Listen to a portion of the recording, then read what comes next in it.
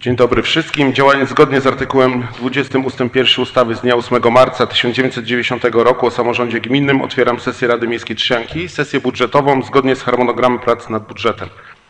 Witam w szczególności radnych, radnych oraz sołtysów gminy Trzcianka, burmistrza Trzcianki pana Krzysztofa Jaworskiego, zastępcę burmistrza Trzcianki pana Witolda Putyrskiego, sekretarz gminy panią Alinę Matkowską, skarbnika gminy panią Joannę Zienko oraz zastępcę panią Izabelę Zawalniak, prawnika panią mecenas Danutę Ciesielską. Szczególnie miło mi powitać panią inspektor z biura rady, panią Marzenę Domagałę. Witam również mieszkańców, którzy oglądają naszą sesję. Aha, jeszcze jest, dobrze, nie widziałem. Y, Witam oczywiście pana mecenasa Michała Birule. Y, Witam mieszkańców, którzy oglądają naszą sesję za pomocą internetu, zaproszonych gości i media. W tej chwili, szanowni radni, zarządzam sprawdzenie kworum.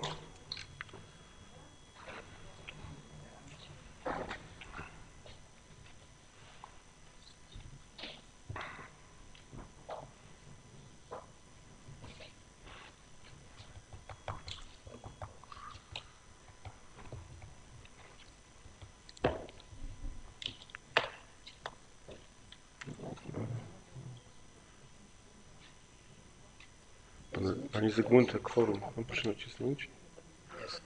Dobra. Pani Marta Matkowska, proszę nacisnąć kworum.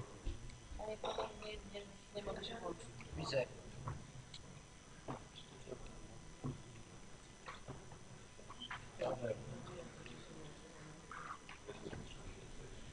Pan radny Paweł Iwanicki. Kworum.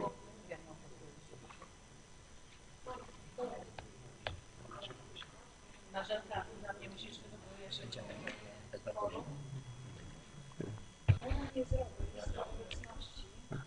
Dobrze, to będziemy mieć, będziemy mieć chwilę czasu na naprawę tego. Mhm.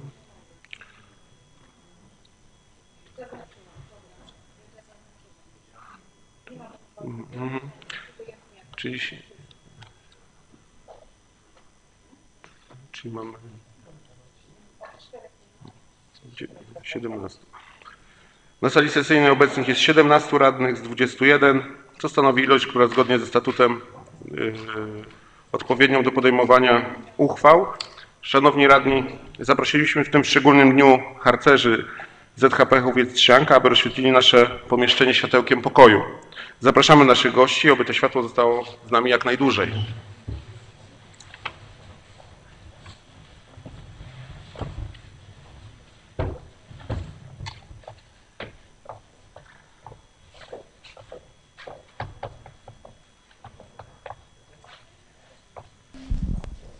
Dzień dobry, drodzy Państwo, czuwaj. W dzisiejszym dniu przyszliśmy do Państwa z bardzo ważną dla nas tradycją. Jesteśmy harcerzami ze Związku Harcerstwa Polskiego, dokładniej z niedawno świeżo powstałej 10. Trzcianeckiej Wielopoziomowej Drużyny Harcerskiej i przyszliśmy dzisiaj przekazać na ręce burmistrza oraz pana przewodniczącego betlejemskie światło pokoju. Jest to nasza harcerska tradycja, którą pielęgnujemy już od, od ponad 30 lat. I to światełko przenosimy do różnych instytucji i bardzo cieszymy się, że mamy dzisiaj możliwość przekazania go również tutaj. Hasłem tegorocznego betlejemskiego światła pokoju jest światło dla Ciebie. Chodzi w nim mniej więcej o to, że zanim zaczniemy dawać światło innym, zadbać najpierw o siebie.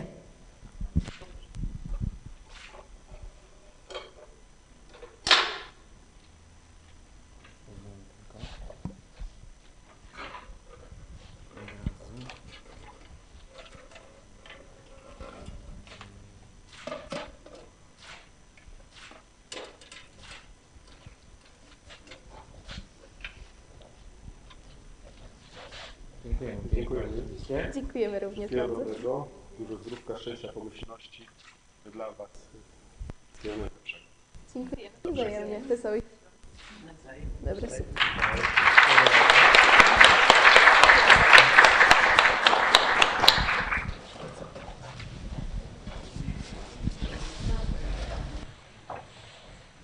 Chcę tu powiedzieć jeszcze, że się pali u nas światełko jeszcze zeszłoroczne. Betlejemskie.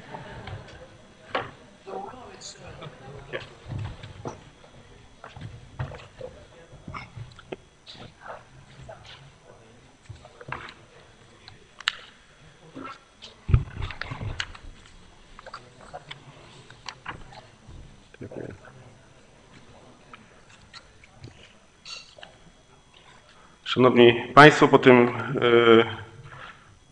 bardzo ciepłym akcencie przechodzimy dalej do porządku obrad.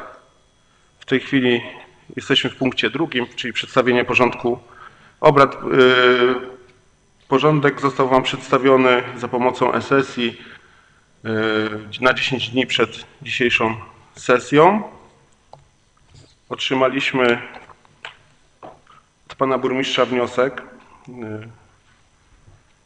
o przekazaniu y, nowych projekt, nowy projekt, nowy projekt uchwały zmieniającej uchwałę w sprawie organizacji wspólnej obsługi administracyjnej, finansowej i organizacyjnej jednostek organizacyjnych zaliczonych do sektora finansów publicznych, dla których organem prowadzącym jest gmina Trzcianka. Projekt uchwały w sprawie odpowiedzi na skargę i nowy projekt uchwały w sprawie ustalenia wykazu wydatków niewygasających z upływem 2022 roku. Y, Proszę panie burmistrzu, kilka słów.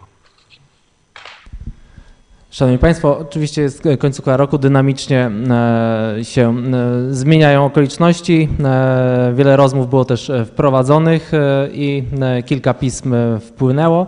E, Realizacja wydatków e, inwestycyjnych e, przebiega z oczywistymi ze względu na porę już problemami, stąd propozycja i konieczność de facto aktualizacji uprzednio przekazanej uchwały dotyczącej wydatków nie- niewygasających z dopisaniem jeszcze jednej z inwestycji, mianowicie budowy dróg z Jąbów na osiedlu Królów, czyli Batorego Chrobrego.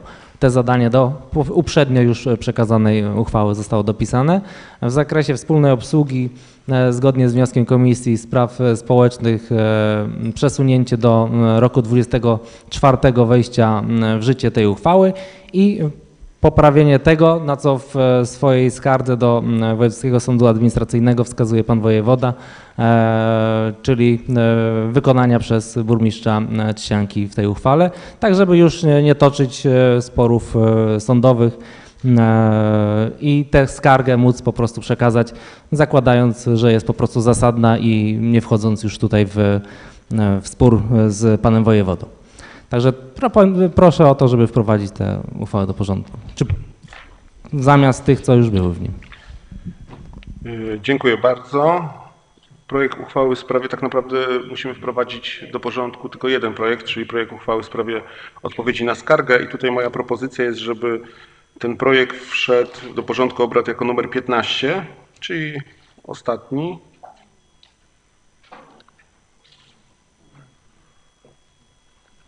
Przygotujemy planszę do głosowania. Czy jest ktoś jeszcze, czy ktoś ma jakiś pomysł na porządek obrad?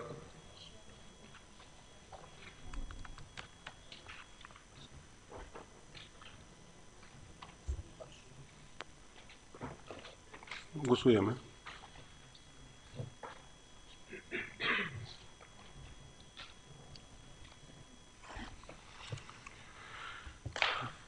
Wprowadzenie projektu uchwały w sprawie odpowiedzi na skargę.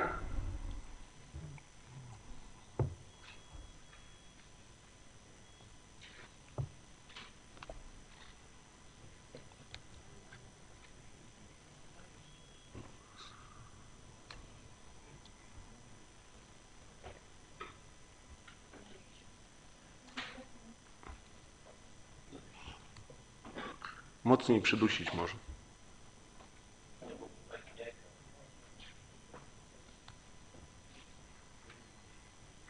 Dobrze. Z, y, za głosowało 14, ra- y, 16 radnych, jeden radny był przeciw. Nie było głosów wstrzymujących. Także mamy 15 punkt. Jest to projekt uchwały w sprawie odpowiedzi na skargę. Czy są jeszcze jakieś propozycje do porządku? Nie widzę. W takim razie przechodzimy do punktu numer 3. Numer 3. Przyjęcie protokołu numer 56 przez 22 sesji Rady Miejskiej Trzcianki z 24 listopada 2022 roku. Czy są uwagi do protokołu? Jeżeli nie ma, to proszę. O, głosujemy. Za przyjęciem protokołu głosowało 17 radnych jednogłośnie.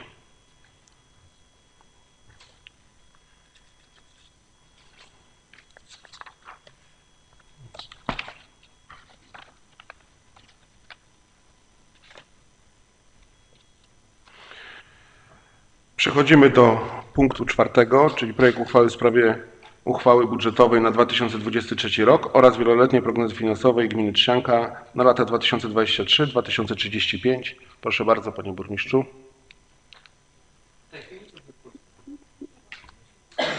Dobrze, to w dyskusji w takim razie. To przechodzimy do punktu A. Odczytanie opinii Regionalnej Izby Obrachunkowej o projekcie uchwały budżetowej, projekcie wieloletniej prognozy finansowej i opinii o możliwościach finansowania deficytu.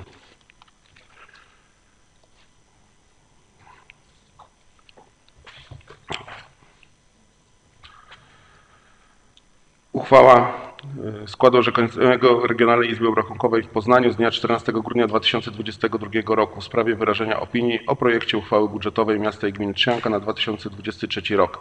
Skład orzekający Regionalnej Izby Obrachunkowej w Poznaniu wyznaczony zarządzeniem prezesa Regionalnej Izby Obrachunkowej w Poznaniu nr 21 przez 2022 z dnia 2 listopada 2022 roku. W osobach. Przewodnicząca Edyta Zastrow, członkowie Monika Paczyńska, Marzena Węckowicz, działając zgodnie, działając na, na podstawie artykułu 13 punkt 3 i artykułu 19 ustęp 2 ustawy z dnia 7 października 1992 roku o regionalnych izbach obrachunkowych w związku z artykułem 238 ustawy z dnia 27 sierpnia 2009 roku o finansach publicznych wyraża o przedłożonym przez burmistrza Trzcianki projekcie uchwały budżetowej na 2023 rok opinię pozytywną z uwagą.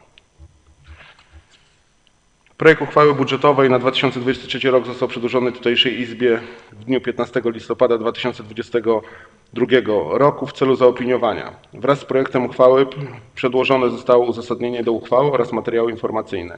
Skład orzekający stwierdził, że szczegółowość projektu budżetu, uzasadnienie oraz materiały informacyjne przedłożone wraz z projektem uchwały budżetowej odpowiadają wymogom określonym w uchwale przepraszam bardzo, uchwale Rady Miejskiej Trzcianki z dnia 9 września 2010 roku w sprawie trybu prac nad projektem uchwały budżetowej ze zmianami. 2. Zakres unormowań zawartych w projekcie uchwały budżetowej odpowiada wymogom ustawy z dnia 27 sierpnia 2009 roku o finansach publicznych, a w szczególności artykułu 212, 215, artykuł 222, artykuł 235 do 237, artykuł 258 i artykuł 264. W projekcie budżetu na 2023 rok zostały ustalone dochody w wysokości 116 930 481 zł i 7 groszy, w tym dochody bieżące w wysokości 106 927 881 zł i 7 groszy, dochody majątkowe w wysokości 10 milionów y, 2600 zł. Wydatki w wysokości 129 280 669 zł i 21 groszy, w tym wydatki bieżące w wysokości 110 milionów 938 728 zł i 24 grosze. Wydatki majątkowe w wysokości 18 milionów 341 940 zł i 97 groszy. Deficyt budżetowy w wysokości 12 milionów 350 188 zł i 14 groszy, który planuje się sfinansować przychodami z tytułu spłat udzielonych pożyczek z lat, z lat ubiegłych, z tytułu kredytów i pożyczek oraz z tytułu wolnych środków, o których mowa w artykule 217 ust. 2 punkt 6 ustawy o finansach publicznych.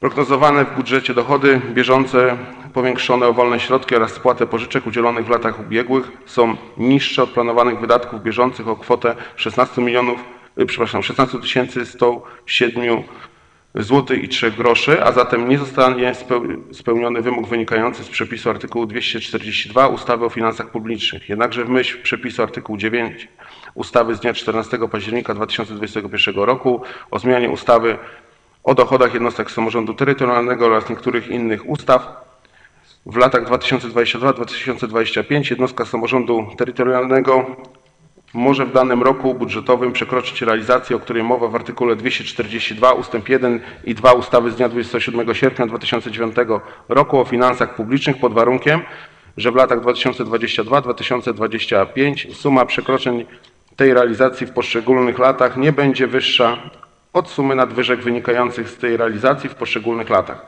Według zakładanego wykonania budżetu roku 2022 oraz planowanej w wieloletniej prognozie finansowej wielkości budżetowych na lata następne wymóg ten zostanie spełniony. W projekcie uchwały określono kwotę planowanych przychodów w wysokości 15 milionów 17 910 zł i 14 groszy oraz kwotę rozchodów w wysokości 2 milionów 667 722 zł. Przychody planuje się ze spłaty pożyczek udzielonych na finansowanie zadań realizowanych z udziałem środków pochodzących z budżetu Unii Europejskiej w wysokości 76 021 zł z tytułu kredytów i pożyczek zaciągniętych na rynku krajowym w wysokości 11 milionów 23 170 zł oraz z wolnych środków, o których mowa w artykule 217 ustęp 2 punkt 6 w wysokości 3 918 719 zł i 14 groszy. Jako rozchody zaplanowano spłaty zaciągniętych wcześniej zobowiązań w wysokości 2 667 722 zł. Według bilansu z wykonania budżetu na 2021 rok wynika, że gmina na dzień 31 grudnia 2021 roku posiadała wolne środki w kwocie 17 797 077 zł i 62 groszy. W budżecie na 2022 rok zaangażowano wolne środki w kwocie 16 759 627 zł i 68 groszy. Zatem do dyspozycji na 2023 roku została kwota wolnych środków w wysokości 1 miliona 37 449 zł i 94 groszy. Ponadto według uchwały budżetowej na rok 2022 jednostka zaplanowała rozchody z tytułu przelewów na rachunki lokat łącznej w wysokości 2 680 400 zł. Z tytułu uchwa- uchwały nr 56 przez 528 przez 22 Rady Miejskiej Trzcianki z dnia 24 listopada 2022 roku w sprawie zmiany uchwały budżetowej na 2022 rok wynika, iż planie rozchodów na 2022 rok ujmuje się kwotę 2 680 400 zł z przeznaczeniem na przelew środków na lokatę. Kwota 1 387 920 zł 700, 73 grosze stanowi kwotę RF, RFIL na budowę zadaszonych boisk w Łomnicy i Białej. Natomiast kwota 1 292 479 zł 27 groszy stanowi środki własne gminy. Środki pochodzące z RFIL oraz środki własne zapisane w rozchodach będą stanowiły przychody w 2023 roku. Zadania finanso- finansowane z, loka, z utworzonej lokaty zostały zaplanowane w projekcie budżetu na 2023 rok. W związku z powyższym w budżecie na 2023 rok powinny być zaplanowane przychody. Przychody jednostek samorządu terytorialnego z niewykorzystanych środków pieniężnych na rachunku bieżącym budżetu wynikających z rozliczenia dochodów i wydatków nimi finansowych, finansowanych związanych ze szczególnymi zasadami wykonywania budżetu określonymi w odrębnych ustawach w wysokości równej środkom otrzymanych z RFIL oraz zaplanowane środki na wspomniane zadania, wydatki na zadania inwestycyjne realizowane ze środków otrzymanych z Rządowego Funduszu Inwestycji Lokalnych. Ponadto środki i wydatki nim finansowane podlegają wyodrębnieniu w uchwale budżetowej w myśl artykułu 237 ust. 1 ustawy o finansach publicznych. W uzasadnieniu do projektu budżetu burmistrz poinformował, Planowane na 2023 rok przychody budżetu wynoszą 15 milionów 17 tysięcy y, 910 zł i 14 groszy, w tym wolne środki, o których mowa w artykule dwa- 217 ust. 2 punkt 6 ustawy o finansach publicznych w wysokości 3 milionów 918 719 zł i 14 groszy. Środki w kwocie 2 888 418 zł i 57 groszy pochodzą z przyznanych dochodów na rok 2022 z tytułu udziału we wpływach z podatku dochodowego od osób fizycznych. Wolne środki w kwocie 1 30 300 zł 57 groszy pochodzą z 2021 roku. Ponadto w objaśnieniach do wieloletniej prognozy finansowej poinformował, wolne środki pozosta- pozostające w rozliczeniu budżetu na koniec 2021 roku i niezaangażowane w budżecie na 2022 rok oraz niewprowadzone do planu dochodów, a otrzymane w 2022 roku dodatkowe dochody 3 018 710 zł i 14 groszy, w tym kwota 2 888 418 groszy, y, 418 zł i 57 groszy dodatkowych dochodów na rok 2022 z tytułu udziału we wpływach z podatku dochodowego od osób fizycznych. Skład orzekający wskazuje, że otrzymane w 2022 roku dodatkowe dochody z tytułu udziału we wpływach z podatku dochodowego od osób fizycznych winny być wprowadzone do budżetu na 2022 rok. Jeżeli otrzymane środki nie pozostaną przeznaczone w roku nie zostaną przeznaczone w 2022 na wydatki bieżące i lub majątkowe, to w budżecie roku 2022 roku powinny zostać umniejszone przychody z tytułu wolnych środków lub winny zostać ujęte sklasyfikowane przelewy na rachunki lokat po stronie rozchodów, tak aby w kolejnym roku budżetowym 2023 stanowiły po stronie przychodów wolne środki, o których mowa w artykule 217 ust. 2 punkt 6 ustawy o finansach publicznych i zostały przeznaczone na sfinansowanie planowanego deficytu budżetu roku 2023. Aktualnie wyżej wymienione dochody y, nie wprowadzono do budżetu roku 2022 i nie przeznaczono na rozchody w paragrafie 994. Dokonano, dokonane ustalenia są podstawą do sformułowania uwagi.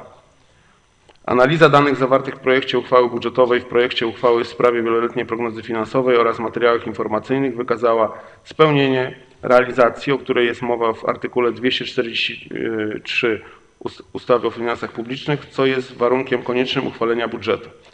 Skład orzekający zauważa jednak, iż w latach 2026-2029 występuje zagrożenie w zakresie zachowania relacji, o których mowa w artykule 243 ustawy, gdyż różnica pomiędzy wskaźnikiem dopuszczalnym obliczeniowym w oparciu o plan trzeciego kwartału roku poprzedzającego pierwszy rok prognozy z pozycji 8.3, a wskaźnikiem planowanym łącznej spłaty zobowiązań w pozycji 8.1 jest niewielka i wynosi odpowiednio 0,2 20, 0,78, 0,80 i 0,83 punkta procentowego. Biorąc pod uwagę powyższe, w, scenie, w ocenie składu orzekającego uchwalenie przez Radę Miejską Trzcianki wieloletniej prognozy finansowej w brzmieniu zaproponowanym w opiniowanym projekcie spowoduje konieczność stałego monitorowania prognozowanych wielkości budżetowych, w szczególności dochodów i wydatków bieżących, a w razie potrzeby dokonywania korekty tych wielkości, ewentualnie zmian w harmonogramie spłaty zobowiązań, celem zachowania reguły określonej w artykule 243 ustawy o finansach publicznych. Niewielkie nawet odstępstwa od przyjętych w wieloletniej prognozie finansowej założeń mogą bowiem doprowadzić do naruszenia realizacji wynikającej z przepisów artykułu 243 ustawy o finansach publicznych. Według danych wynikających z sprawozdania RBZ na dzień 31 31 grudnia 2021 roku z uwzględnieniem planowanych przychodów z kredytów i pożyczek w 2022 i w 2023 oraz planowanych spłat rat kredytów i pożyczek w tych latach wynika, że stan zadłużenia na dzień 31 grudnia 2023 roku wyniesie 49 149 645 zł i 41 groszy. Kwoty zaplanowanych w wydatkach budżetu rezerw to jest przepraszam, rezerwy ogólne i rezerw celowych mieszczą się w granicach określonych w przepisie artykułu 222 ust. 1 i 3 ustawy o finansach publicznych, a rezerwa celowa na realizację zadań własnych z zakresu zarządzania kryzysowego mieści się w limicie określonym w artykule 26 ust. 4 ustawy z dnia 26 kwietnia 2007 roku o zarządzaniu kryzysowym. Do projektu budżetu dołączono m.in. plan dochodów z tytułu wydanych zezwoleń na sprzedaż alkoholu i wydatków na realizację programu profilaktyki rozwiązywania problemów alkoholowych i zwalczania narkomanii. Plan dochodów z, opłat i kar za korzystanie ze środowiska oraz plan wydatków na zadania z zakresu ochrony środowiska. Plan dochodów z opłat za gospodarowanie odpadami komunalnymi oraz wydatków na finansowanie gospodarowania odpadami. Plan dochodów i wydatków na, na wydzielonych rachunkach dochodów oświatowych jednostek budżetowych, plan wydatków finansowych ze środków Funduszu Przeciwdziałania COVID-19 oraz Funduszu Sołeckiego. Z przedłożonego projektu wynika, że zadania określone ustawą z dnia 13 września 1996 roku o utrzymaniu czystości i porządku w gminach, a dotyczące funkcjonowania systemu gospodarowania odpadami komunalnymi gmina realizuje samodzielnie. Z załącznika nr 11 wynika, że zaplanowane zostały dochody z opłat za gospodarowanie odpadami komunalnymi w kwocie 8 440 600 zł oraz wydatki na finansowanie systemu gospodarowania odpadami komunalnymi w kwocie 10 milionów 68 818 zł. W załączniku nie ujęto planowanych zgodnie z załącznikiem nr 1 o dochodach wpływu z tytułu kosztów egzekucyjnych opłaty komorniczej i kosztów upomnień w wysokości 15 tysięcy zł oraz wpływu z odsetek od nieterminowych opłat z tytułu podatków i opłat w wysokości 20 tysięcy złotych. Skład orzekający wskazuje, że gminie, y, gminne systemy gospodarki odpadami powinny być zbilansowane tak, aby nie zachodziła potrzeba ich dodatkowego zasilenia w innych środków własnych, jednakże zgodnie z artykułem 6r ust, ustęp 2 DA ustawy z dnia 13 września 2000 1996 roku o utrzymaniu czystości i porządku w gminach Rada Gminy może postanowić o pokryciu części kosztów gospodarowania odpadami komunalnymi z dochodów własnych nie po- nie pochodzących z pobranej opłaty za gospodarowanie odpadami komunalny- komunalnymi w przypadku gdy Punkt pierwszy. Środki pozyskane z opłat za gospodarowanie odpadami komunalnymi są niewystarczające na pokrycie kosztów funkcjonowania systemu gospodarowania odpadami komunalnymi, w tym kosztów, o których mowa w ustępie 2, 2c lub punkt drugi. Celem jest obniżenie opłaty za gospodarowanie odpadami komunalnymi pobieranymi od właścicieli nieruchomości.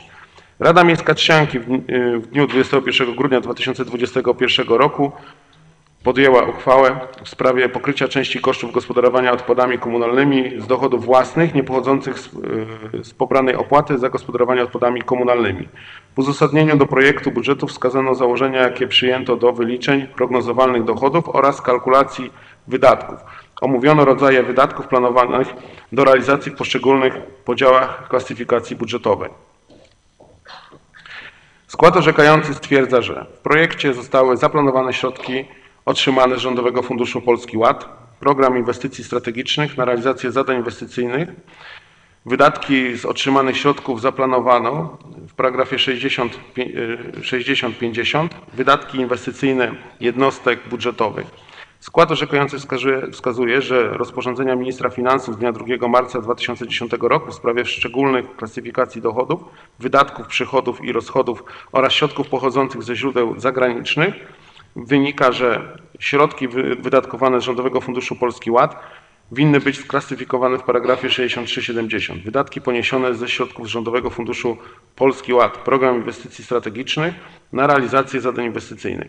Natomiast wydatki na wkład własny gminy na realizację zadań finansowych finansowanych z udziałem środków Rządowego Funduszu y, Polski Ład winny być klasyfikowane w paragrafie 6050.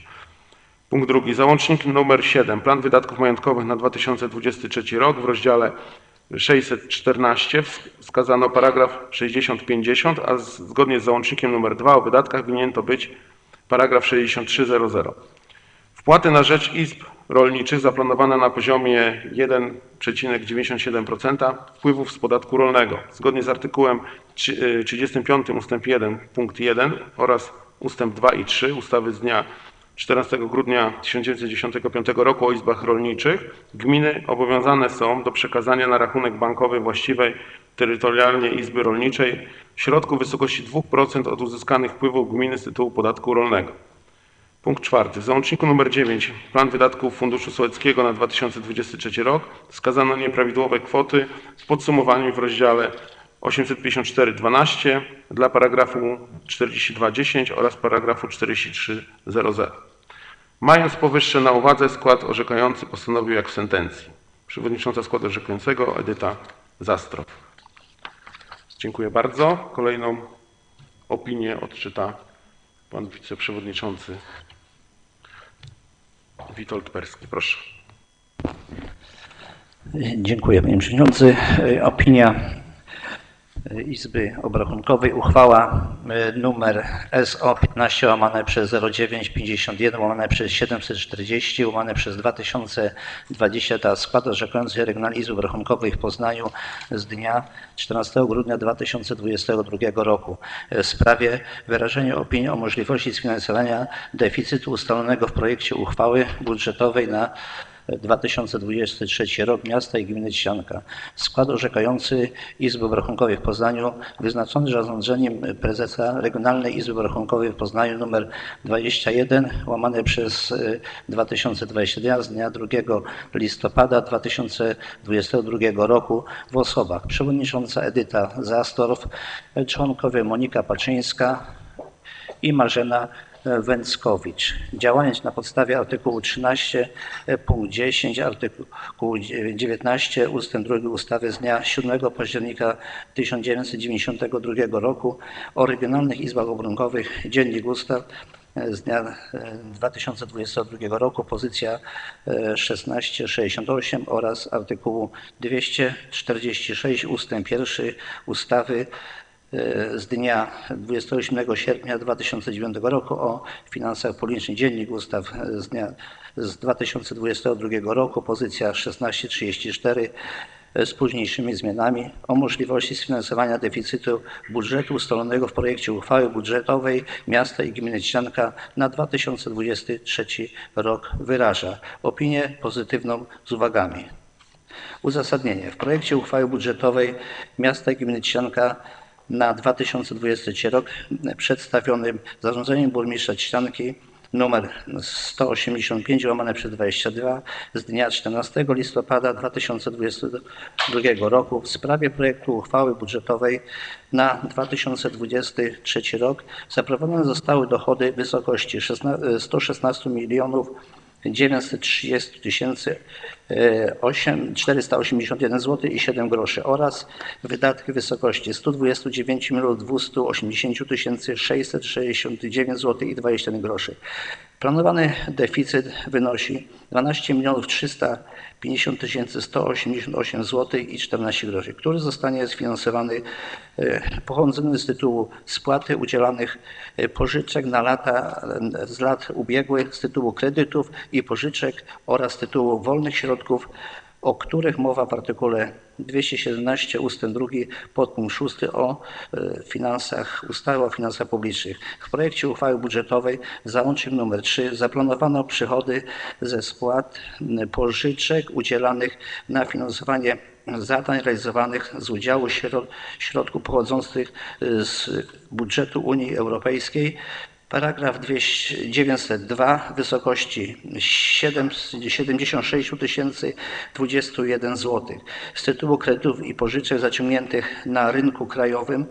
Paragraf e, 952 w wysokości 11 milionów 23 170 zł oraz z tytułu wolnych środków, o których mowa w artykule 217 ustęp 2 podpunkt 6 ustawy E, paragraf e, 950 w wysokości 3 milionów e, 918 719 zł 14 groszy.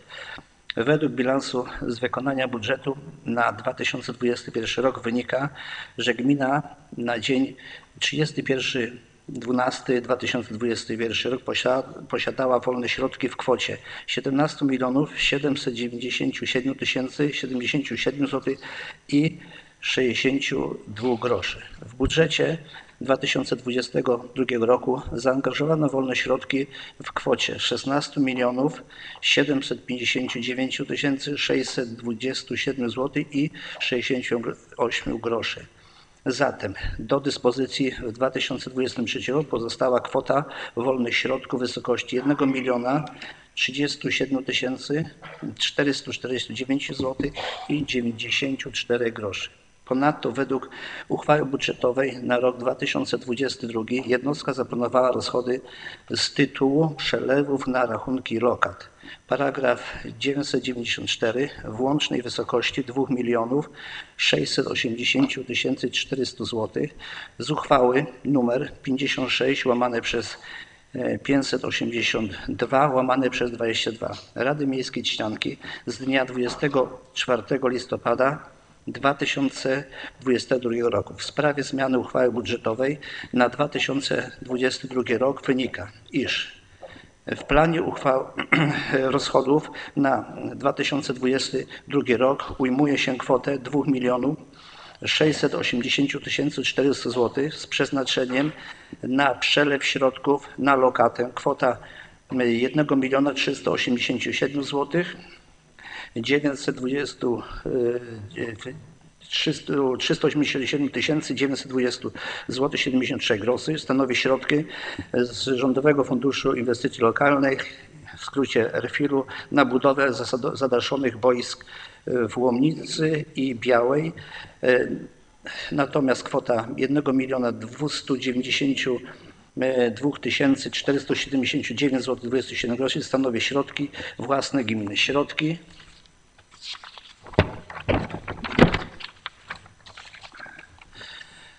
pochodzące z RFIL-u oraz środki własne zapisane w rozchodach będą stanowiły przychody w 2023 roku. Rozwiązanie lokat w 2023 roku.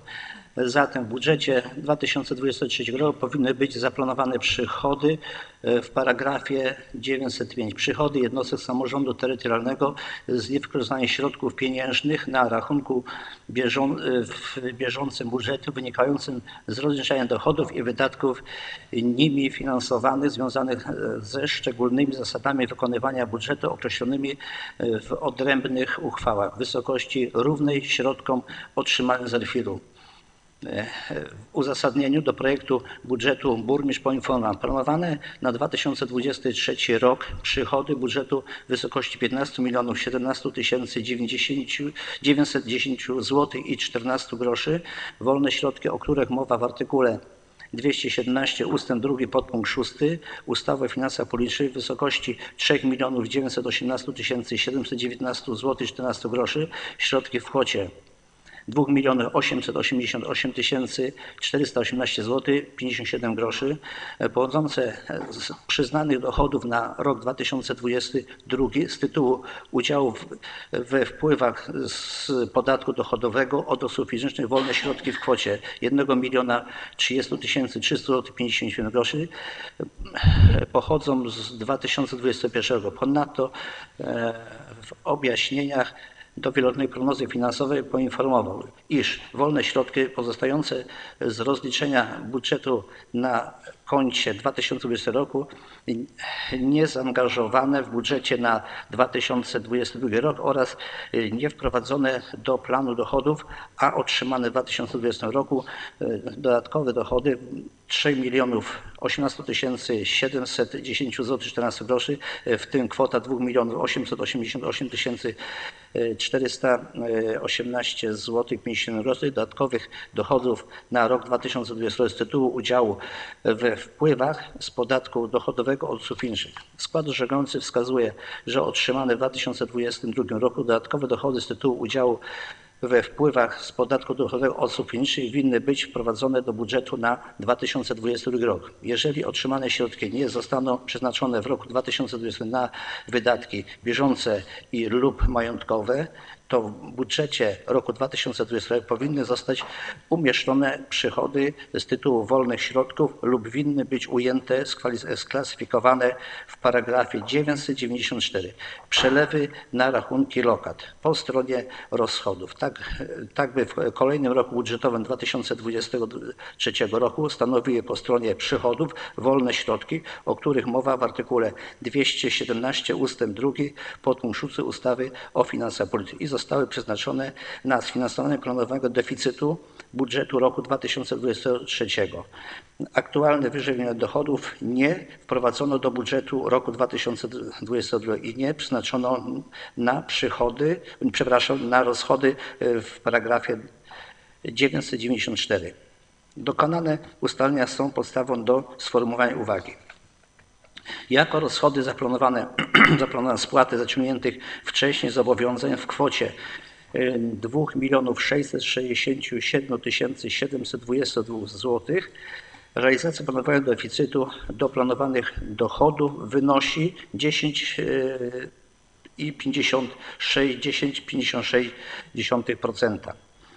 Y, Przewiduje się, że w roku 2000, budżetowym 2023 spłaty zobowiązań gminy z tytułu rat, kredytów i pożyczek 2 667 722 zł wraz z należnymi odsetkami 1 100 1 772 669 zł wynios, wyniosą 4 miliony 440 900 391 zł i nie przekroczą dopuszczalnego limitu e, spłaty zobowiązania określonego na podstawie artykułu 243 ustawy o finansach publicznych. Realizacja, o której mowa w artykule 243 ustawy o finansach publicznych zostanie zachowana również w pozostałych latach obejmujących okres spłaty zobowiązań.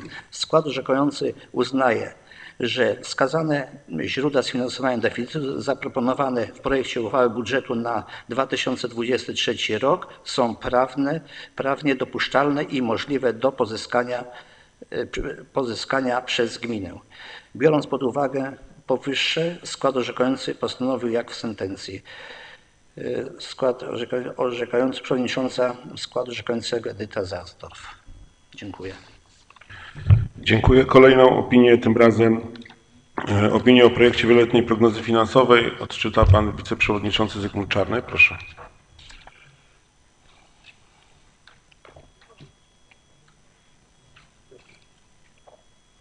Już. Co? Dobrze. Uchwała numer łamane przez 15 0957 łamane 249 2022 rok. Skład orzekającego Regionalnej Izby w Poznaniu z dnia 13 grudnia 2020 roku. W sprawie wyrażenia opinii o projekcie uchwały w sprawie letniej prognozy finansowej miasta i gminy Czcianka. Skład orzekający Regionalnej Izby w Poznaniu wyznaczonym zarządzeniem prezesa Regionalnej Izby w Poznaniu numer 20 łama- łamane 21 łamane przez 22 z dnia 2 listopada 2022 roku w osobach przewodnicząca Edyta Zastrow, członkowie Monika Paczyńska, Marzena Bęckowicz.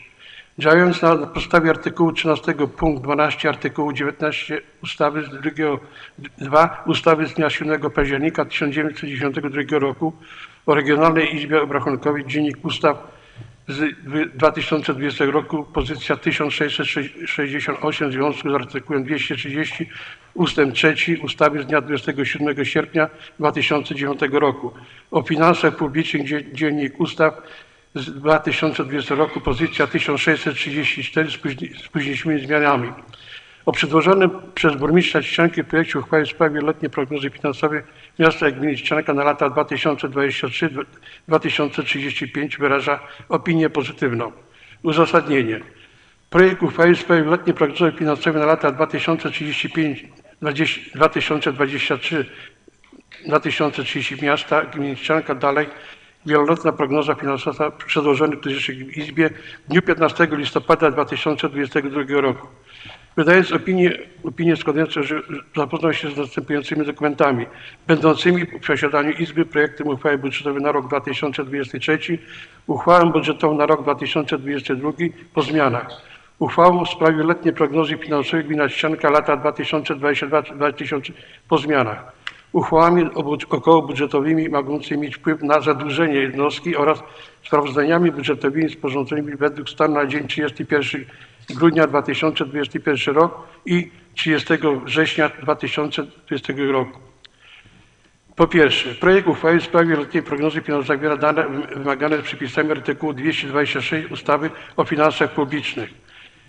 Dwa. Projekt uchwały z zakresu objęty wieloletnią prognozą finansową odpowiada okresowi, na jaki przyjęto limit wydatków na realizację ujętych w prognozie przedsięwzięć, a pro- a prognoza kwoty długu sporządzona jest na okres, który zaciągnięto oraz planuje się zaciągnąć zobowiązania, co wyczerpuje dyspozycję artykułu 227. 3. Do projektu uchwały prognozy finansowej dołączone zostały objaśnienia przyjęte wartości, czym spełniono wymóg określony w artykule 226 ust. 2a. 4. Planowane wielkości budżetowe w lata 24-2035 zapewniają przestrzeganie zasady, której mowa w artykule 242 ustęp 1 ustawy o finansach publicznych.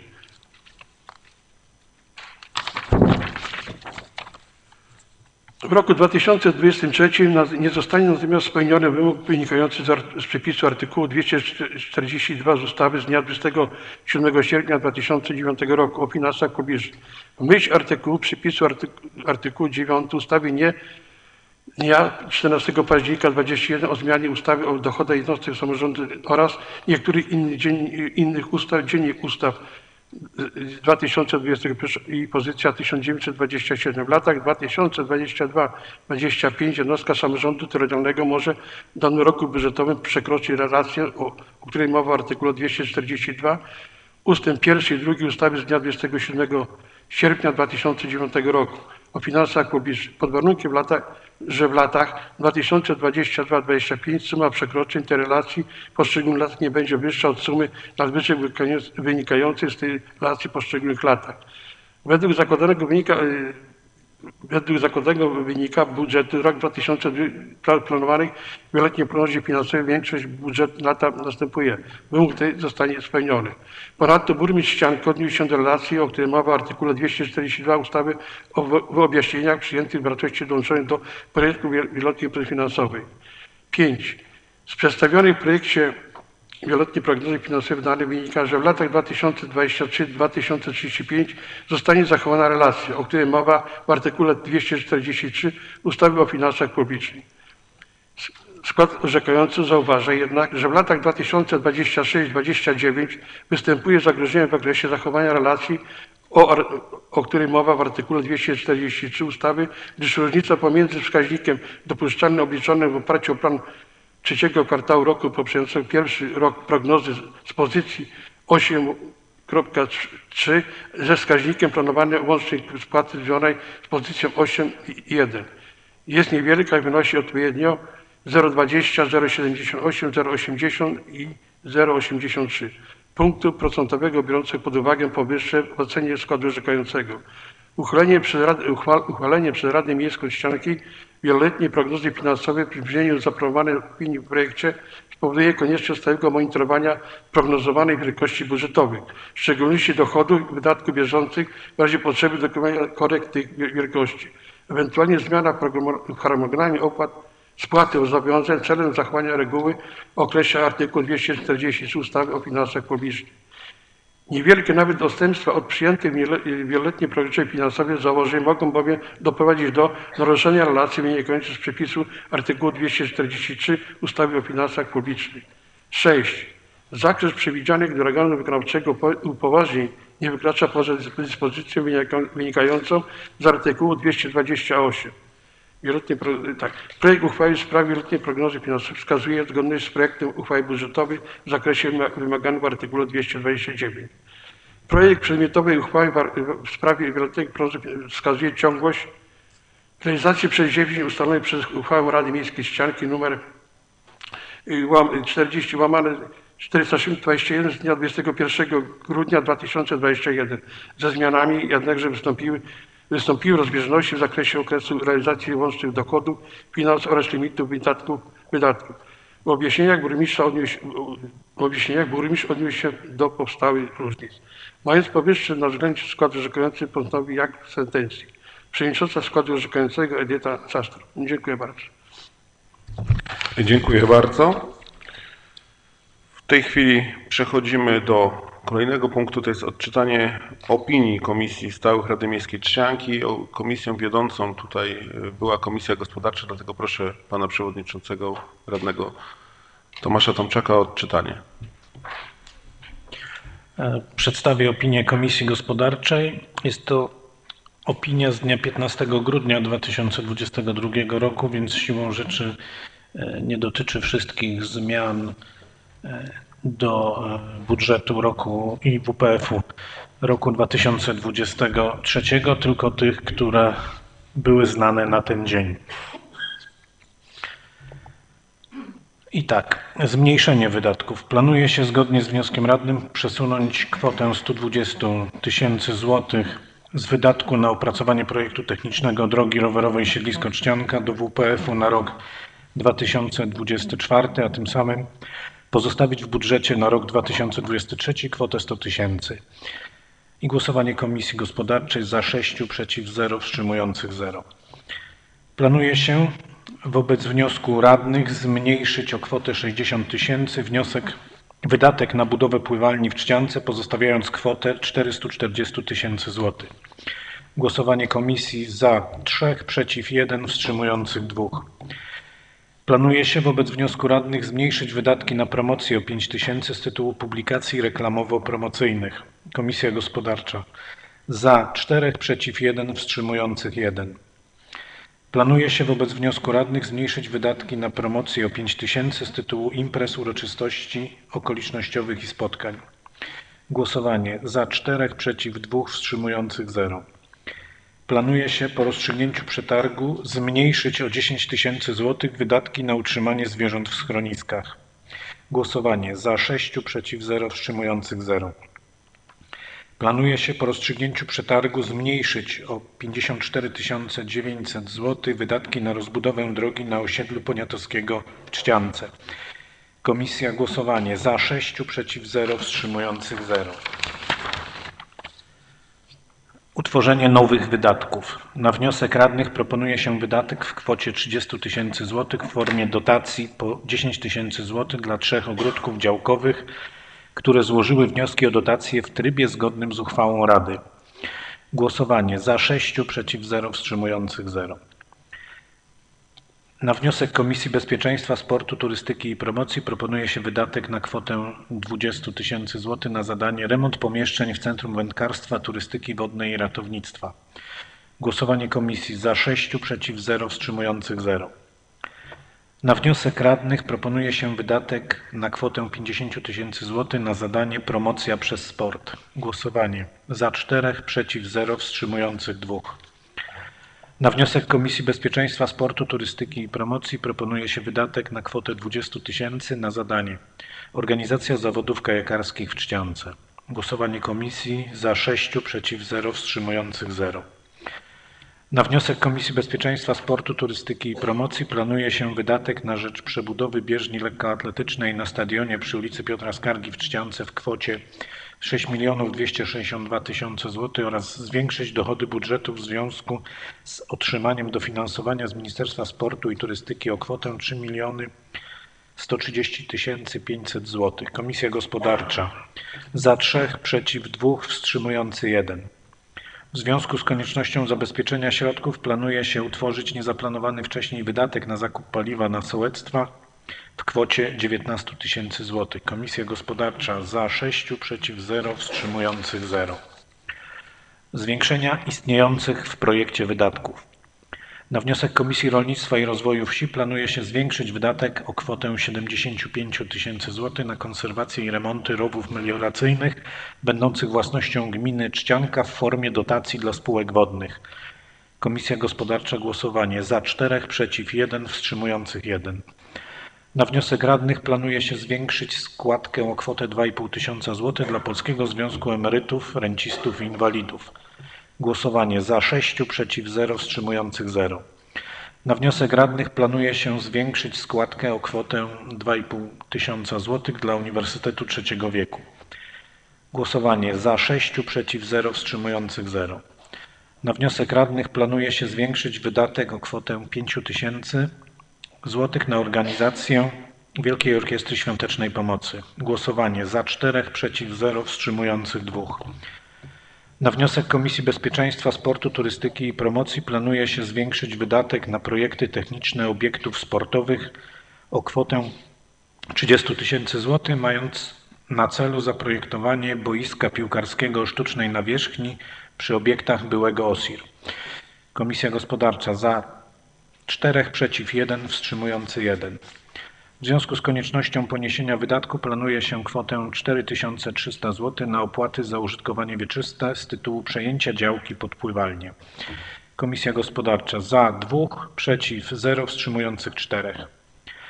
Do tymczasowego zbilansowania budżetu planuje się zwiększyć przychody z kredytu o kwotę 451 100 zł, w nawiasie mając świadomość możliwości obniżenia ich po, do, po otrzymaniu dofinansowania na przebudowę bieżni w kwocie miliona złotych z Urzędu Marszałkowskiego.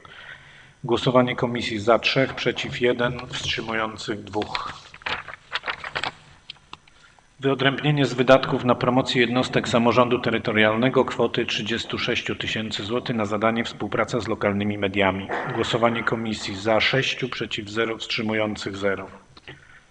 Opinia Komisji Gospodarczej do całości projektu uchwały w sprawie wieloletniej prognozy finansowej gminy Czcianka na lata 2023-2035. Za 5, przeciw 0, wstrzymujących 1. Opinia Komisji Gospodarczej do projektu uchwały w sprawie uchwały budżetowej na 2023 rok. Komisja Gospodarcza. Głosowanie. Za 3, przeciw 2, wstrzymujących 1. Dziękuję.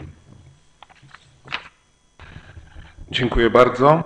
Pozwolę sobie odczytać szybko jeszcze y, opinię komisji, chyba że któryśkolwiek przewodniczący chciałby sam odczytać opinię w tej sprawie, jeżeli. Komisja Spraw Społecznych jeszcze 30 listopada 2022 roku zaopiniowała pozytywnie projekt y, uchwały budżetowej na 2023 rok w głosowaniu za dwóch radnych, przeciw zero, wstrzymało się dwóch radnych. Komisja Środowiska i Rozwoju Wsi 6 grudnia 2022 roku zaopiniowała pozytywnie projekt y, uchwały budżetowej na 2023 rok. Za dwóch radnych, przeciw zero, wstrzymało się sześciu radnych. Oraz Komisja Bezpieczeństwa Sportu, Turystyki i Promocji w dniu 8 grudnia 2022 roku zaopiniowała pozytywnie projekt uchwały budżetowej na 2023 rok w głosowaniu za trzech radnych, przeciw jeden, wstrzymało się trzech radnych.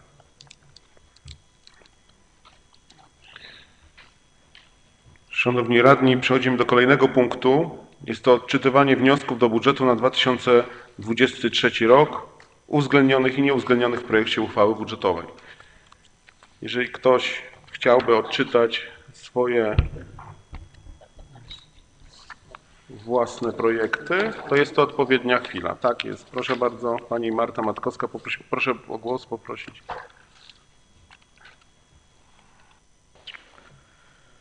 Już.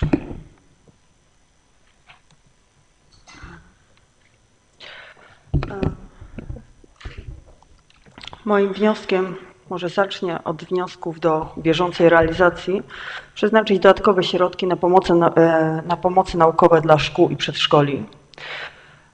Do bieżącej realizacji zabezpieczenie środków na dokupienie koszy ławek na ulicach Gorzowska w stronę Logo oraz ulica Parkowa, ulica Piotra Skargi w kierunku Nowej Plaży zabezpieczyć środki na remont i profilowanie ulicy Kasprowicza, zaplanowane środki na projekty techniczne, zadanie do realizacji w ramach zintegrowanych działań terytorialnych 2021-2027. Wykonanie drogi z płyt Jombo na ulicy Sadowej, zaplanowane środki na projekt techniczny budowy dróg. Budowa chodnika na ulicy Ogrodowej, zaplanowane środki na projekty techniczne. Zadanie do realizacji 2021-2027 oraz wnioski, które nie będą e, tymczasowo uwzględnione. Zamontowanie huśtawki nad jeziorem Sarcze oraz uzupełnienie infrastruktury o zjeżdżalnię wodną. Przebudowa istniejącego przystanku autobusowego w sąsiedztwie CIS wyznaczenie miejsc lub dobudowę pomostu na przystani żeglarskiej, aby w sezonie mieszkańcy mogli sumować jednostki pływające za przekazanie dobrowolnej darowizny na rzecz przystani. Wniosek będzie przedmiotem analizy możliwości realizacji w trakcie roku. Budowa progu zwalniającego przy ulicy Piotra Skargi, bądź też wykorzystanie do tego celu zdemontowanego progu z ulicy Wieleńskiej. Przyznanie środków na plac zabaw przy szkole podstawowej nr 2 zabezpieczenie środków na działania związane z rekultywacją jezior, o których to wspominał we wniosku pan przewodniczący Rady Miejskiej i tutaj wniosek będzie mógł być zrealizowany po opracowaniu dokumentacji diagnozy jeziora. Koszt takiego opracowania to około 10 tysięcy złotych, a czas trwania rok. Mam nadzieję, że to w tym roku będzie miało miejsce. Przeznaczenie środków na budowę bądź rozbudowę dotychczasowego żłobka o nowe miejsca oraz zamontowanie billboardu reklamującego atrakcję Czcianki na drodze w kierunku Wałcza i wystosowanie w tym celu stosownych pism. Dziękuję. Dziękuję. Pan radny Wiesław Natkaniec, proszę. No ja też mam dużo wniosków, ale nie będę ich czytał, bo nie o to chodzi, żebyśmy tutaj się chwalili, mi się wydaje. Wszystko mamy tutaj dostępne. Ja tylko chciałbym taką małą poprawkę, y, bo przy moim nazwisku y, współautorem tych wniosków jest również Paweł Iwanicki, więc prosiłbym, żeby, żeby go po prostu dopisać. Dziękuję.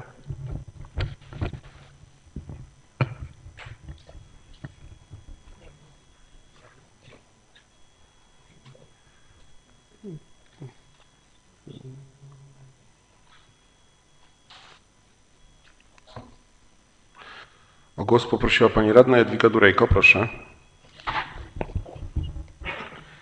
Momencik tylko dotrę do tego, do tego miejsca. Wnioski uzgodnione, nieuzgodnione. Ja chciałam tutaj tylko zwrócić uwagę, że y, mam takie odpowiedzi na swoje wnioski i mam nadzieję, że będą zrealizowane. Oświetlenie drogi w, w siedlisku do numeru 27. Jest to jedna lampa solarna, którą się zwracam już trzeci rok. Więc wydatek sołecki możliwie ewentualnie współfinansowanie. Mam nadzieję, że w tym roku się to skończy, chociaż mam zaznaczone na biało, czyli nie będzie zrealizowane na razie. Yy, Utwardzenie drogi nr 27 w siedlisku do drogi głównej. Zaplanowane środki na profilowanie dróg i tutaj jest na zielono i bardzo mnie to cieszy. Że mam nadzieję, że ta droga do PGR-u wreszcie będzie w jakiś sposób zrobiona. Yy, Natomiast nie, to jest to nie ta droga, to jest droga na. Nie, nie, nie, nie, to jest yy, boczna droga za masarnią. Mam nadzieję, że, że będzie wreszcie sprofilowana, bo tam ludzie się nie mogą doczekać. Natomiast remont drogi niestety nie zaplanowano, tylko bieżące remonty dróg. Ten remont, o którym ja mówię do PGR-u, niestety nie będzie realizowany. I tutaj chciałam powiedzieć, że dofinansowanie Stowarzyszenia Rozwoju Wsi Przyjaźń w Przełękach zakupu samochodu busa dla przewozu dzieci niepełnosprawnych uczących się w szkole podstawowej w Przyłękach niestety nie uwzględniono wniosku ze względu na niedobór środków na podstawowe i bieżące wydatki własne gminy. Szkoda. Chodziło o 50 tysięcy. No i mam na tym. Dziękuję ślicznie. O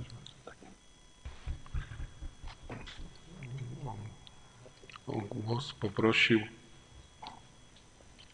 Jeszcze raz, bo tutaj. Dobrze. Dobra.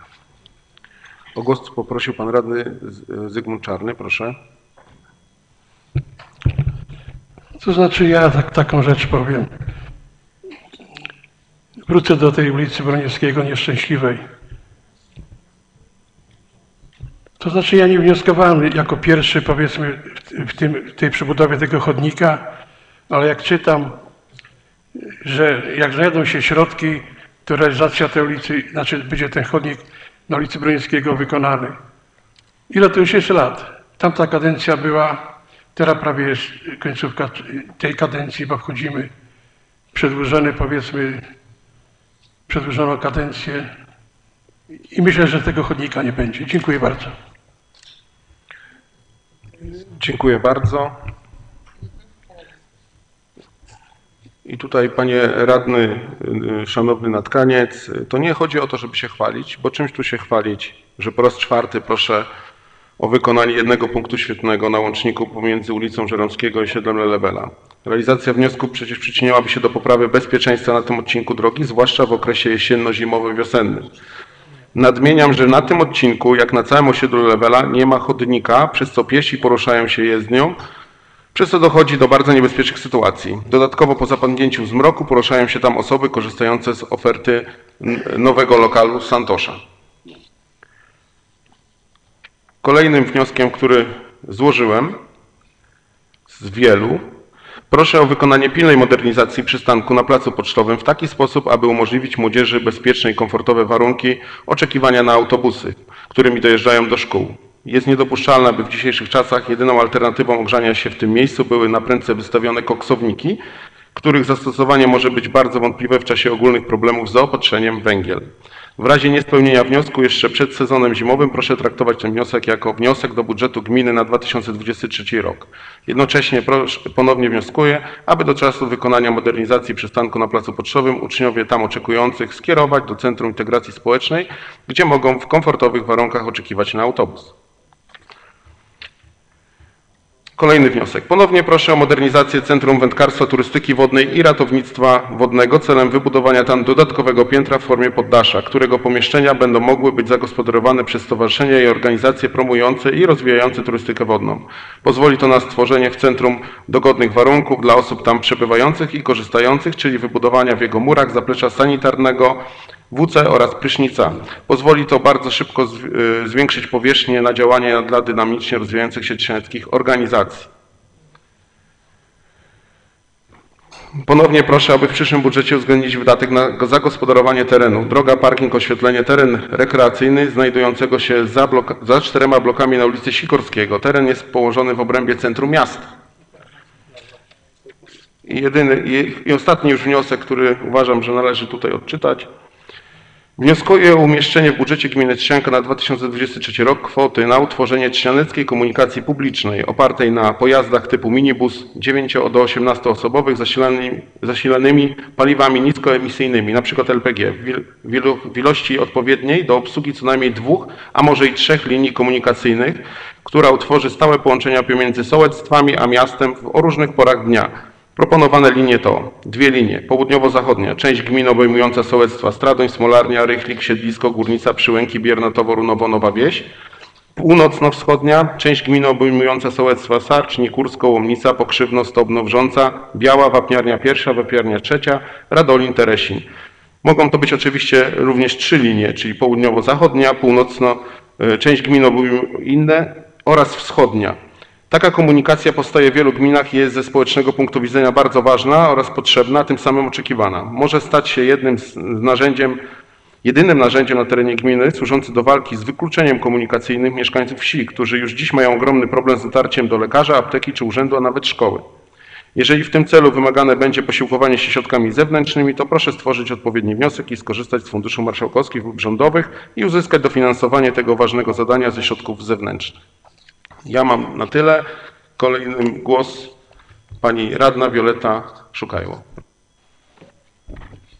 Dziękuję bardzo, panie przewodniczący. Ja takiej ilości wniosków nie składałam. Bardzo zdroworozsądkowo podeszłam do tematu, gdyż wiemy, jak wygląda sytuacja finansowa naszej gminy, ale za jeden wniosek chciałam podziękować, że jest już reakcja. Mianowicie chodzi mi o wniosek, który y, myślę jest bardzo istotny dla mieszkańców i to nie tylko tych mieszkających na tak zwanym zatorzu, mianowicie y, przejazd kolejowy. Poprawa jakości przejazdu kolejowego w naszym mieście, bo niestety bardzo złą promocję robi to y, Czciance. Y, Czcianka jest kojarzona właśnie z tym fatalnym przejazdem i bardzo chciałam podziękować przy tej okazji, że mój wniosek przekazano do PKP, do parlamentarzystów z okręgu, do radnych Sejmiku i WZDW. I mam nadzieję, że y, te kroki doprowadzą do tego, że jednak coś w tym temacie się zadzieje. Wiem, że jakieś już wstępne rozmowy zostały przeprowadzone. Wiem, że kwota jest przerażająca, y, którą będzie trzeba ponieść na ten przejazd, ale myślę, że wszystkim nam zależy, y, żeby, żeby ten stan rzeczy uległ zmianie. Dziękuję bardzo. Dziękuję bardzo. Czy ktoś jeszcze y, chce odczytać wnioski? Pan, pani radna Marta Matkowska, proszę. E, Jak jesteśmy przy miłych akcentach, to tylko chciałabym dodać, że w budżecie zaplanowano środki na projekt techniczny przebudowy ulicy Piotra Skargi. Dziękuję. Dziękuję bardzo. Dobrze, jeżeli nikogo chętnego nie ma, to przechodzimy do kolejnego punktu. E, Odczytanie. Przepraszam, przepraszam panie przewodniczący, e, bo mamy punkt odczytanie wniosków e, do budżetu uwzględnionych, nieuwzględnionych. Tak. E, Teraz państwo częściowo odczytaliście. E, I teraz pan musi zadać pytanie, czy pozostałe czytamy, czy radni uznają, że zapoznali się, bo otrzymali i nie będziemy odczytywać. Szanowna Pani mecenas, zapytałem się radnych, czy ktoś chce odczytać swoje własne wnioski i radni decydują, czy odczytają te wnioski, czy nie Nie odczytają. tylko same własne, tylko wszystkie, To proszę które odczytać zostały... te wnioski. Nie, nie, nie o to chodzi. No. Pan, pan zadaje pytanie, czy czytamy Radni- wszystkie pozostałe. Czy radni tak? chcą, żeby były odczytane wszystkie wnioski? No, no przecież Nie, nie. I to Dziękuję zapis do protokołu, tak? Dobrze. Przechodzimy dalej. Odczytanie stanowiska burmistrza Trzcianki w sprawie opinii Regionalnej Izby Obrachunkowej i wniesionych opinii Komisji Rady. Proszę bardzo. Szanowni Państwo, stanowisko burmistrza Trzcianki jest e, następujące. Burmistrz Trzcianki przychyla się e, do uwagi i wskazań e, Regionalnej Izby Obrachunkowej i dostosowuje w formie autopoprawek projekt uchwały budżetowej do, tychże, do tejże uwagi i wskazań. A co do e, wniesionych e, opinii Komisji Rady, to, mm, to przewodniczący Komisji Gospodarczej w zasadzie mm, to stanowisko burmistrza już e, przedstawił i ja pozwolę sobie zabrać teraz głos w dyskusji, otworzyć dyskusję, jeśli może.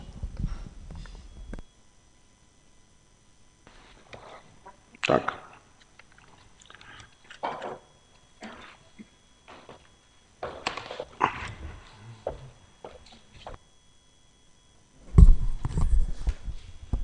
Szanowni Państwo, rozumiem, że jesteśmy już w punkcie e, dyskusji nad e, projektem budżetu e, na rok 2023. Jest to oczywiście rok, jak wszyscy doskonale zdajemy sobie sprawę, trudny, ciężki, chociaż mówimy tak co roku, wydaje się. Natomiast też życie co roku nas zaskakiwało. Do 15 listopada zadaniem burmistrza było sformułowanie wspólnie z paniami skarbnik e, e, projektu uchwały budżetowej i taki projekt uchwały budżetowej został w terminie Państwu e, przekazany. Ten projekt uchwały zgodnie z już odczytywanymi opiniami Regionalnej Izby Brachunkowej został zaopiniowany przez e, RIO e, pozytywnie. Oczywiście ta uwaga, która się tam pojawia, e, wynika z tego, że środki przekazane gminie w tym roku e, mają być zapisane w innej formie niż zostało to e, przewidziane przez nas, wobec czego to po prostu dostosowujemy e, w autopoprawkach. Uchwała budżetowa i projekt budżetu e, zawiera, e, jak Państwo widzicie, na ten moment w samym projekcie 116 milionów złotych wydatków, e, dochodów i 129 milionów złotych wydatków. Oczywiście już po dzisiejszych autopoprawkach, które Państwu proponujemy, kwota ta znacząco wzrośnie. I tak też będzie w trakcie e, tego roku. To nie jest ostatnie słowo, które e, będziemy chcieli powiedzieć i będziemy chcieli e, zrealizować te wnioski, które i Państwo radni, i mieszkańcy, i soł- sołtysi, i dyrektorzy szkół, czy dyrektorzy placówek gminnych wnoszą, bo wszystkie uznajemy za zasadne. Natomiast chodzi o to, żeby skroić na miarę możliwości e, gminy te wszystkie potrzeby i nadać im jakieś priorytety. E, Ten projekt uchwały e, budżetowej został Państwu przekazany, komisje się z nim zapoznały, wydały swoje opinie. Państwo jako radni wnieśli jeszcze dodatkowe wnioski oprócz tych, które były składane do końca września.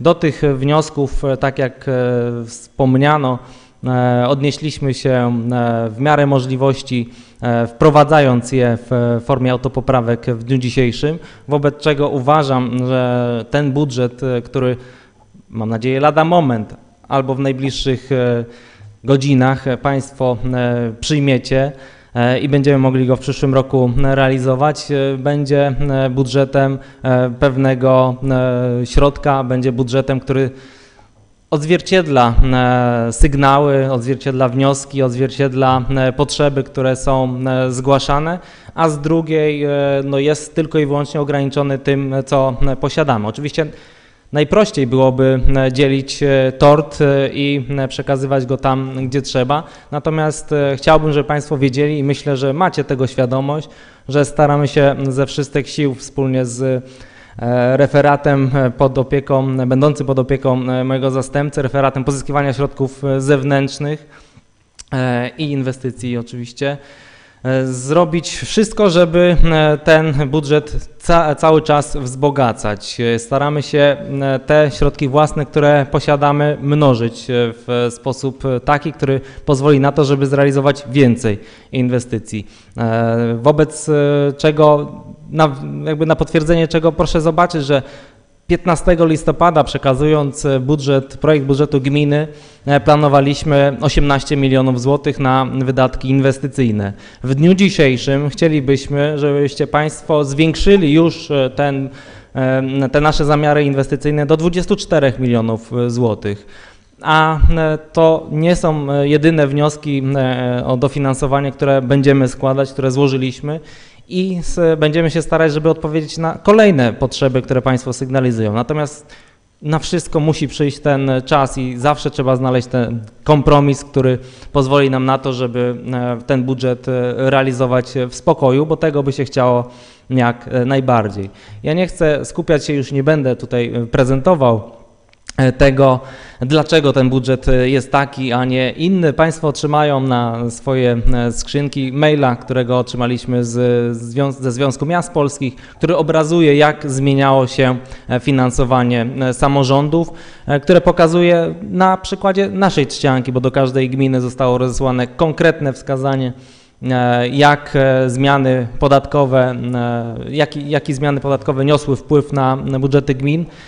E, I o ile pamiętamy, że w e, wieloletniej prognozie, w wieloletnim planie inwestycyjnym w 2019 roku e, zakładaliśmy, że te 18 milionów wydatków będziemy w roku 2023 realizować. I tak też jest, a nawet no, będzie to 24, jak już wiem, jak już proponujemy to e, z tych 18 milionów zakładaliśmy, że to będzie żywa gotówka i środki zewnętrzne. Okazuje się, że będąc już teraz w przededniu roku 23, no nie są to e, środki e, będące gotówką na koncie, tylko są to środki, które, e, na które zaciągamy e, dług e, na które zaciągamy e, kredyt. Czyli te 11 milionów złotych, kredyt, który, który to kredyt jest wkomponowany w ten budżet, w 2019 roku zakładaliśmy, że będziemy posiadać e, po prostu. No to się, to się zmieniło, tak jak wiele rzeczy w e, tych ostatnich latach, których e, nie sposób było przewidzieć, do których mogliśmy, mu, musieliśmy się po prostu dostosowywać.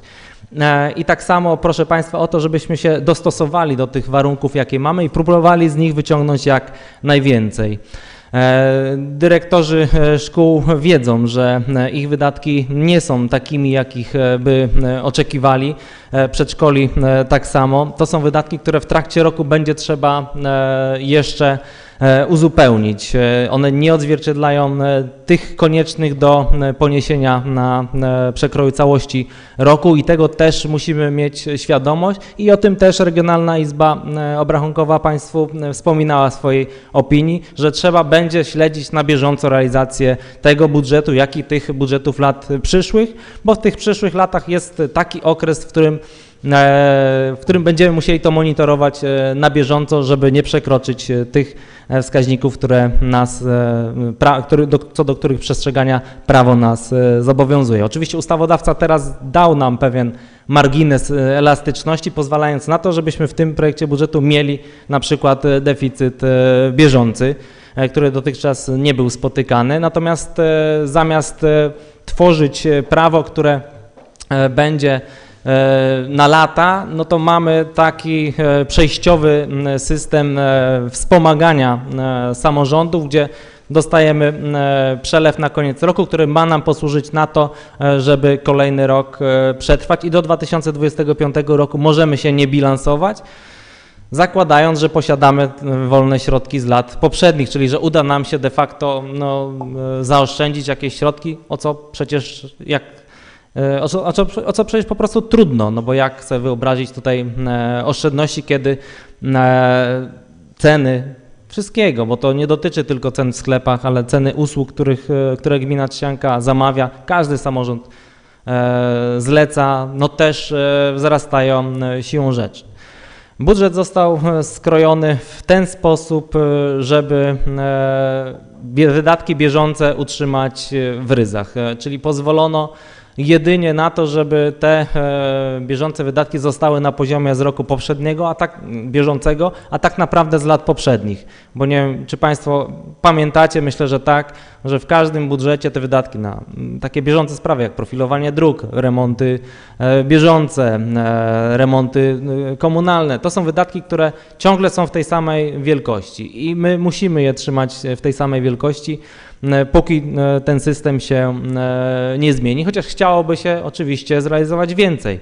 I tu każdy, tak jak e, wspomniałem, wniosek, który był składany, jest zasadny, natomiast musi być e, e, spriorytetyzowany w jakiś e, sposób. I tak część tych e, wniosków, e, które zostały zaakceptowane i będą e, prowadzone w formie autopoprawek, wpływają negatywnie na ten e, e, pułap e, deficytu bieżącego. E, Natomiast e, no tutaj poszliśmy e, jakby za Państwa głosem i, i dostosowaliśmy e, się do e, tych oczekiwań, mając na względzie to, że, e, że będzie to oczywiście trudny rok i będzie trzeba na bieżąco e, te sytuacje e, monitorować.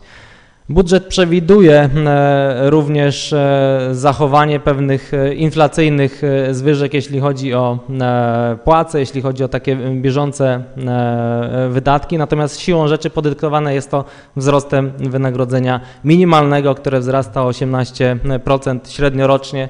E, I to musi być po prostu odzwierciedlone, bo my mamy obowiązek takie wynagrodzenia mm, wypłacić, a wiele osób jest e, na tym wynagrodzeniu wciąż w administracji publicznej szeroko rozumianej e, zatrudnionych. Także siłą rzeczy te wzrosty były zaplanowane, bo też nie wyobrażamy sobie, żeby w dobie takiej inflacji nie zabezpieczyć wynagrodzeń osobom, które pracują na rzecz gminy, na rzecz jej rozwoju.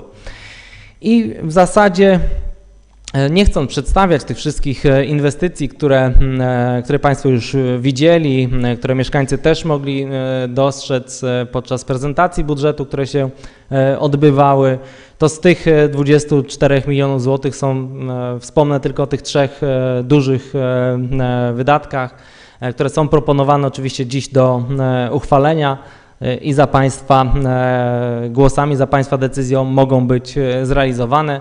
E, To zaplanowana budowa sali sportowej przy szkole podstawowej numer 3, która jest e, 6-milionowym wydatkiem tutaj w tym budżecie przeszło, z czego większość jest finansowana ze źródeł zewnętrznych, z programu inwestycji strategicznych BGK. E, No, drugą taką e, inwestycją, też 6-milionową, jest e, budowa drogi w, na osiedlu Poniatowskiego. To zadanie jest tak drogie ze względu na to, że tam rozpracowywana i na lata jest realizowana kanalizacja deszczowa z myślą o dalszej rozbudowie tego osiedla.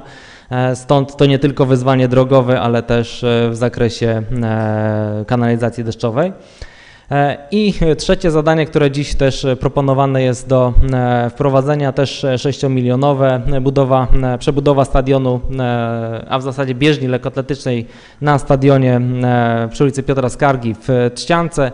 Pozyskane środki finansowe z Ministerstwa Sportu mogą pozwolić na to, żeby te zadanie znalazło się w budżecie przyszłego roku. E, Do tych e, środków z Ministerstwa Sportu e, dojść mogą środki z Urzędu Marszałkowskiego, to też Państwo doskonale już wiecie, bo też było to tłumaczone i wyjaśniane. Te środki wzrosły w porównaniu z poprzednią sesją, więc też zakładamy, że zmieniły się trochę warunki realizacji tego zadania. Ma ono stosowną poduszkę finansową. No i to, że udało się e, gminie, e, referatowi pozyskiwania tych środków e, zdobyć środki na boiska zadaszone pozwala na to, żeby te środki wydatkowane były drugi raz na inne, inne zadanie. E, I tym zadaniem proponujemy, żeby była właśnie przebudowa bieżni. Czyli trzy takie duże flagowe zadania, które naprawdę będą e, widoczne w e, Trzciance, będą wizytówką i na pewno mieszkańcy je dostrzegą, a oprócz tego szereg innych mniejszych i większych inwestycji, które Państwo też sygnalizowali, począwszy od tych drogowych, jak przebudowa w, skrzyżowaniu w formie ronda skrzyżowania Mickiewicza i Staszica. A jeśli uda nam się pozyskać e, jeszcze dodatkowe środki zewnętrzne, to realizacja kolejnych zadań. Chciałoby się wiele, e, ale też e, nie wykluczamy tego, że w trakcie roku będzie to możliwe. Prosiłbym Państwa o zaufanie, prosiłbym Państwa o to, żeby w, w tej trudnej e, sytuacji, e, w jakiej wszystkie samorządy się znajdują, w jakiej znajduje się nasz kraj, a w zasadzie kraj sąsiedni i reperkusje tego dosięgają też e, nas. Chciałbym, żebyśmy tak jak nasi mieszkańcy zachowywali się w dosyć bardzo społeczny sposób i z otwartością, wielką otwartością dla innych, dla przyjezdnych, dla naszych gości, tak żebyśmy my też e, dosyć otwarcie e, spojrzeli na siebie e, nawzajem i na nasze potrzeby, na to, co chcemy zrobić dla mieszkańców żebyśmy tak jak oni otworzyli się na innych, tak żebyśmy my też otworzyli się tutaj na siebie i na swoje potrzeby, żebyśmy się po prostu szanowali i żebyśmy uszanowali te decyzje, które, które zostały tutaj zaproponowane, e, zaakceptowane przez komisję, e, przedyskutowane przez Państwa na wszystkich posiedzeniach. E, I mam nadzieję, że skoro e, wszelkie komisje ten budżet e, zaakceptowały pozytywnie, oczywiście niejednogłośnie, to że uda nam się e, też e, dzisiaj e, w ten sposób e, ten e, budżet przyjąć. E, I to pozwoli na to, żeby jego realizacja e, zaczęła postępować. E, Tak naprawdę już od dłuższego czasu e, planowanie wieloletnie zostało tutaj wdrożone i te inwestycje, które są przyszłoroczne, poniekąd tak naprawdę już od dłuższego czasu przygotowujemy bądź realizujemy. E, Także dobrze by było, żeby ten model e, współpracy zachować, że to, e, na co decydujemy się w trakcie roku, dalej jest kontynuowane i może dobiec końca. To, co planujemy dwa lata przed, dwa lata wstecz, w momencie finalizacji i możliwości, jakie się otwierają, może być doprowadzone do końca, a żebyśmy wytyczali sobie ewentualne dalsze kierunki e, działania.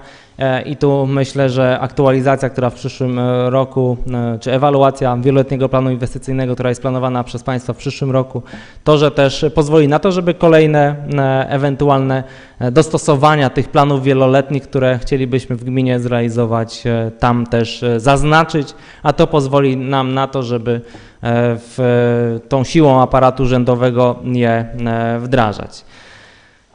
Mam nadzieję, że e, dyskusja, którą mamy e, przed sobą, e, będzie spokojna i doprowadzi do tego, że e, przyjmiecie Państwo dzisiejszy e, budżet e, ku e, zadowoleniu mieszkańców, którzy będą mogli z jego owoców e, się e, cieszyć. A jest naprawdę sporo tych małych rzeczy, e, które, które pojawią się, które e, wybrzmią e, i które będą widoczne, i co do których e, Państwu też e, niektórzy na pewno będą wdzięczni za to, że udało się je e, zrealizować. E, Ze swojej strony na ten moment e, oczywiście dziękuję. E, Dziękuję wszystkim osobom, które przygotowywały ten, ten, ten budżet i mam nadzieję, że będziemy mogli go już niebawem wdrażać. Lista autopoprawek została Państwu e, przekazana, jest ona e, długa, ale to wynika z tego, że e, dostosowaliśmy się do Państwa sygnałów i przyjęliśmy te oczekiwania, które Państwo wskazali podczas posiedzeń komisji. Mam nadzieję, że to wyjście z otwartością będzie też odwzajemnione i będziemy mogli liczyć na owocną współpracę przy realizacji tego budżetu. Dziękuję póki co. Dziękuję bardzo.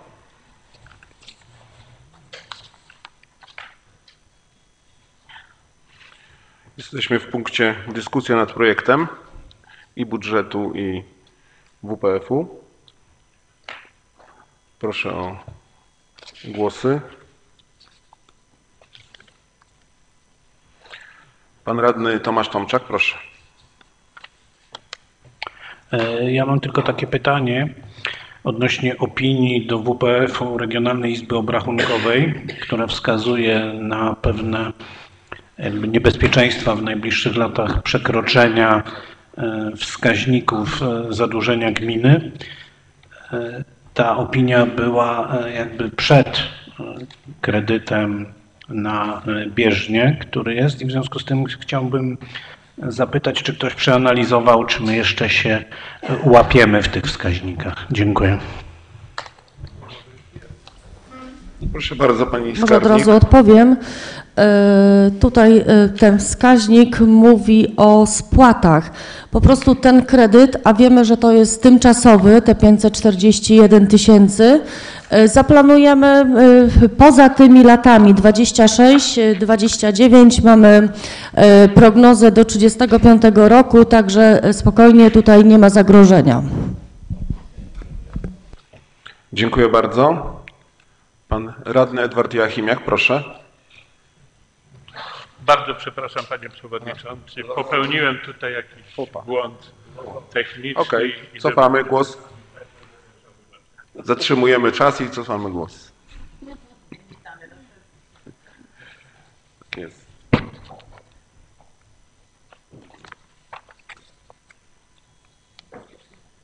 Nie wiem, czy nie ma być. Proszę się zgłosić.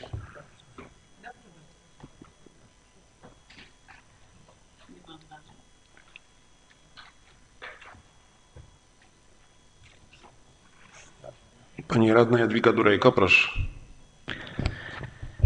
E, Panie burmistrzu, jeżeli chodzi o budżet y, y, na ten bieżący rok, to ja osobiście tutaj jestem za. I jednocześnie chociażby dlatego, że co prawda wniosek dotyczący tego ośrodka zdrowia w Siedlisku pojawił się jako wniosek nie mój, co prawda, chociaż to była moja bolączka, ale bardzo mnie cieszy, że to będzie realizowany i chociażby tego, ten, ten argument już nam, do mnie przemawia. Natomiast y, odnośnie bieżni przyjrzę się, zobaczę jak dyskusja się potoczy. Dziękuję. Dziękuję. Dyskutujmy.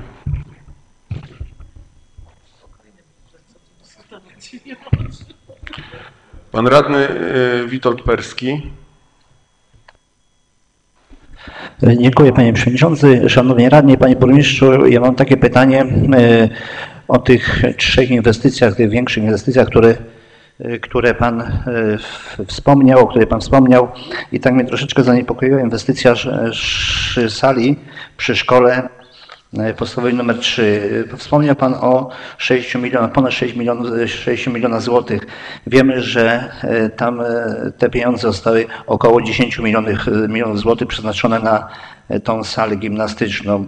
E, Troszeczkę mnie to, nie za, e, to mnie zaniepokoiło, ponieważ z czego wiem, e, wiem z tego, że nie ma jeszcze projektu technicznego, a już mówimy o kwocie, która będzie kosztowała, a e, też takie dyskusja e, na, e, w, w przestrzeni publicznej, że ta sala ma być budowana w systemie takim lżejszym. E, I proszę rozwiać moje e, obawy i obawy mieszkańców, e, czy ta sala będzie normalnie tak e, technicznie wybudowana jako sala e, taka normalna, e, pełnowymiarowa i e, bo 6 milionów, a 10 milionów to jest duża e, różnica, nie? I proszę rozwiać mi te obawy i również obawy mieszkańców, którzy o tym mówią. Dziękuję. Dziękuję bardzo. To może na szybko pan burmistrz będzie odpowiadał. Proszę bardzo. Szanowni Państwo, e, wyjaśniam, e, że e, trzeba ten wydatek dotyczący budowy sali sportowej przy szkole podstawowej nr 3 czytać łącznie to, co się znajduje w budżecie, projekcie budżetu uchwały, projekcie uchwały budżetowej. E, To 6 milionów mm, 100 tysięcy e, i 5, w tym 5 milionów e, dofinansowania. Natomiast w projekcie wieloletniej prognozy finansowej są te pozostałe środki, które zostały nam przyznane. Faktycznie było to 9 milionów 990 tysięcy złotych na dwa zadania budowa sali przy SP3 i termomodernizację gminnego przedszkola numer 4. I te projekty są realizowane i do końca stycznia będziemy posiadać pozwolenie na budowę sali. No, wcześniej będziemy posiadać e, kosztorys e, ostateczny tej budowy. Natomiast całość zadania to jest e, na ten moment 11 e, milionów, przeszło 11 milionów złotych, czytając to razem, licząc to razem z WPF-em. Wobec czego projekt tej budowy dotyczy no, murowanej, tak jak to nazwę, murowanej e, sali sportowej, takiej jak e, te sale w, na terenach miejskich.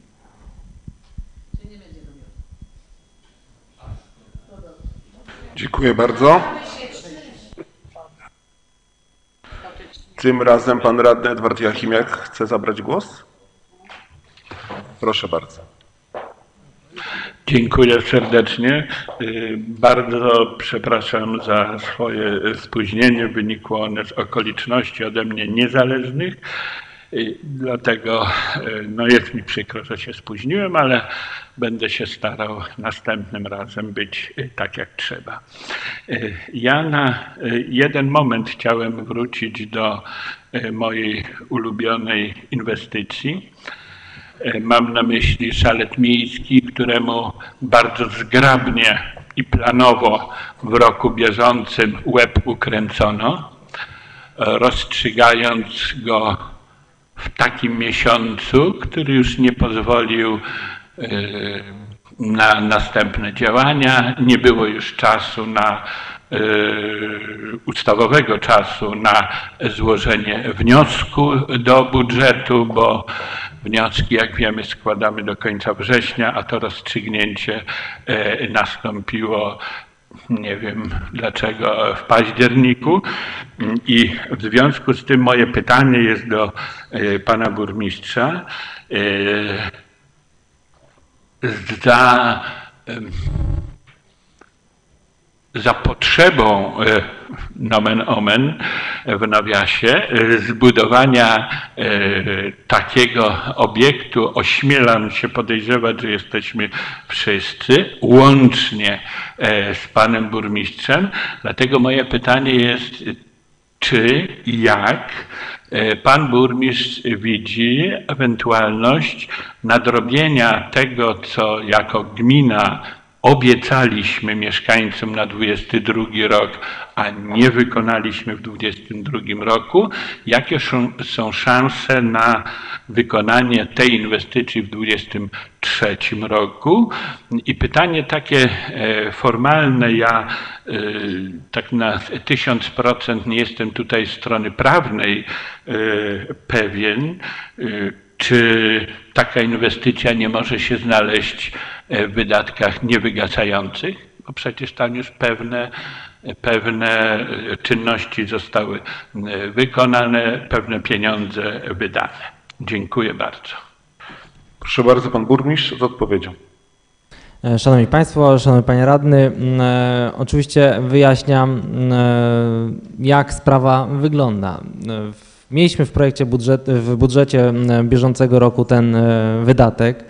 Przetarg pokazał e, kwotę, e, która przekraczała pół miliona złotych za budowę obiektu o dosyć małej, wbrew pozorom, kubaturze, co wydaje się być kwotą zbyt dużą, żeby realizować taki obiekt za te pieniądze. E, W związku z powyższym nie było propozycji, żeby tę kwotę e, zwiększać, e, posiadaną kwotę w budżecie zwiększać do kwoty e, 519 tysięcy złotych, które wyszły w przetargu. Był tylko jeden oferent i nie zdecydowaliśmy się na to, żeby, żeby za te pieniądze budować taki obiekt. Myślę, że Państwo tutaj też takie zdanie podzielali razem z, ze mną czy z, z zastępcą. E, Wobec czego myślę, że wła- najwłaściwszym krokiem obecnie jest e, ponowne przeanalizowanie tego, jak ten obiekt miałby e, wyglądać. On został zaprojektowany jako w pełni samoobsługowe miejsce, które no nie wymaga jakiejś całodobowej interwencji, zatrudnienia jakiegoś pracownika, który będzie tam pilnował tego, tylko tak jak, nie wiem, przy niemieckich autostradach się samo myje i tak dalej.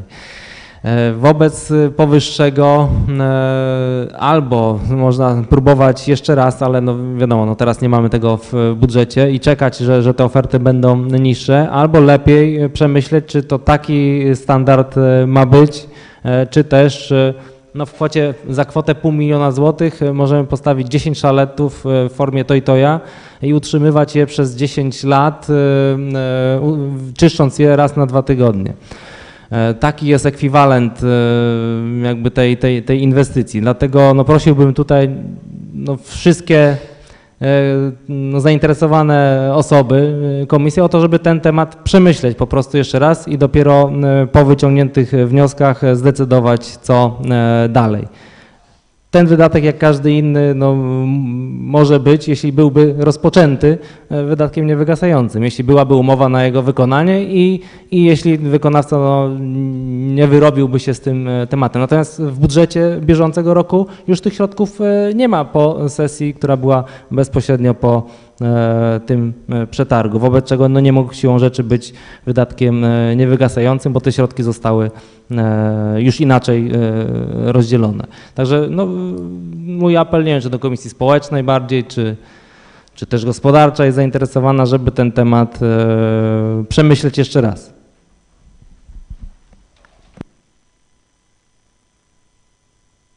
Dziękuję bardzo. Dyskusja trwa, jest, jest otwarta.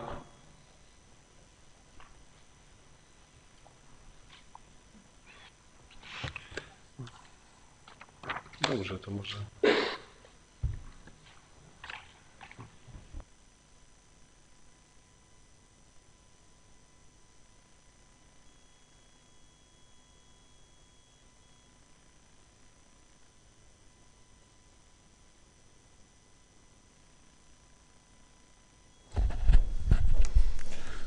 Szanowni radni, panie burmistrzu, to może na zachętę do tej dyskusji, która tak y, troszeczkę y, ciężko nam wychodzi. Natomiast ja myślę, że to jest też związane z tym, że na komisjach, na wielu komisjach rozmawialiśmy już y, o tym budżecie wielokrotnie, rozkładaliśmy go na czynniki pierwsze. Myślę, że też na spotkaniach klubów było, było omawiane. Tak naprawdę ten budżet dzisiejszy który, który mam przedstawiony, to my już nie będziemy oceniać. To będą oceniać już w 2024 roku mieszkańcy podczas wyborów. I sobie trzeba zdać w tej chwili sprawę, jak oni na ten budżet po prostu się zapatrują.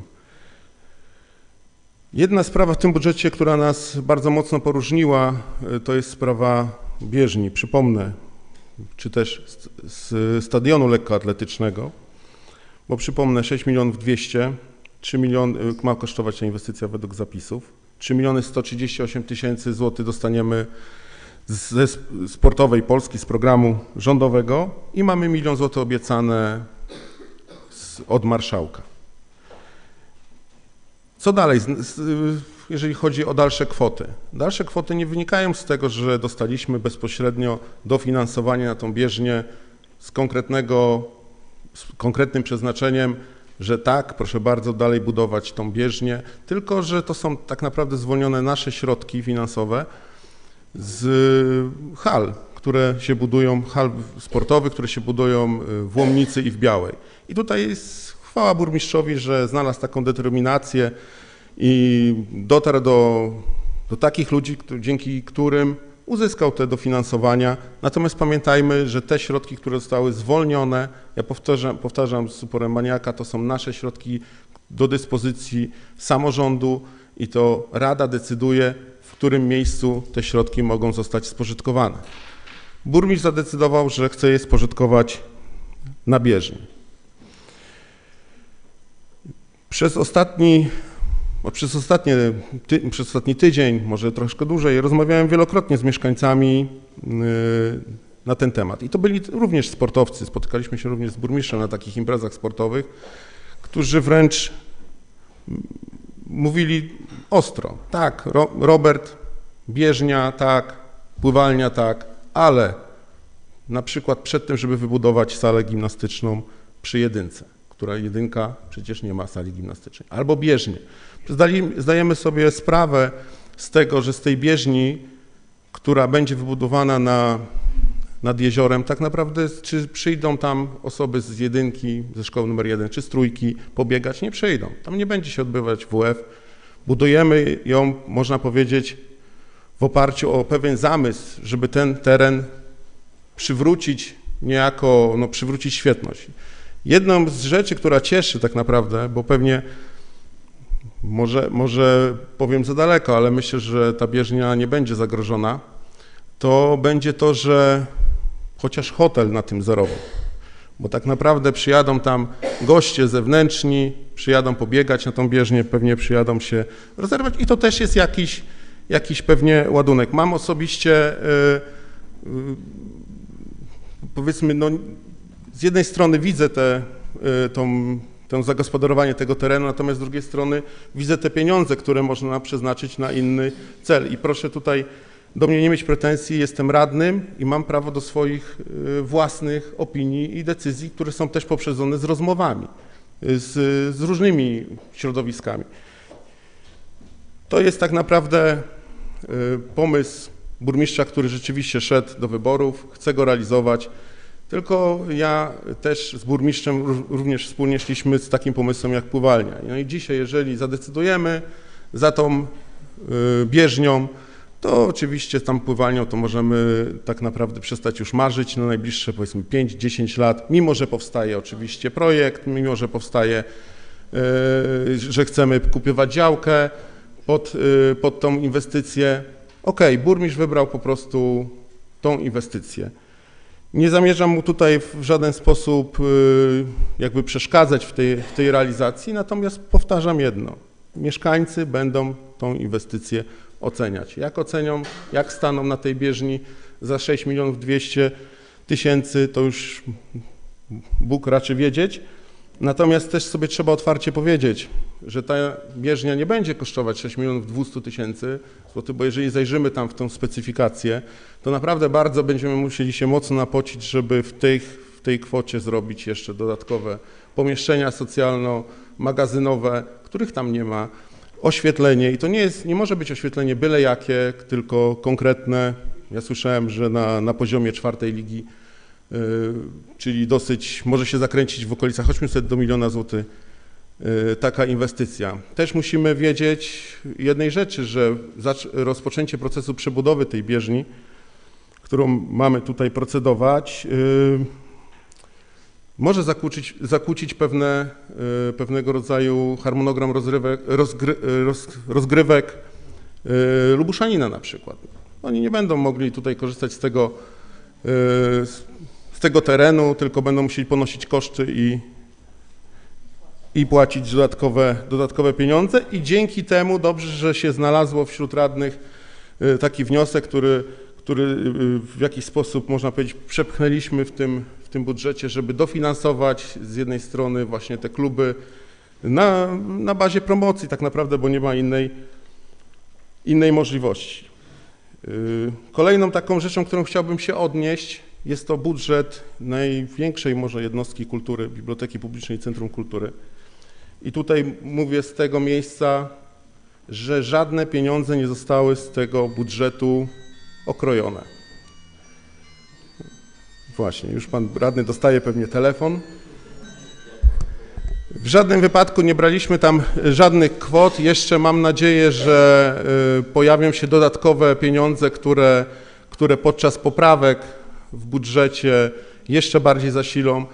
Uważam, że ta jednostka, jak żadna inna, powinna przeprowadzić y, dni trzcianki.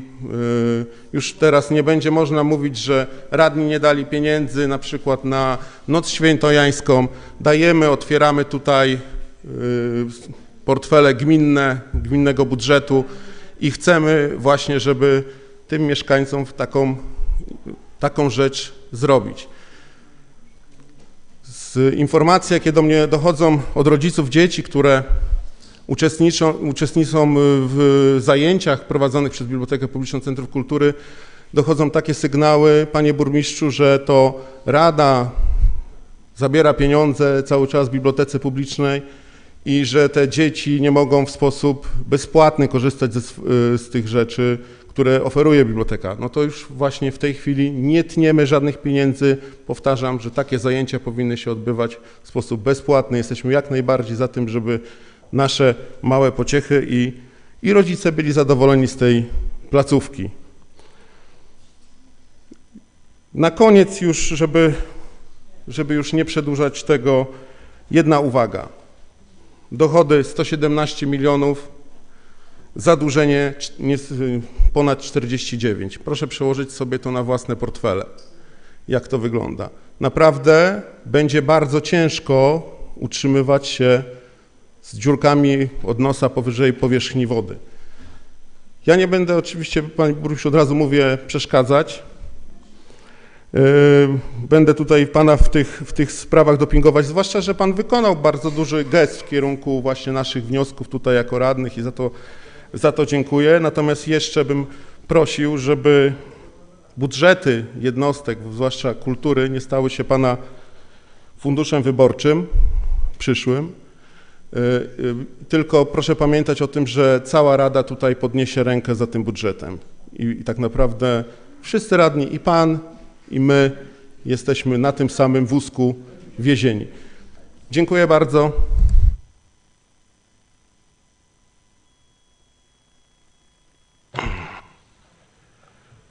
Szanowni radni, jeżeli jest jeszcze chęć zabrania głosu w dyskusji, to proszę bardzo, jeżeli nie, to mam tutaj wniosek o, o przerwę. Myślę, że taką przerwę do godziny 13.30 przeprowadzimy.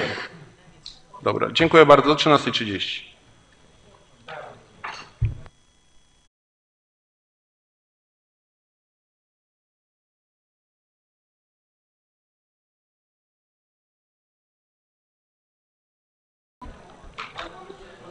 Szanowni radni, szanowni państwo, witam po przerwie. Jesteśmy w tej chwili w punkcie, przypomnę tylko, że zakończyła się dyskusja nad projektem w sprawie wieloletniej prognozy finansowej gminy Trzcianka oraz projektem uchwały budżetowej na przyszły rok i wnioskami. W takim razie przechodzimy do głosowania poprawek do projektu uchwały budżetowej.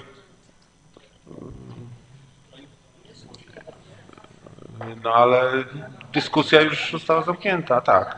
No już nikt nie więcej nie powiedział nic. W czasie? Dobrze. To w takim razie przepraszam bardzo, ale tu się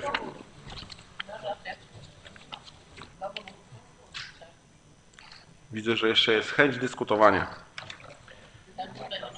E, Okej.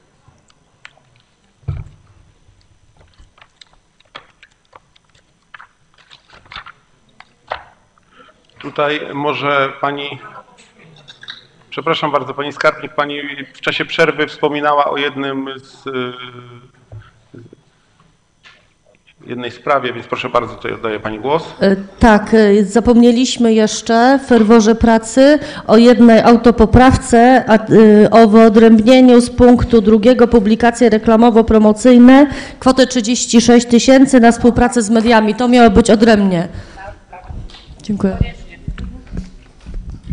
Czyli poddamy pod głosowanie w odpowiednim czasie. Hmm?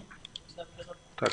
Szanowni yy, Państwo, tutaj mam wniosek, aby przesunąć z rozdziału 750-75, to jest y, dział promocja jednostek samorządu terytorialnego, organizację Heartbeat Festival 50 tysięcy złotych i przesunąć tą kwotę do, już Państwu powiem, do rozdziału 92, 921 13, czyli Centra Kultury i Sztuki. I tutaj właśnie, żeby zasilić ten budżet tą kwotą 50 tysięcy z z wpisem właśnie na organizację Harbit Festival. Jest taki wniosek.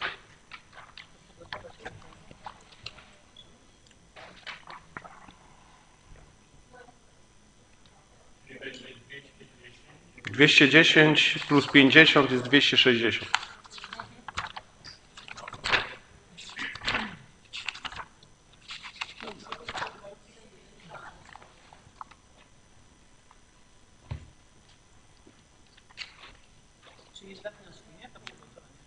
Dodatkowo oprócz tych, do tych wniosków do 210 tysięcy.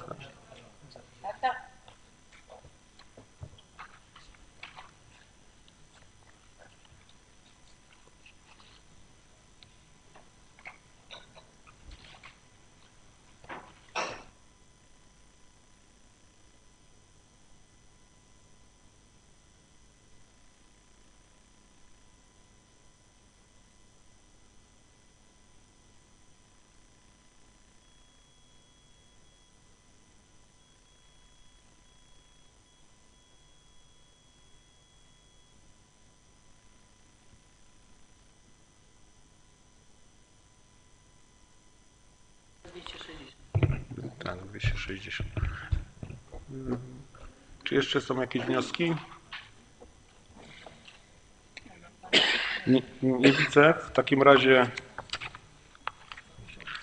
zamykam dyskusję nad projektem w sprawie wieloletniej prognozy finansowej gminy Trzcianka na lata 2023-2035 oraz projektem uchwały budżetowej na 2023, 2023 rok i wnioskami.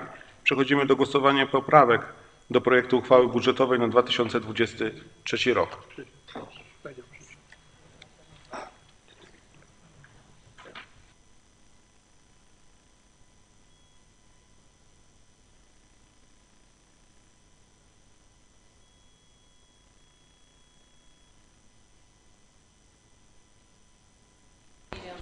Tak.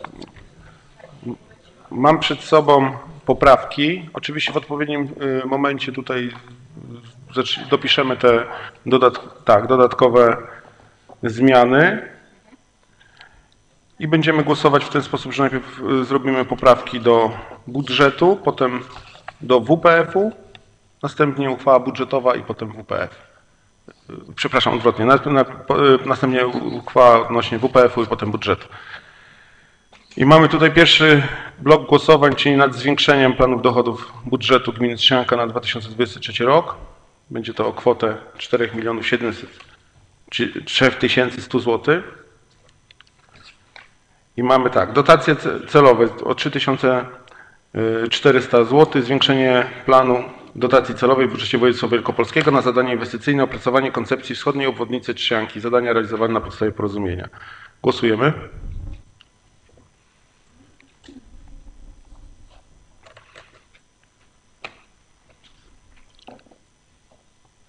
Pan radny Wincenty Kilian. Jeszcze poczekamy chwilę.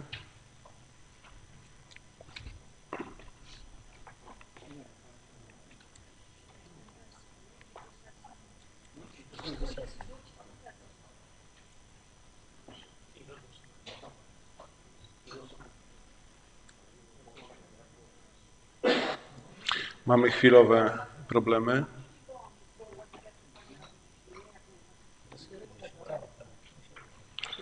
Czy możemy jakoś zaprotokołować głos pana? Nie. Mhm.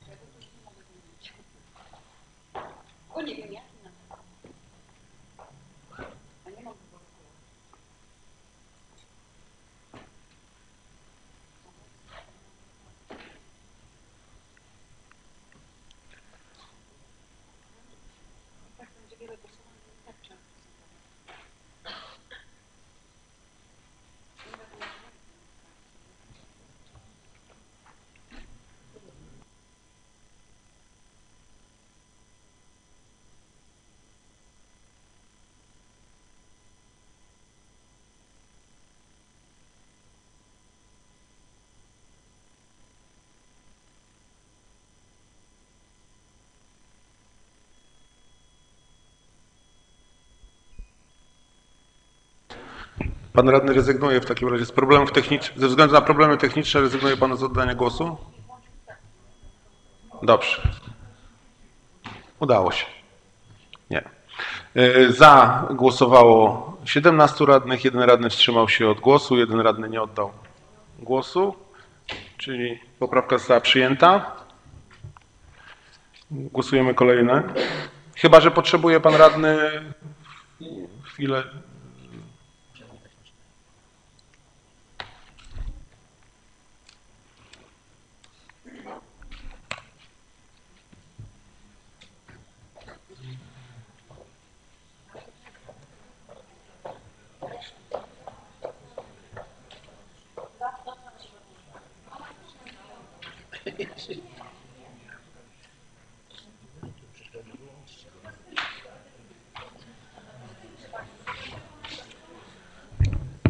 Z racji tego, że to jest tak ważne głosowanie, poczekamy na radnego jeszcze chwilę.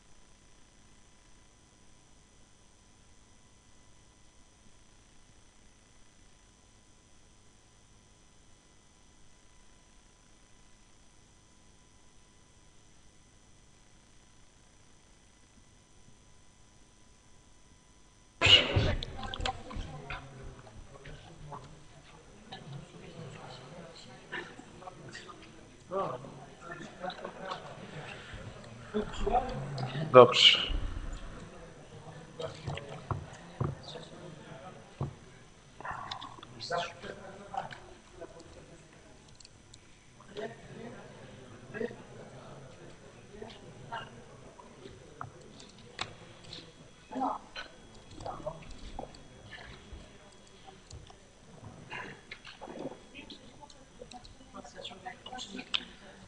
Mhm.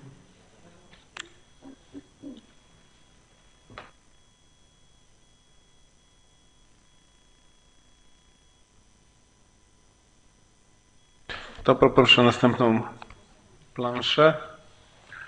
743 600 zł. Wprowadzenie dochodów z funduszy przeciwdziałania COVID-19 na wpłaty rekompensat dla przedsiębiorców, dla przedsiębiorstw energetycznych w rozdziale, w dziale 400, rozdział 401, paragraf 21, 80 w kwocie 50 tysięcy złotych oraz dodatku dla gospodarstw domowych dla dodatku węglowego. Głosujemy.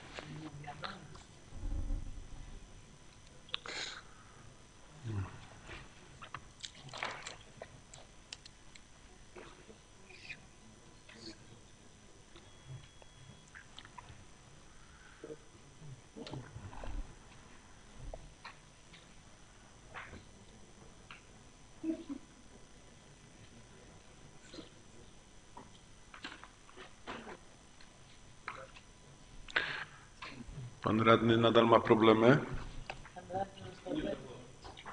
Nie, nie, nie, potrzebne.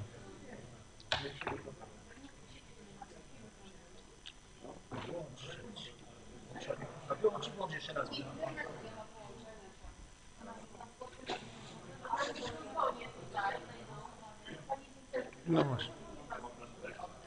Tak, proszę głosować. Właśnie z mikro. Jest, pięknie. Rozwiązaliśmy sytuację. Dziękuję. Szanowni radni, za tą poprawką głosowało jednogłośnie 19 radnych. Idziemy dalej. 25 600 zł. Wprowadzenie dochodów z Funduszy Pomocy Ukrainie na wypłaty świadczeń rodzinnych. Głosujemy.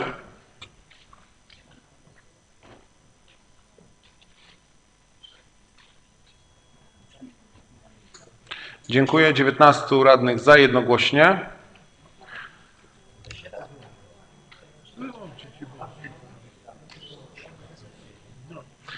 Idziemy dalej. 3 miliony 130 tysięcy 500 zł.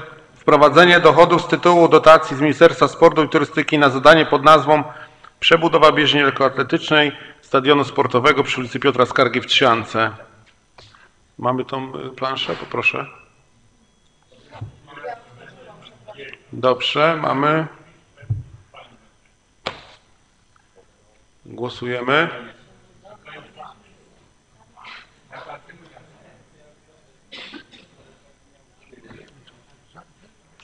Jak pan chce.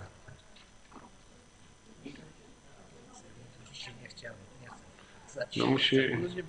O, pani radna. Pani radna Matkowska. Dobrze. Za 16 radnych, jeden radny przeciw i dwóch radnych wstrzymało się od głosu. Przechodzimy dalej. 800 tysięcy złotych na wprowadzenie dochodów z tytułu wpłat mieszkańców na zakup węgla do, po preferencyjnej cenie. Głosujemy.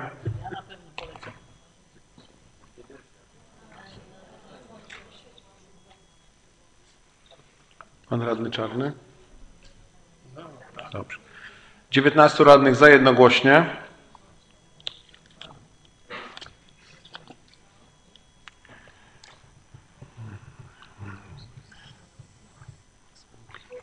Siedemdziesiąt pięć tysięcy złotych. Zwiększenie planu dotacji celowej dla Rejonowego Związku Spółek Wodnych na konserwację i remont rowów melioracyjnych. Głosujemy.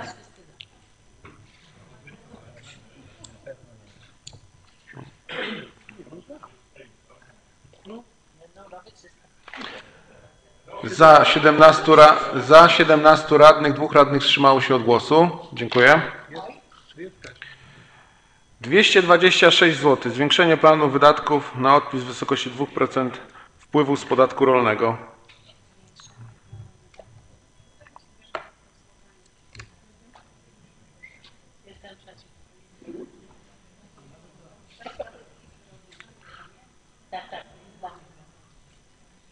Pan radny Łukasz Walkowiak, pani radna Szukajło. Dobrze, dziękuję. 18 radnych za, jeden radny wstrzymał się od głosu. Zostało przyjęte.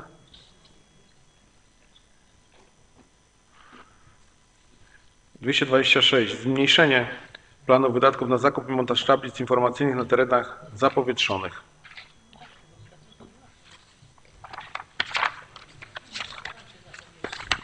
Głosujemy.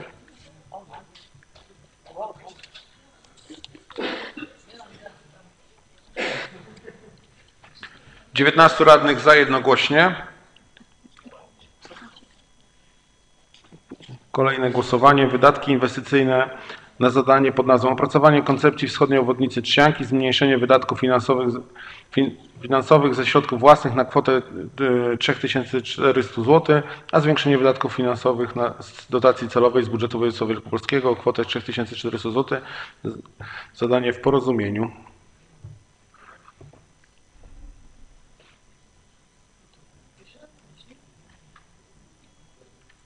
Dziękuję. 19 radnych za jednogłośnie. 100 lat.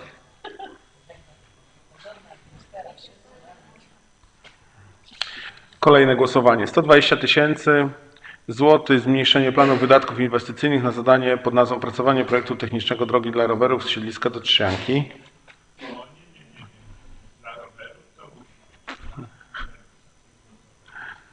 Dobrze, głosujemy.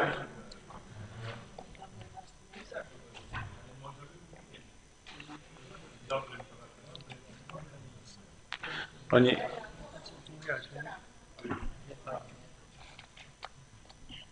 Pani radna Kamińska?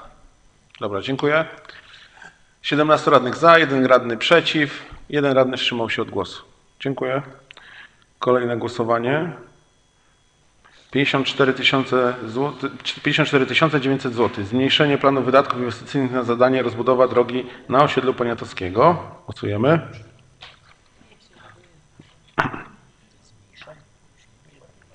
Po przetargu. 18 radnych za, jeden radny wstrzymał się od głosu. Kolejna poprawka. 20 tysięcy złotych wprowadzenie planu wydatków na zadanie pod nazwą remont pomieszczeń w Centrum Wędkarstwa, Turystyki Wodnej i Ratownictwa Wodnego. Głosujemy. Trochę za mało. No to się wystraszyłam. Dziękuję. Yy, Za 18 radnych, jeden radny wstrzymał się od głosu. Kolejne głosowanie. 4300 zł. Zwiększenie planu wydatków na opłaty za wieczyste użytkowanie gruntów. Przyjęcie działki podpływalnie. Głosujemy.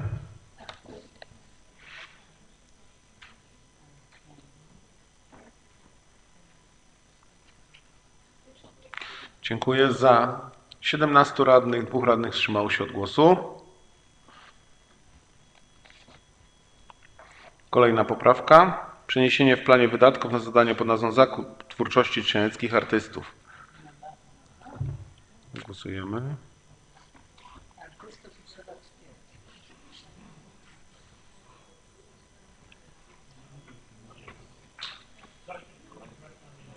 Pan radny Kilian? Pan radny Kilian, proszę głos. Dobrze, dziękuję. 19 radnych za jednogłośnie.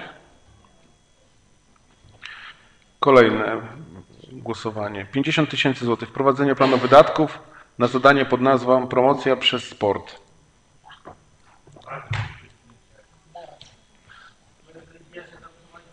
Tak. Yy, 18 radnych za, jeden radny wstrzymał się od głosu. 50 tysięcy. 5 tysięcy złotych. Zmniejszenie planu wydatków na zadanie pod nazwą Publikacje reklamowo-promocyjne.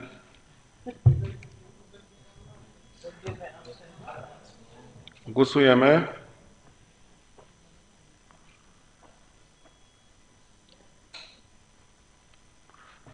Za 17 radnych, dwóch przeciw. Poprawka została przyjęta.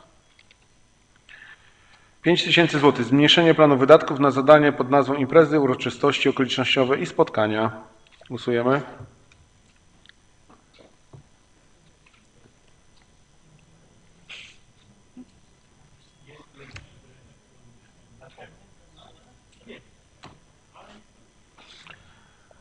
Za 15 radnych, przeciw 4 radnych. Kolejna poprawka. 5 tysięcy złotych. Zwiększenie wydatków na organizację Wielkiej Orkiestry Świątecznej Pomocy. Głosujemy.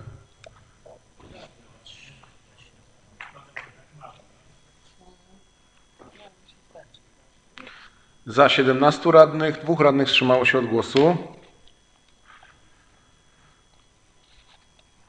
Kolejna poprawka. 5 tysięcy złotych. Zwiększenie planu wydatków na składki na rzecz organizacji z tego 2,5 tysiąca złotych Polski Związek Emerytów, Rencistów i Inwalidów oraz 2,5 tysiąca złotych Uniwersytet Trzeciego Wieku. Głosujemy.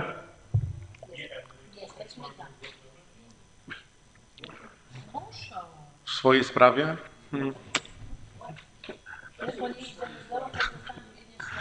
Dobrze. Za 19 radnych jednogłośnie.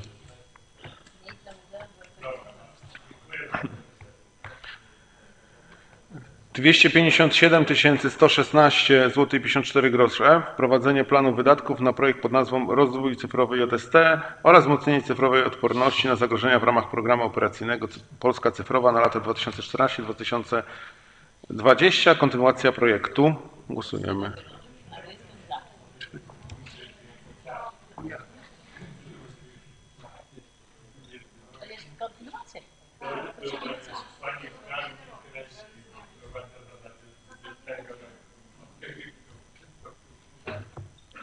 Dobrze, mamy y, 19 radnych za jednogłośnie, przyjętą tą poprawkę.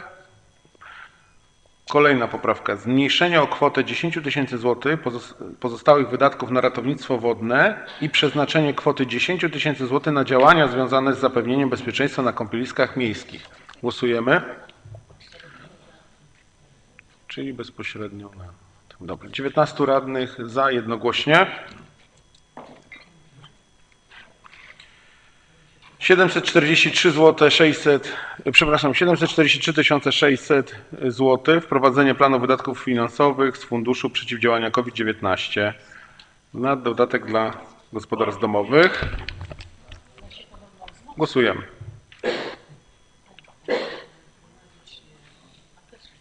Za 19 radnych jednogłośnie. Kolejne głosowanie. Przeniesienie pomiędzy paragrafami w planie wydatków na zadanie pod nazwą Aktywna Trzcianka, działania aktywnej integracji w gminie Trzcianka.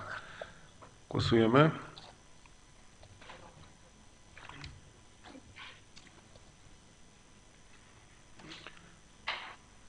Za 19 radnych jednogłośnie.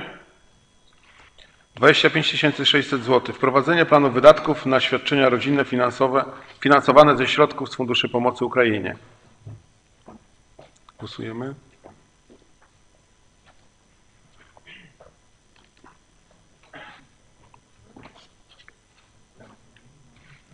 Pan radny Edward Jachimiak.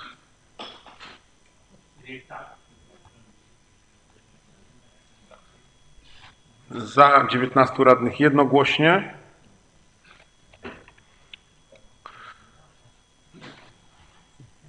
Teraz mamy tak. W załączniku dotyczącym gospodarowania odpadami komunalnymi wprowadza się dochody w kwocie 35 tysięcy złotych z tytułu działań związanych z poborem i windykacją należności. Głosujemy.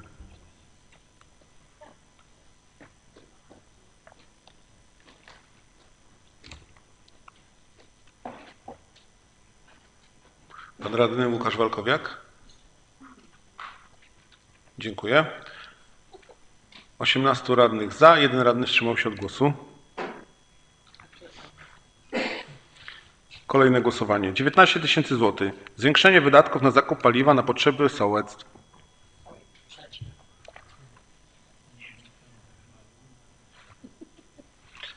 Za 19 radnych jednogłośnie.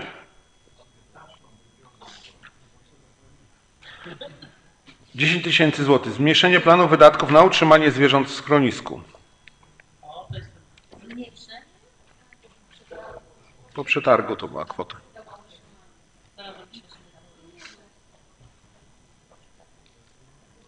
Dziękuję. 16 radnych za, 3 radnych wstrzymało się od głosu. 30 tysięcy złotych. Wprowadzenie planu dotacji dla trzech ogrodów działkowych. Głosujemy.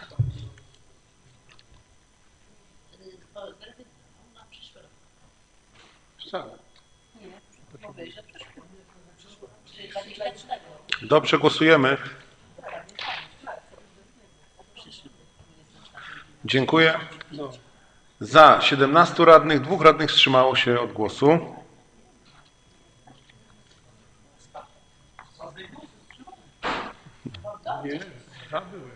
Dwadzieścia tysięcy złotych. Wprowadzenie planu wydatków na organizację zawodów kajakarskich w Trzciance.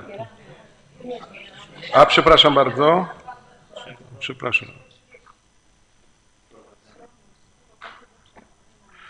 No to mam tak właśnie tutaj rozpisane.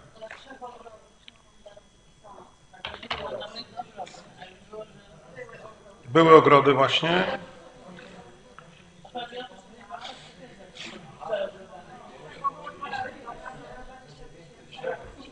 Dobra. Już jesteśmy w torach. 20 tysięcy złotych. Wprowadzenie planu wydatków na organizację zawodów kajakarskich w Trzciance. Głosujemy.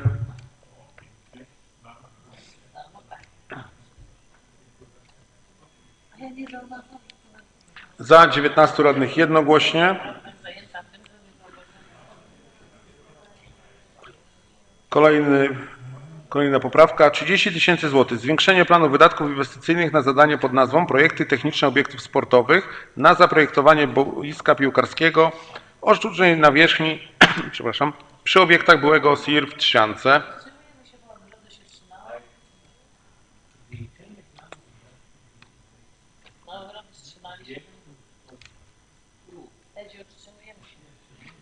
Proszę głosować.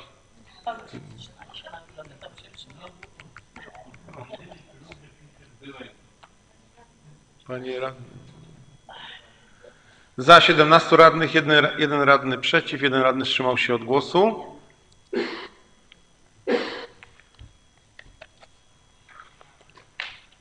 Sześć milionów dwieście sześćdziesiąt dwa tysiące złotych. Wprowadzenie planu wydatków inwestycyjnych na zadanie pod nazwą Przebudowa bieżni lekkoatletycznej stadionu sportowego przy ulicy Piotra Skargi w Trzciance. Z tego finansowanie w kwocie 3 milionów 130 tysięcy 500 zł z dotacji z Ministerstwa Sportu i Turystyki ze środków Funduszu Rozwoju Kultury Fizycznej. Głosujemy.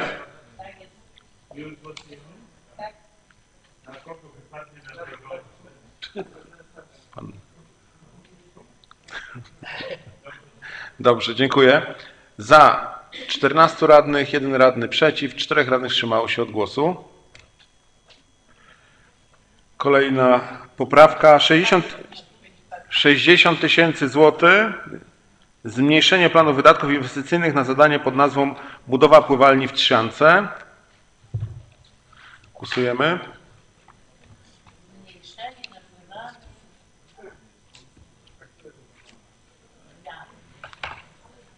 Emeryci i renciści.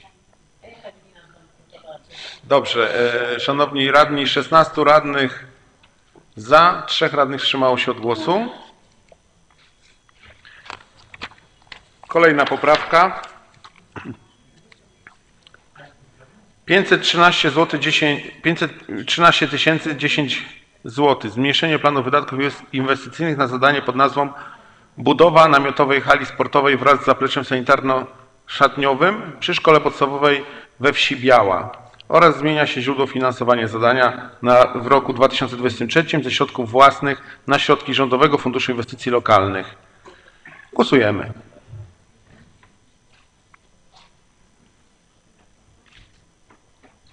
Dziewiętnastu radnych za jednogłośnie.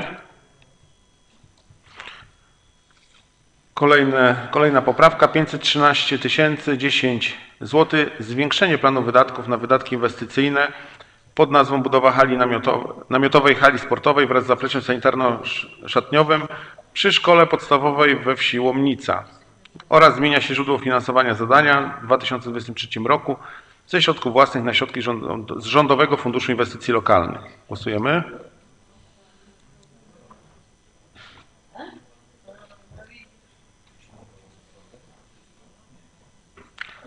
Pan radny Edward Jachimiak.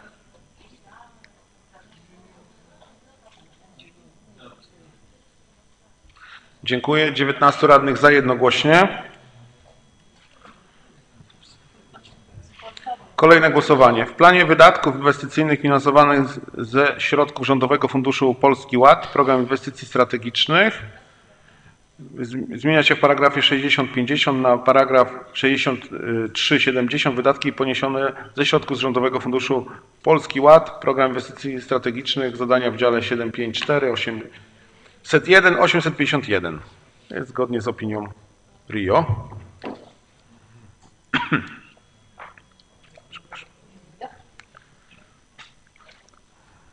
Za 19 radnych jednogłośnie. W załączniku wydatków majątkowych w dziale 600, rozdział 614 zmienia się zapis w paragrafie 6050 na zapis w paragrafie 6300, to jest udzielenie pomocy finansowej na zadania inwestycyjne według opinii RIO w trakcie uchwały budżetowej na 2023 rok. Głosujemy.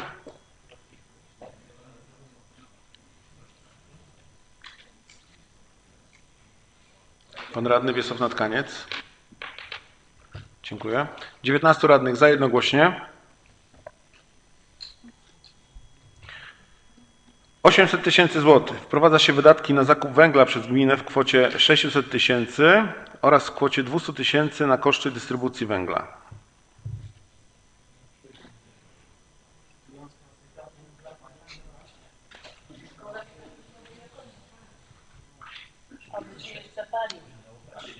Pan radny Adam Prankiewicz?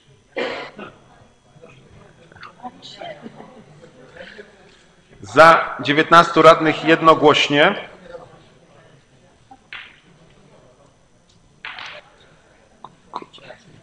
Kolejne głosowanie. W załączniku dotyczących wydatków z Funduszu Sołeckiego koryguje się podsumowania w paragrafach według opinii RIO w projekcie do uchwały budżetowej.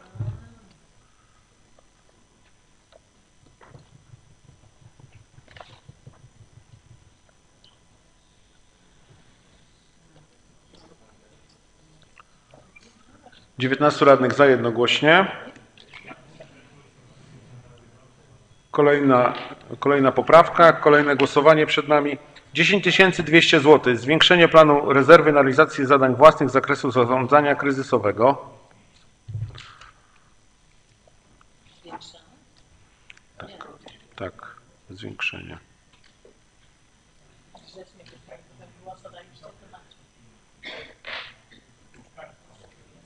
Dziewiętnastu radnych za jednogłośnie.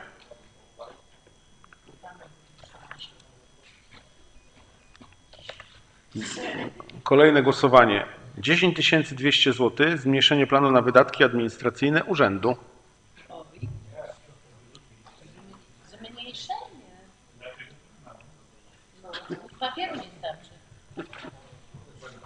Dziękuję.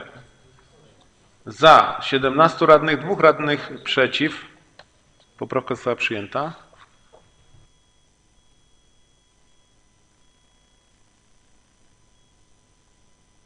Dobrze. Kolejne głosowanie.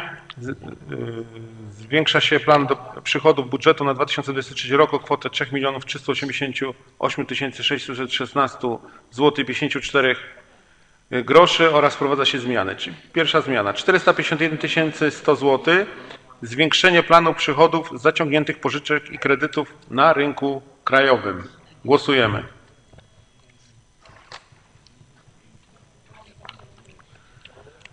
Szesnastu radnych za, dwóch radnych przeciw, jeden radny wstrzymał się od głosu.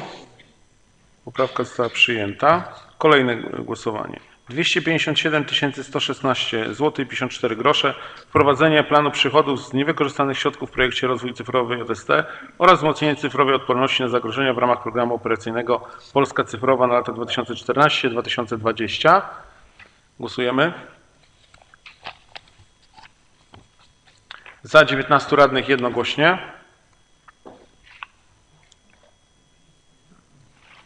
Kolejne głosowanie. 2 680 400 zł. Wprowadzenie planu przychodów z tytułu przelewów z rachunków lokat.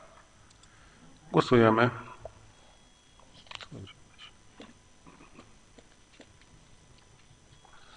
Za 19 radnych jednogłośnie.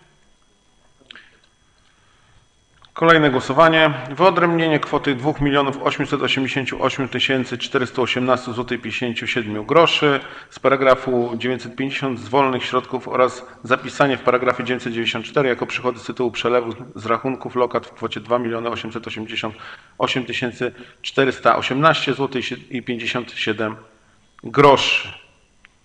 Głos- Głosujemy.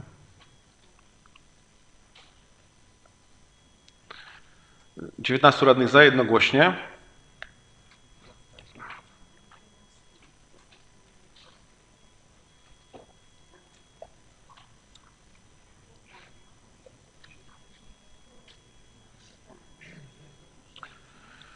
Kolejne głosowanie. Rozdział 750-75. Promocja jednostek samorządu terytorialnego. Przenieść punkt 5. Harbit Festival. Kwotę 50 tysięcy złotych. Do działu 921. Rozdział 921. Pewnie 113. Centra Kultury i Sztuki. I zwiększyć kwotę 210 tysięcy złotych o kwotę 50 tysięcy z przeznaczeniem na organizację imprez. Głosujemy.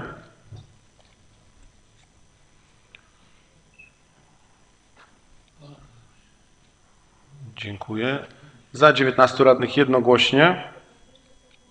Jeszcze momencik.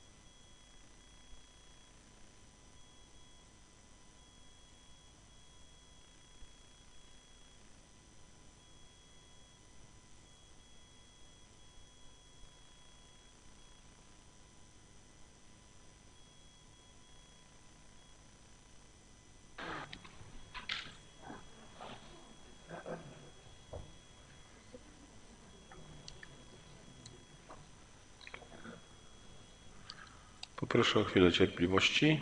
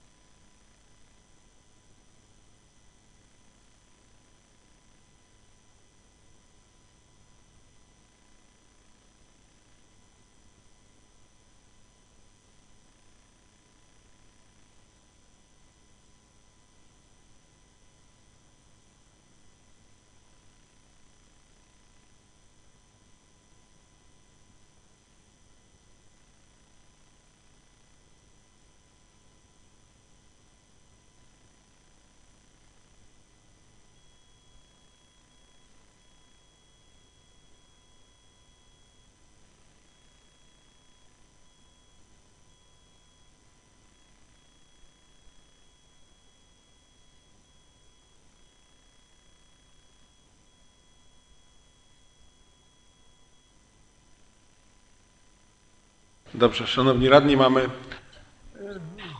w rozdziale 750, rozdział 750-75 wyodrębnie, wyodrębnia się w punkcie 2 publikacje reklamowo-promocyjne 74 tysiące złotych, kwotę 36 tysięcy złotych na współpracę z mediami. Głosujemy.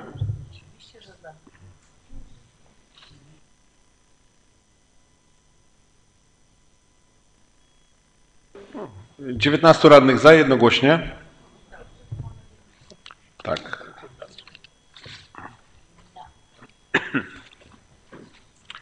Zwiększa się planowany deficyt o kwotę 3 380 616 zł 54 groszy. Głosujemy.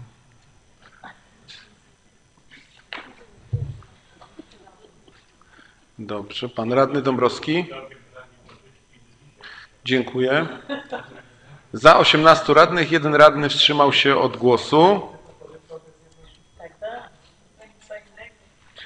Dobrze, w tej chwili... A to już poszło.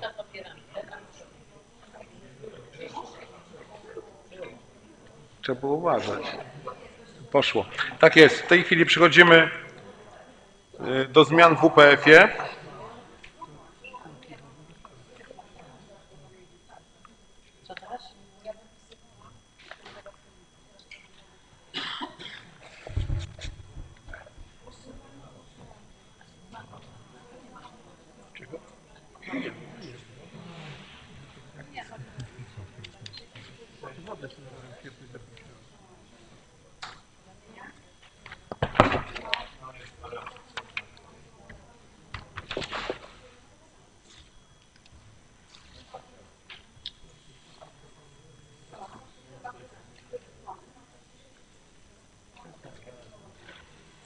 Teraz przechodzimy do punktu następnego, czy to jest głosowanie poprawek do y, projektu w sprawie wieloletniej prognozy finansowej gminy Trzcianka na lata 2023-2035.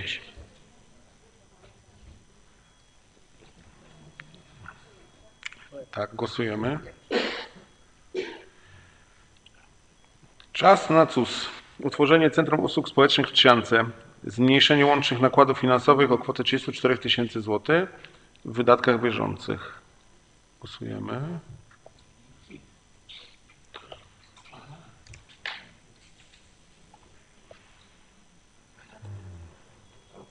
Dziewiętnastu radnych za jednogłośnie.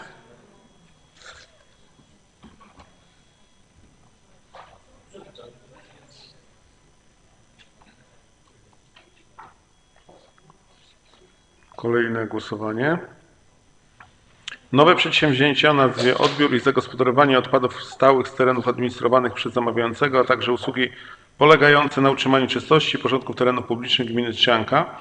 Okres realizacji 2022-2023. Łączne nakłady finansowe w kwocie 1 166 358 zł 66 groszy z limitem wydatków w 2023 roku w kwocie 184 051 zł i 25 groszy oraz limit zobowiązań w kwocie 184 000 51 zł i 25 groszy. Głosujemy.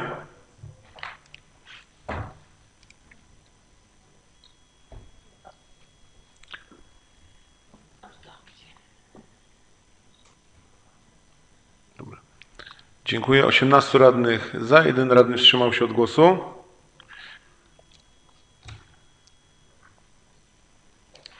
Kolejne głosowanie. Odbiór i zagospodarowanie odpadów stałych z terenów administrowanych przez zamawiającego, a także usługi polegające na utrzymaniu czystości i porządku terenów publicznych gminy Trzcianka zmniejsza się łączne nakłady do kwoty 1 92 248 zł 75 groszy limitem wydatków 2023 roku do kwoty 983 914 zł 75 groszy oraz limit zobowiązań do kwoty 1 92 248 zł 75 groszy. Głosujemy.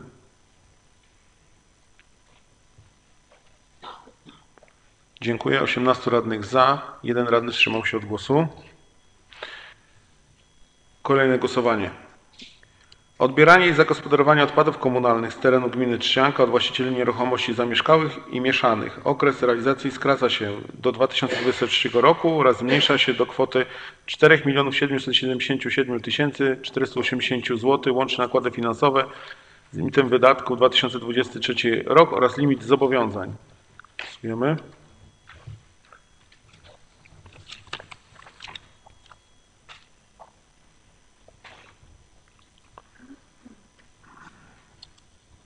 Osiemnastu radnych za, jeden radny wstrzymał się od głosu.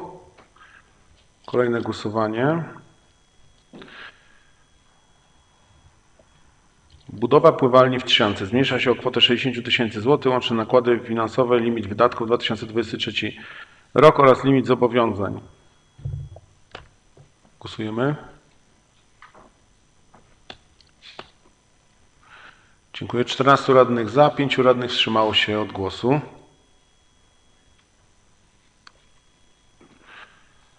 Projekty techniczne dróg. Zmniejsza się łącznie nakłady finansowe o kwotę 92 660 zł.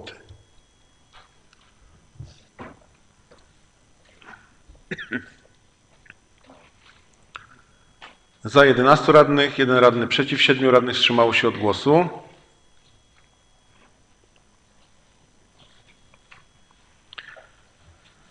Dodaje się nowe przedsięwzięcie Rozwój cyfrowy JST oraz wzmocnienie cyfrowej odporności na zagrożenia w ramach programu operacyjnego Polska Cyfrowa na lata 2014-2020. Okres realizacji w latach 2022-2023. Tego wydatki bieżące, łączne nakłady finansowe w kwocie 420 720 zł, limit wydatków w 2023 roku i limit zobowiązań w kwocie 136 406 zł 73 grosze oraz wydatki majątkowe. Łączne nakłady finansowe w kwocie 306 tysięcy, limit wydatków w 2023 roku i limit zobowiązań 120 709 zł 81 groszy. Głosujemy.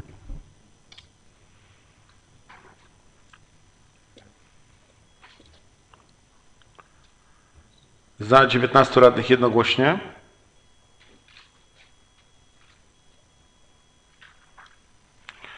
Kolejne głosowanie. Budowa dróg gminnych. Zmniejsza się łączne nakłady finansowe o kwotę 348 500 zł.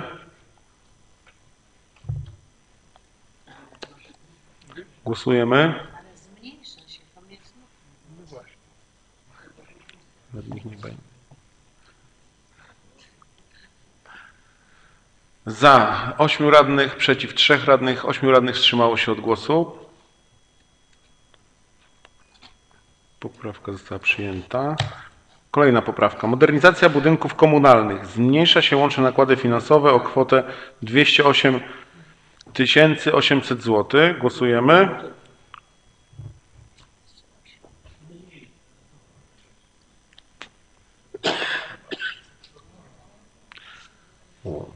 Za 6 radnych, przeciw 5 radnych, 8 radnych wstrzymało się od głosu.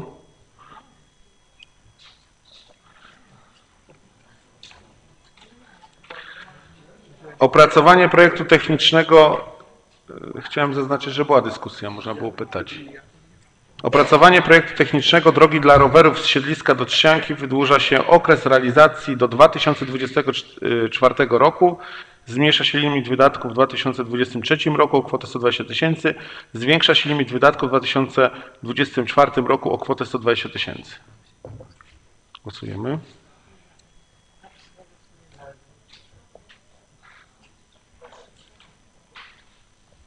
Za 18 radnych, jeden radny przeciw.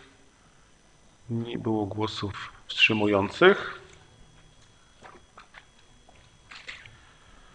Kolejne głosowanie. Budowa namiotowej hali sportowej wraz z zapleczem sanitarno-szatniowym przy szkole podstawowej we wsi Biała. Zmniejsza się łączne nakłady finansowe do kwoty 2 96 990 zł. Limit wydatków w 2023 roku, limit zobowiązań do kwoty 796 zł 990 zł. Głosujemy.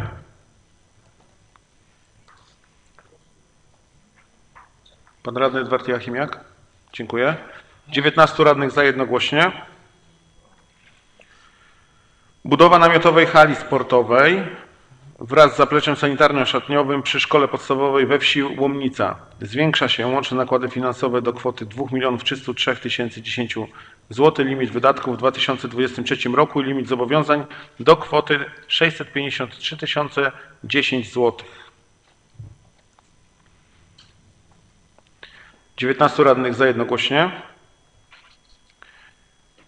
Mamy kolejne głosowanie. Rozbudowa drogi osiedla Poniatowskiego. Zmniejsza się łączne nakłady finansowe do kwoty 6 420 100 zł. Limit wydatków w 2023 roku. Limit zobowiązań do kwoty 6 420 100 zł. Głosujemy.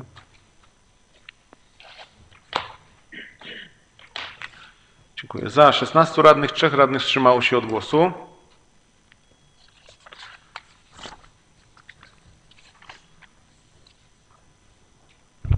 Z dokumentów, jakie mam przed sobą, wynika, że zakończyliśmy głosowanie nad poprawkami.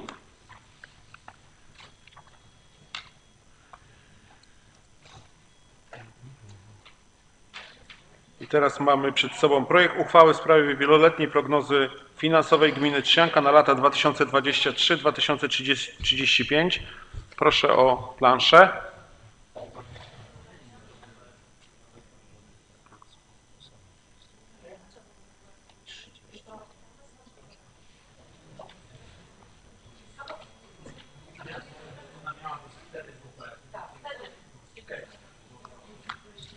Dobrze, wszystko, wszystko w porządku. W takim razie idziemy z całą uchwałą. Tak.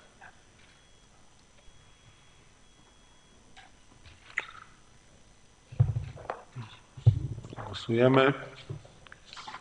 Projekt uchwały w sprawie wieloletniej prognozy finansowej gminy Trzcianka na lata 2023-2035. Pan radny Edward Joachim, dziękuję. Za 15 radnych, 4 radnych wstrzymało się od głosu, czyli projekt uchwały został zaopiniowany pozytywnie przez Radę. I teraz mamy przed sobą cały projekt uchwały w sprawie uchwały budżetowej na 2023 rok. Głosujemy.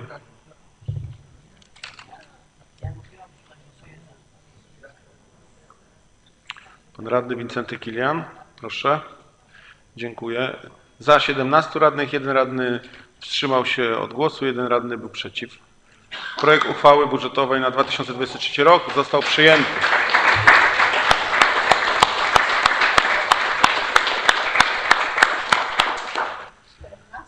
Kwiaty?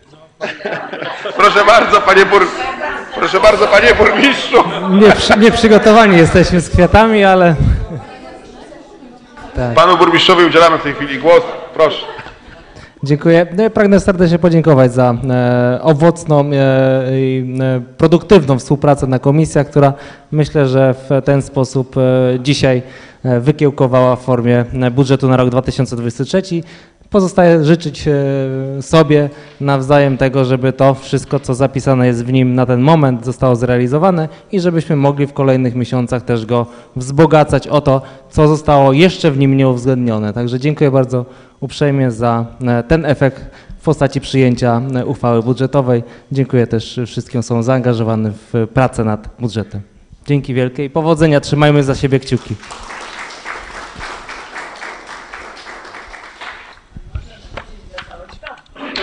Tak jest. Szanowni, szanowni Państwo, yy, myślę, że ekspresowo przejdziemy w tej chwili do projektu, do punktu 5 porządku obrad. Projekt uchwały w sprawie Zmiany wieloletniej prognozy finansowej gminy Trzcianka na lata 2025, 2000, przepraszam, 2022-2035, a zawsze o tym rozmawialiśmy przy okazji op- o- omawiania projektu uchwały w sprawie zmiany uchwały budżetowej na 2022 rok. Y, Chciałem tylko przypomnieć, że obydwa projekty i w sprawie wieloletniej prognozy finansowej i uchwały budżetowej y, był poddany dyskusji przez Komisję Gospodarczą. Y, 15 grudnia komisja zaopiniowała projekt uchwały, jeżeli chodzi o WPF, y, za sześciu radnych jednogłośnie. I projekt uchwały w sprawie zmiany uchwały budżetowej na 2022 rok również sześciu radnych za jednogłośnie. Takie, takie były informacje, są informacje z, z Komisji Gospodarczej. W takim razie otwieram dyskusję. Pan burmistrz. Szanowni Państwo, głównie są to e, porządkowe zmiany, wprowadzenie dotacji, które wpłynęły do budżetu, e, bądź też urealnianie wydatków, e, zmiany związane z wnioskami dyrektorów szkół, przedszkoli, CUS-u. Jedyną taką pozycją dodatkową, nową w projekcie tej uchwały jest przeznaczenie 115 tysięcy złotych na dotację do e, modernizacji, rewitalizacji ołtarza w e, kościele w Białej. E, Ona już się zadziała, ta, ta, to odnowienie już się zadziało, natomiast to byłaby forma refundacji tego e, wydatku. E, Ołtarz już e, tam e, funkcjonuje, także to jest e, nowy wydatek, jedyny to jest tych, e, które są e, proponowane, a szereg e, zmniejszeń e, wydatków e, to po realizacji poszczególnych inwestycji miałby pozwolić nam na to, żeby ten wydatek sfinansować. Także żeby, żeby te 115 tysięcy uzbierać, trzeba było też pozmniejszać na, innych działaniach. Urealnienie też dochodów gminnych i w jedną i w drugą stronę, czyli dochody były zwiększane w poszczególnych e, zakresach i zmniejszane, jak w przypadku na przykład sprzedaży e, majątku gminy, bo ostatnie miesiące e, były trudne, jeśli chodzi o znalezienie zainteresowanych nabywaniem działek, wobec czego urealniana jest ta sprzedaż do końca roku i obniżone tutaj jest o 413 tysięcy z tego tytułu dochodów. Także jedyne nowe zadanie to jest to e, wspomniane. E, Część zmian dotyczy tego, że wydatki e, będą w uchwale o wydatkach niewygasających się pojawiały, wobec czego tutaj są też dostosowywane jakby te e, zadania. I jeśli, tak jak e, nawiążę do tego głosowania, które było w sprawie modernizacji budynków komunalnych, no tutaj też się to pojawia, ale to jest zmniejszenie związane z tym, że ten wydatek e, przenosi się, tak, wyodrębnia się do wydatków niewygasających i z tego tytułu tylko to zmniejszenie nastąpiło. I w zasadzie jest jeszcze szereg autopoprawek, ale też one no, nie wnoszą w zasadzie nic e, szczególnego poza tym, e, żeby e, wskazać to, co Regionalna Izba Obrachunkowa nam mówiła, czyli żeby pokazać te, ten przelew z budżetu państwa, jaki do nas wpłynął na poczet tych ubytków w dochodach podatkowych, czyli ta kwota 2 888 e, tysięcy. Mm, No i w, w drobne przeniesienia tutaj w tych zadaniach, które dotyczą właśnie tych e, wydatków e, niewygasających e, czy boisk sportowych i dostosowane do tego zmiany w WPF-ie. No, głosowania są pewnie długo, długie, ale, ale tak naprawdę no, w tym budżecie już wiele się z tego tytułu nie zmienia.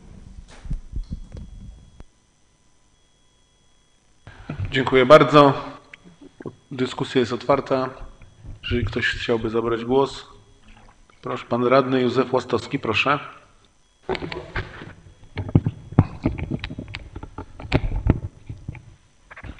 Dziękuję bardzo Panie Burmistrzu, Szanowni Radni.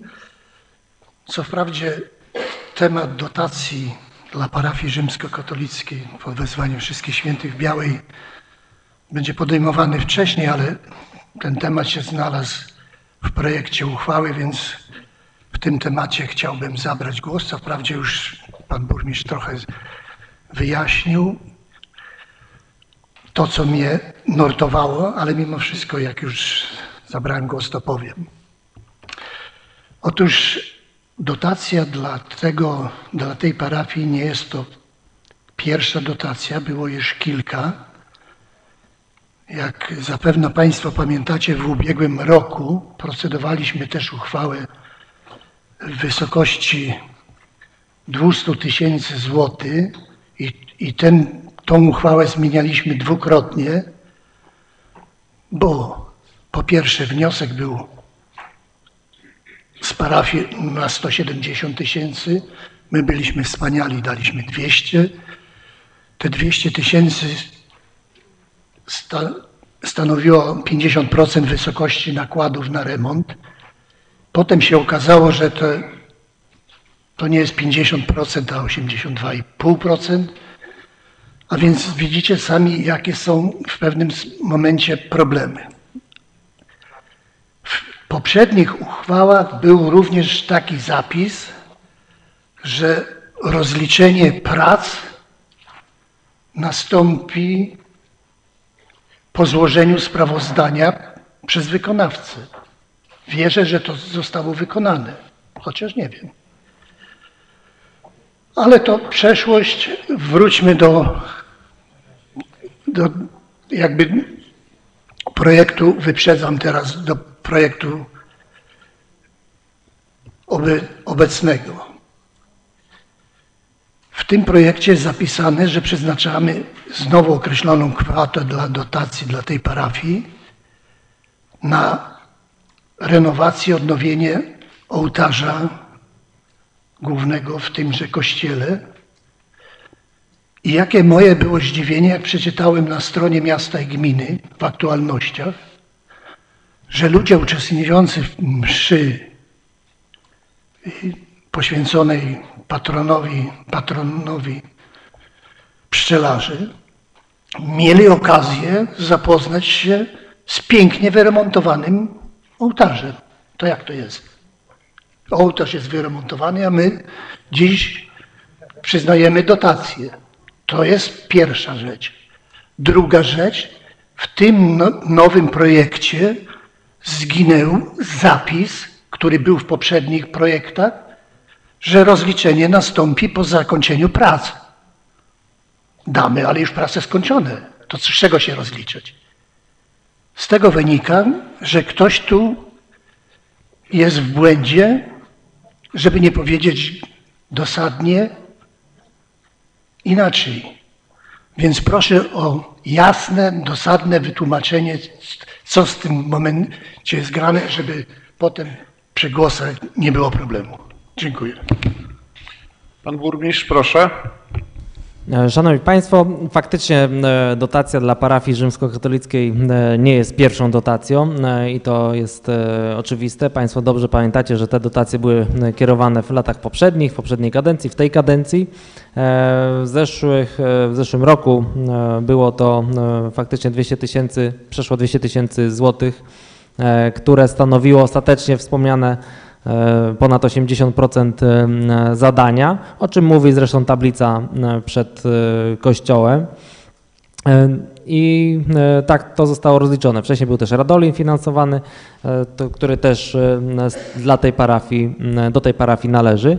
Jeśli chodzi o te środki, te środki mają stanowić 50% wartości zadania. E, czyli całość kosztu e, to e, przeszło 230 tysięcy złotych. Parafia złożyła wniosek w trybie określonym uchwałą o przyznawaniu środków na, na modernizację zabytków, wobec czego mogła być i może być brana pod uwagę, ten wniosek może być brany pod uwagę przez Państwa radnych no, w zasadzie do końca tego roku. I tak jak w uchwale e, się proponuje, dotacja zostanie udzielona do 23 grudnia, a umowa między gminą a, a parafią będzie e, mówić o tym, że do końca roku będzie musiało nastąpić wydatkowanie, ono już de facto, znaczy wydatkowanie naszych środków E, I tu już jest kwestia mm, e, księdza i wykonawcy, e, jak się rozliczą. Natomiast no, my te środki przekażemy, tak jak jest wspomniane, do 23 e, grudnia. Do końca roku one musiały, musiałyby być wydatkowane.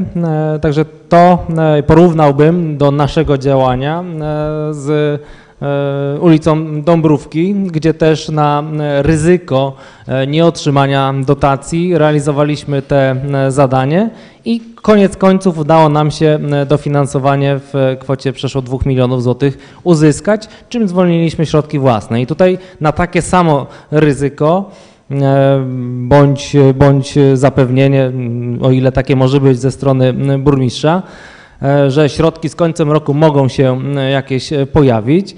m, Ksiądz proboszcz zdecydował się te zadanie wykonywać. Oczywiście, jeśli Państwo radni, ale pod, e, sugerowałbym skupienie się jakby tutaj na, na tej drugiej uchwale, żeby tutaj już nie mieszać, e, w tej uchwale budżetowej, to byśmy zostawili, a przy drugiej uchwale Państwo decydujecie, czy do- do, dotację przekazywać. Myśmy, my, jeśli Państwo nie zdecydujecie się jej przekazać, no to ten wydatek nie będzie wykonany z, z końcem roku i zostanie na, e, w formie wolnych środków na rok e, kolejny. Także tak jakby ta, taka jest moja jedynie sugestia, żeby e, sam, samo głosowanie nad tym, czy przekazywać, czy nie przekazywać, odbyć na tej, e, przy, tej, przy okazji tej uchwały e, w sprawie udzielenia dotacji. A teraz e, jakby te, te dyskusje nad uchwałą samą budżetową zawiesić, bo to mm, no, robiłoby tutaj problemy, żeby, żeby to teraz rozstrzygać. E, jakby jest możliwe rozliczenie tego w, i to wszystko będzie określała umowa. Umowa jest skonstruowana i ta uchwała jest skonstruowana w oparciu o tę uchwałę bazową z 2008 roku w sprawie tych zasad udzielania dotacji. I tam jest mowa przede wszystkim o tym, że te wnioski o e, dotacje muszą wpłynąć do e, Urzędu Miejskiego Trzcianki, muszą wpłynąć do 30 września roku, w którym planuje się wydatkowanie, e, wykorzystanie tej dotacji lub w roku przyszłym, kolejny, e, czyli e, ksiądz do końca e, tego, ksiądz do końca tego roku ma ważny wniosek, który można jeszcze e, dofinansować, któremu można udzielić tej dotacji. A czy tak się stanie, to oczywiście jest e, tutaj decyzja e, Rady i jakby ja w zakresie moich kompetencji mogłem z, e, przekazać się określone informacje, natomiast e, zawsze ta wiążąca będzie decyzja e, Rady w tym e, zakresie. Ołtarz jest fizycznie zrobiony, no a nastąpi, jeśli Państwo się przychylą, refundacja tych środków, analogicznie jak w przypadku ulicy Dąbrówki, porównując to do, do, do innych działań, żeby też mieć jakiś obraz. Także no, Państwa decyzja, ale proponuję, żeby ona miała miejsce w punkcie dotyczącym głosowania nad uchwałą. Jeśli uchwała nie zostanie podjęta, środki pozostaną e, niewykorzystane, niewykonane e, i, e, i przejdą na kolejny rok. Dobrze, dziękuję bardzo. Dyskusja jest otwarta. Jeżeli nie ma, nie ma chętnych, to zamykam dyskusję. Przechodzimy do głosowań. Najpierw zmiany do budżetu. Po... Najpierw zmiany do budżetu, potem zmiany do WPF-u i tak samo uchwała WPF i uchwała budżetowa.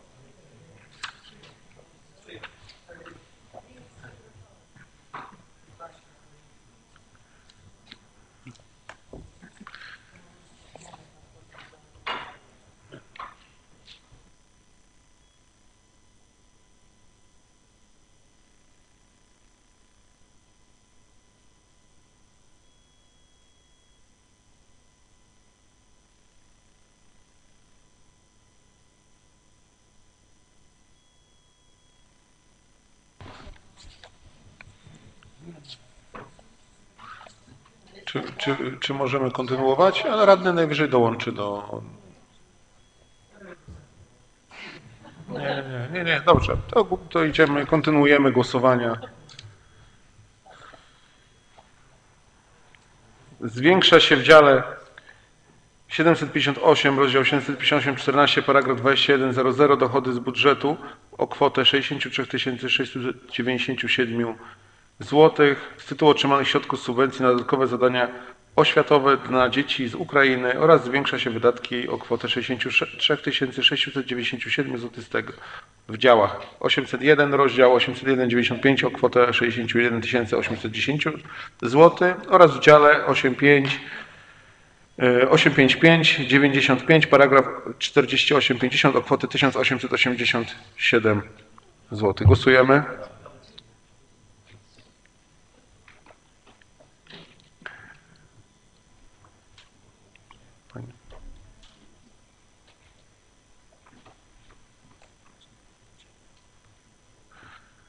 Za 20 radnych jednogłośnie.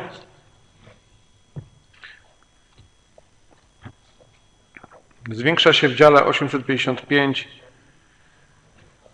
rozdział 855.03 dochody budżetu o kwotę 997 zł 60 groszy z tytułu- dotacji celowej z budżetu państwa na zadania zlecone. Głosujemy.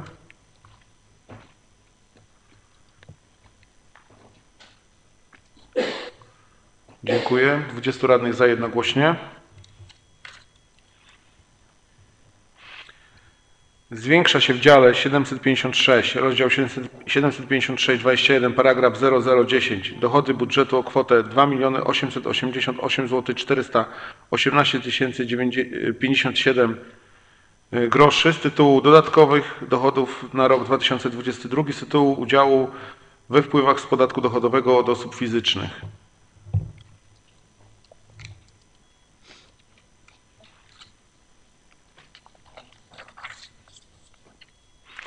Za jednogłośnie 20 radnych.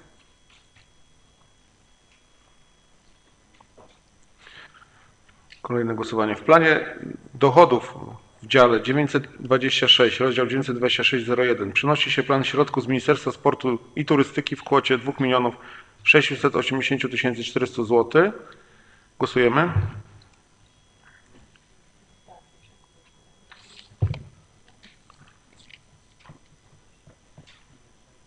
Dziękuję. 20 radnych za jednogłośnie.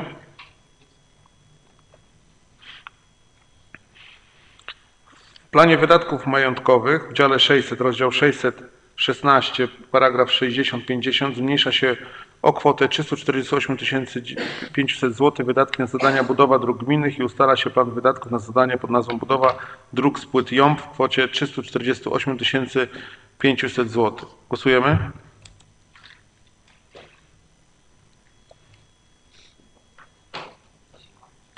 Za 18 radnych, dwóch radnych wstrzymało się od głosu. Kolejny punkt. W wydatku majątkowym w dziale 700, rozdział 707, paragraf 60-50 zmniejsza się o kwotę 15 tysięcy złotych plan zadania pod nazwą termomodernizacja budynku komunalnego mieszkalnego wielorodzinnego zlokalizowanego w Tysiące przy ulicy Sikorskiego 40, a zwiększa się o kwotę 15 tysięcy plan zadania pod nazwą termomodernizacja budynku komunalne- komunalnego mieszkalnego wielorodzinnego zlokalizowanego w Tysiące przy ulicy Kopernika 9. Głosujemy. Za 20 radnych jednogłośnie. Głosujemy dalej. Dostosowuje się plan dochodów i wydatków zgodnie z wyjaśnieniami Ministerstwa Finansów dotyczących klasyfikacji wypłaty rekompensat i dodatków związanych ze wzrostem cen energii, związane z finansowane, zadania finansowane z Funduszu Przeciwdziałania koni- COVID-19 oraz sprzedaż węgla mieszkańcom gminy.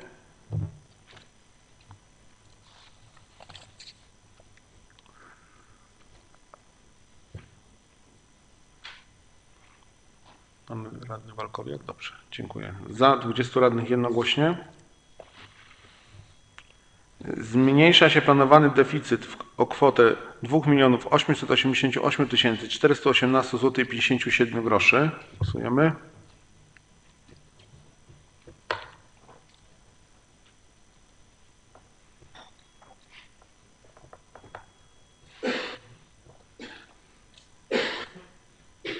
Za 20 radnych jednogłośnie.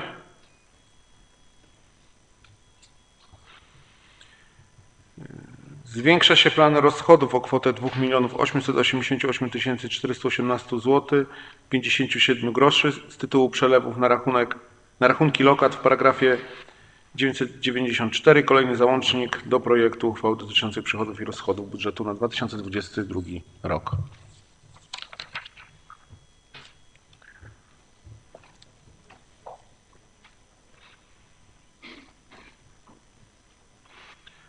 Za 19 radnych, jeden radny wstrzymał się od głosu.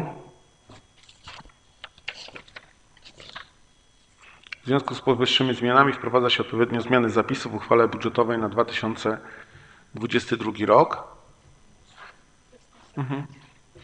Także w tej chwili zakończyliśmy głosowanie nad poprawkami do uchwały budżetowej na 2022 rok i uchwałę, rozpoczynamy blok głosowań nad zmianami do WPF.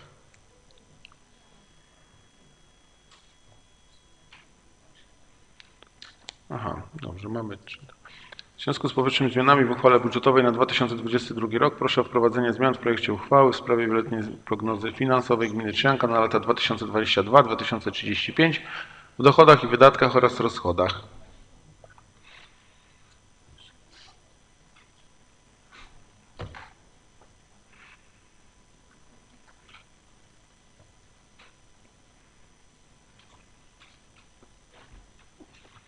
Proszę o ocenienie.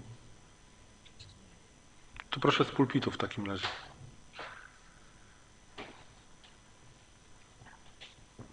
Dobrze. Za 20 radnych jednogłośnie.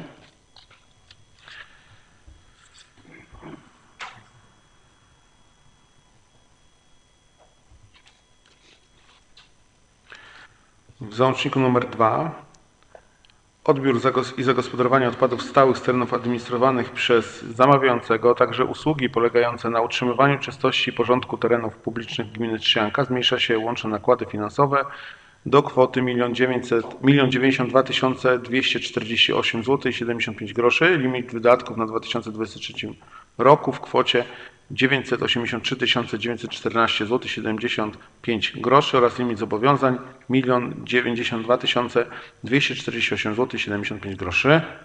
Głosujemy.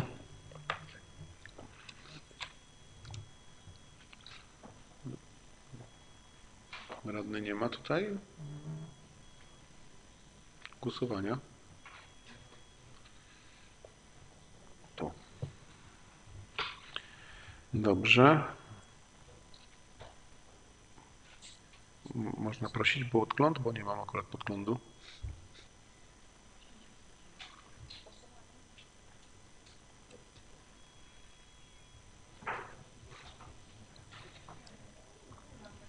My też nie mam tutaj.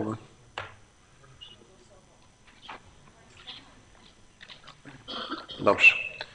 Za 19 radnych, jeden radny wstrzymał się od głosu.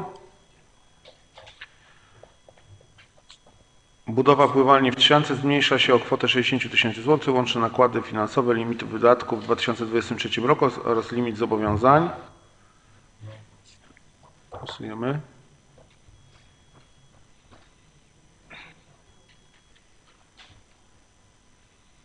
Za 14 radnych, 6 radnych wstrzymało się od głosu. Budowa dróg gminnych zmniejsza się o kwotę 348 500 zł. Łączne nakłady finansowe, limit wydatków w 2020 roku i limit zobowiązań. Głosujemy.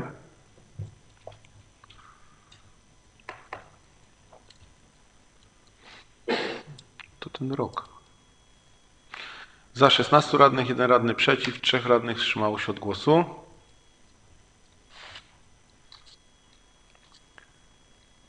Opracowanie projektu technicznego drogi dla rowerów z siedliska do Trzcianki. Wydłuża się okres realizacji do 2024 roku, zmniejsza się limit wydatków 2023 roku o kwotę 120 tysięcy, zwiększa się limit wydatków w 2024 roku o kwotę 120 tysięcy. Głosujemy.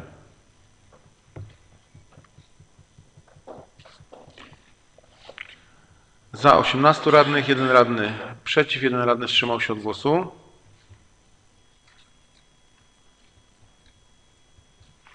Kolejne głosowanie. Rozbudowa drogi osiedla Poniatowskiego. Zmniejsza się o kwotę 54 900 zł łączne nakłady finansowe, limit wydatków w 2023 roku i limit zobowiązań.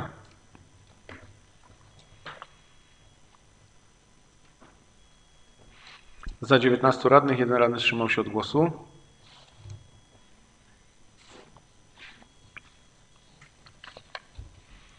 Dodaje się nowe przedsięwzięcie. Odbiór i zagospodarowanie odpadów stałych z terenów administrowanych przez zamawiającego, a także usługi polegające na utrzymaniu czystości i porządku terenów publicznych gminy Trzcianka. Okres realizacji w latach 2022-2023. Łączne nakłady finansowe w kwocie 1 166 358 zł 66 groszy. Limit wydatków w 2022 w kwocie 982 307 zł 41 groszy. Limit wydatków w 2023 roku w kwocie 184 051 zł 25 groszy oraz limit zobowiązań w kwocie 1 166 358 zł 66 groszy. Głosujemy. Za 19, ra- e, za 19 radnych, jeden radny wstrzymał się od głosu. Mamy za sobą ca cały, cały blok poprawek. W tej chwili poddajemy głosowaniu uchwałę WPF-u na 2022-2035. Głosujemy.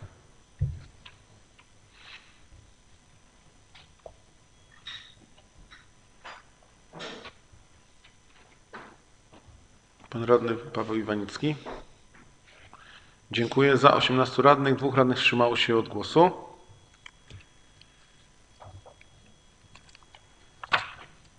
I kolejne głosowanie w sprawie zmiany uchwały budżetowej na 2022 rok. Głosujemy.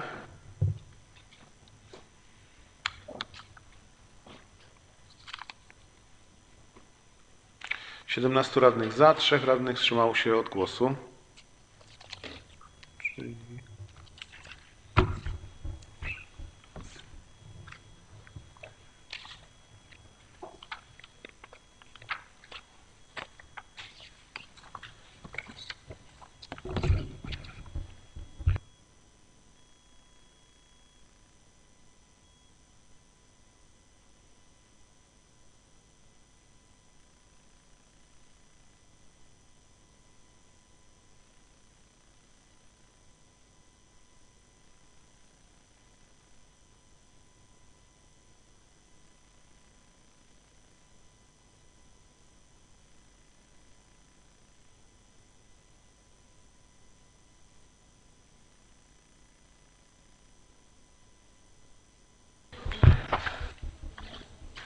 Szanowni Radni, przechodzimy w tej chwili do punktu siódmego, czyli projekt uchwały w sprawie ustalenia wykazu wydatków niewygasających z upływem 2022 roku.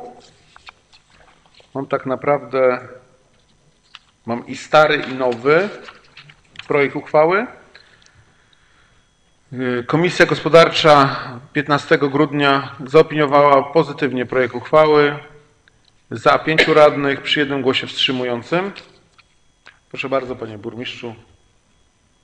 Pan wiceburmistrz Witold Putyrski. Panie Proszę. Przewodniczący, Szanowni Państwo, siedem zadań majątkowych, które miały być zrealizowane zgodnie z, podpisy, z podpisanymi umowami w tym roku, do końca tego roku, natomiast z różnych powodów, z różnych przyczyn zrealizowane nie będą. Najczęściej jest to brak materiałów na rynku i wykonawcy, którzy mieli podpisane umowy z dostawcami, no, mieli te okresy dostaw przedłużone o kilkadziesiąt dni. Dotyczy to na przykład e, modernizacji dachu e, na sali w, e, w Radolinie.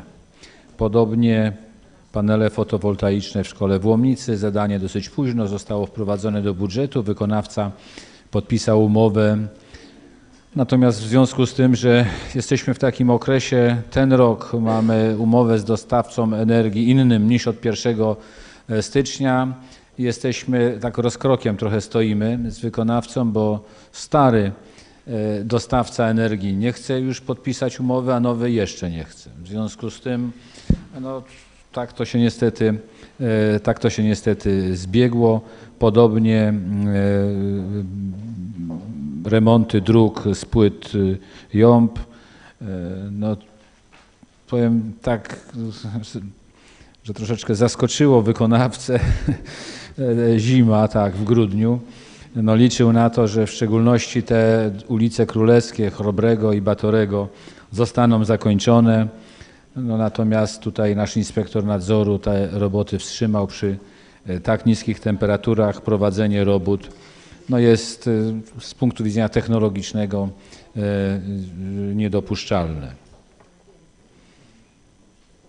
To chyba, to chyba tyle zadań, które one, no, łączna kwota jest dosyć znacząca, bo prawie 2 miliony 340 tysięcy złotych, natomiast e, no, powiem tak, nie ma tutaj jakby zagrożenia, że te zadania nie zostaną wykonane.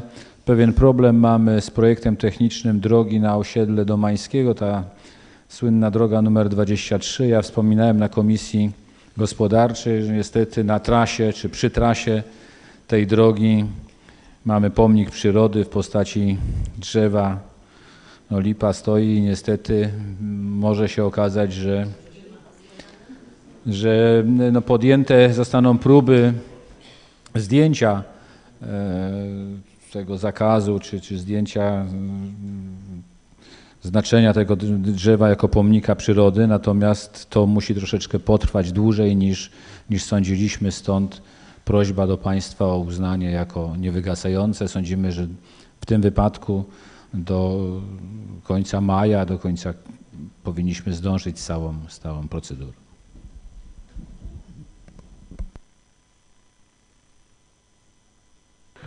Dziękuję bardzo. Dyskusja trwa. Jeżeli nie widzę chętnych, zamykam dyskusję. Przechodzimy do głosowania.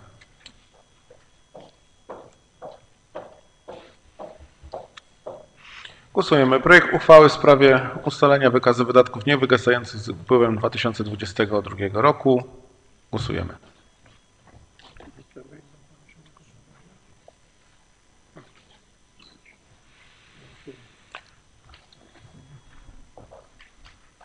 Pan radny Józef Łastowski.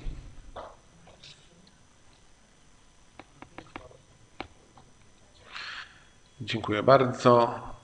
Za 19 radnych, jeden radny przeciw. Nie było głosów wstrzymujących.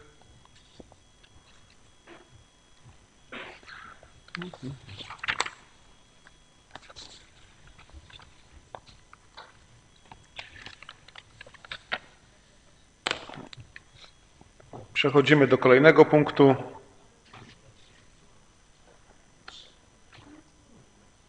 Projekt uchwały w sprawie udzielenia dotacji parafii rzymskokatolickiej pod wezwaniem Wszystkich Świętych w Białej. Komisja Gospodarcza 15 grudnia zaopiniowała projekt uchwały pozytywnie. Za czterech radnych, wstrzymał się jeden radny, nie było głosów przeciw. Proszę bardzo, dyskusja jest otwarta. Pan burmistrz już trochę powiedział, ale może jeszcze zabierze głos w tej sprawie.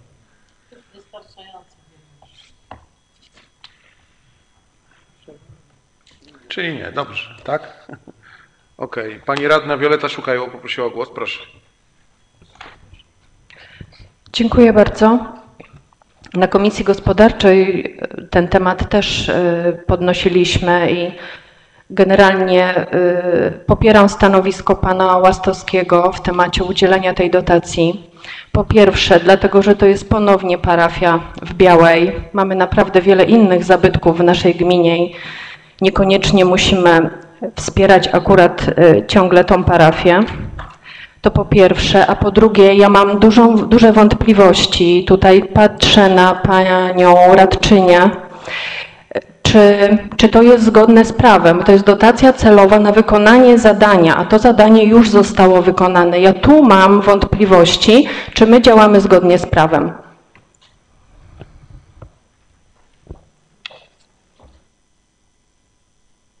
Pani mecenas wywołana do, Tak. do odpowiedzi. Proszę No bardzo. tutaj pani radna, y, uważam, że możemy udzielić tej dotacji. Tak? Także tak jak tutaj mieliśmy, burmistrz wspomniał z tą ulicą Dąbrówki. Także pod względem formalno-prawnym oczywiście jest to dopuszczalne. Dziękuję bardzo. Pani radna Jadwiga Durejko poprosiła o głos. Proszę. Ja natomiast uważam, że akurat mam od- odmienne zdanie od Państwa, ponieważ jestem zdania, że należy, należy y, te pieniążki przydzielić księdzu, żeby mógł y, opłacić zadanie. Miał, były ustalenia z burmistrzem, y, zdobył połowę kwoty i myślę, że w tej chwili należałoby go zdecydowanie wesprzeć. Dzięki. Dziękuję bardzo. Pan radny Józef Łastowski, proszę. Dziękuję bardzo. Ja jeszcze w uzupełnieniu do mojego wystąpienia chciałbym powiedzieć tak. Y, Co wprawdzie burmistrz starał się odpowiedzieć na te moje wątpliwości, ale odpowiedział to, co jakby wyprzedził w mojej myśli. Natomiast nie odpowiedział, dlaczego z projektu uchwały zginął zapis o rozliczeniu. W poprzednich projektach uchwały to było, to jest raz. Po drugie, burmistrz mówił, że wniosek jest, on jest ważny do końca roku. No dobrze, jeśli on złożony był aż w ubiegłym roku, bo tak w uzasadnieniu napisane jest, że 30 września 2021 roku był złożony, to wierzę, że do tego czasu nabrał mocy. Więc proszę jeszcze się do tego punktu też ustosunkować. Dziękuję bardzo. Pan radny Ryszard Wiland, widziałem, proszę udzielić panu radnemu głos. Dobrze, proszę. E, Panie Przewodniczący, drodzy Państwo, tu padło pytanie, dlaczego biała. Ja myślę tak, e, jest wiele parafii, oczywiście mogą składać. Ja myślę, że Państwo nie wiecie chyba o tym, że najprawdopodobniej w Białej jest najwięcej zabytków, e, jeżeli chodzi o ten rejon i chyba najstarszych. Najprawdopodobniej jeszcze będą składane w kolejnych latach wnioski, ponieważ część e, fundusz jest pozyskiwana z państwa. I tyle bardzo bym prosił, żeby tą uchwałę przegłosować. Dziękuję. Przepraszam, Dzie- mogę? Dziękuję bardzo. Proszę bardzo pani Y, tutaj- szczeradczyni. Y, Proszę Państwa, w uzasadnieniu na drugiej stronie tak, projektu uchwały mamy taki w przedostatnim akapicie, że zasady udzielania i rozliczania dotacji w gminie Czcianka zostały ustalone uchwałą z roku 2008 roku i tam mamy określone te zasady udzielania dotacji i już y, też z ustawy o finansach publicznych też wynika obowiązek właśnie podpisania umowy na tę dotację, y, rozliczenie, złożenie sprawozdania. Także to już y, w sferze, że tak powiem, tutaj, y, znaczy w zakresie obowiązków burmistrza, tak, leżą właśnie te kwestie związane z rozliczeniem y, tej dotacji. Także tutaj. To może pan weźmie mikrofon, proszę bardzo pan. Bardzo. Drodzy Państwo, gwoli wyjaśnienia, tak się dzieje w każdym przypadku, jeżeli udzielamy dotacji dla parafii, niezależnie czy to jest Biała, czy Siedlisko, czy parafia Jana Chrzciciela, te sprawozdania są wykonywane i zadania są rozliczane przez beneficjentów. Tutaj nie ma żadnego wyjątku czy, czy lekkiego traktowania, dlatego że jest to akurat parafia. Tak było z poprzednią parafią, e, z poprzednią dotacją w ubiegłym roku i dla kościoła mm, świętego Jana Chrzciciela w Trzciance i dla parafii w Białej. Tak będzie w tym roku w Siedlisku, to zadanie również zostało wykonane. Tam, e, drodzy Państwo, po tej umowie, którą Państwo podejmujecie, szczegóły e, naszych wzajemnych rozliczeń z uchwały, przepraszam za kolokwializm, z uchwały matki, e, no, precyzyjnie określają, że należy przygotować umowę z beneficjentem. Taka umowa jest, e, jest przygotowywana, podpisywana i w terminie są te dotacje rozliczane i sprawozdanie jest wykonywane. Dziękuję bardzo. Adwoce pan radny Józef Łastowski, adwocem do kogoś tam, tak? No to trzeba powiem do kogoś. Ja, ja dwocem do pani mecenas, bo ilekroć było poruszana sprawa, że coś jest w uzasadnieniu, to się mówiło, że to jest nieważne. Dziś raptownie się staje to ważne. I, I ja zadam pytanie, dlaczego w poprzednich projektach uchwały było to zapisane w projekcie uchwały, a w tym akurat nie ma. Więc jeszcze raz mówię, albo ktoś tutaj wprowadza nas w błąd, mówię w błąd, nie chcę to dosadniej powiedzieć, ale coś jest nie tak. Ołtarz jest wykonany, my dajemy pieniądze, to nie jest zapisane, więc coś. Radny Wilan mówi, że proboszcz pozyskuje drugie pieniądze, a na ostatniej komisji słyszeliśmy, że na ten projekt ma tylko 20%, a nie, a nie te 50%. Więc nie wiem. Te wyjaśnienia mnie nie zadowalają.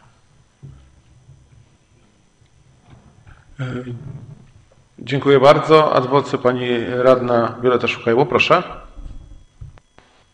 Dziękuję. Adwocem do pana Wilanta. Kościół rzymskokatolicki w Białej nie jest najstarszym zabytkiem. Starszy jest Kościół ewangelicki w Biernatowie, na przykład Park Dworski w Dłużewie, y, Kościół ewangelicki w Łomnicy, a nawet dom Krzyża Romskiego 36. Park w Dłużewie. A nawet dom Krzyża Romskiego 36a, który jest we władaniu teraz muzeum. I naprawdę nie musimy y, wspierać wyłącznie kościołów. Mamy parki, mamy budynki inne, które są również budynkami zabytkowymi, o które trzeba zadbać. A z tego, y, co, co obserwujemy, to rzeczywiście teraz y, kościoły mają bardzo wiele możliwości pozyskania środków również w z innych źródeł. Także z... będę dzisiaj przeciw tej dotacji.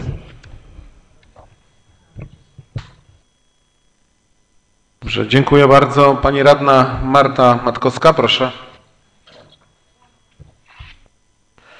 Ja chciałam dodać, że podobna dyskusja toczyła, toczyła się w zeszłym roku. I to jest tak, w Białej została wybudowana wiata widokowa, więc jeśli przyjeżdżają turyści, odwiedzają tą wiatę, chcą też obejrzeć zadbany zabytek, którym jest kościół. I na tym też mniej więcej się powoływaliśmy, dając pieniądze w zeszłym roku. I nie zabierajmy tych środków, które już pozyskał ksiądz i po prostu dbajmy o to nasze dobro i zabytki. Po prostu. Dziękuję. Dziękuję bardzo. Pan radny Edward Joachimiak, proszę. Dziękuję bardzo. Ja chciałem tylko dopytać w kwestiach procedur.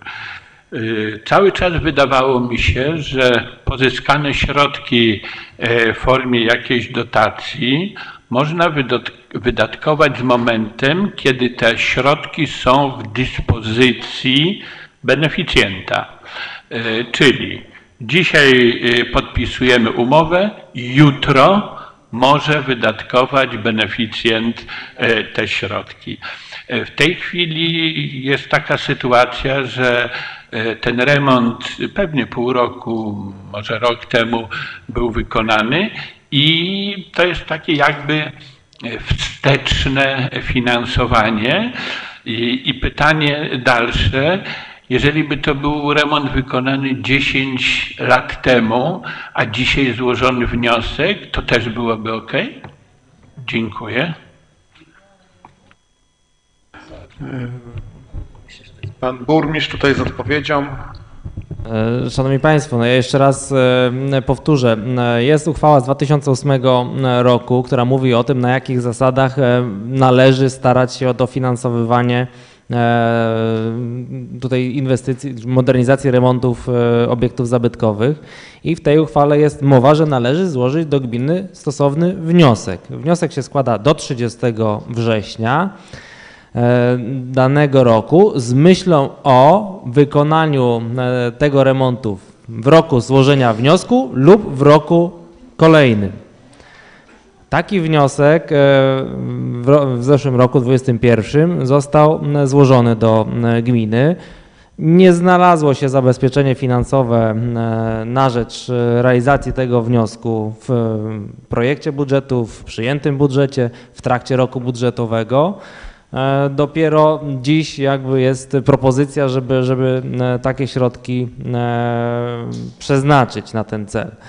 Także wniosek został w tym stosownym trybie złożony i może w, do końca tego roku podlegać rozpatrzeniu przez no, Radę Gminy w pierwszej kolejności, która zdecyduje o tym formie takiej uchwały, a potem wykonawczo zostałaby podpisana umowa na rozliczenie się z tych e, środków. No i to musi się stać, to rozliczenie musi nastąpić faktycznie do końca grudnia, e, żeby to było zgodne z tą uchwałą naszą e, bazową.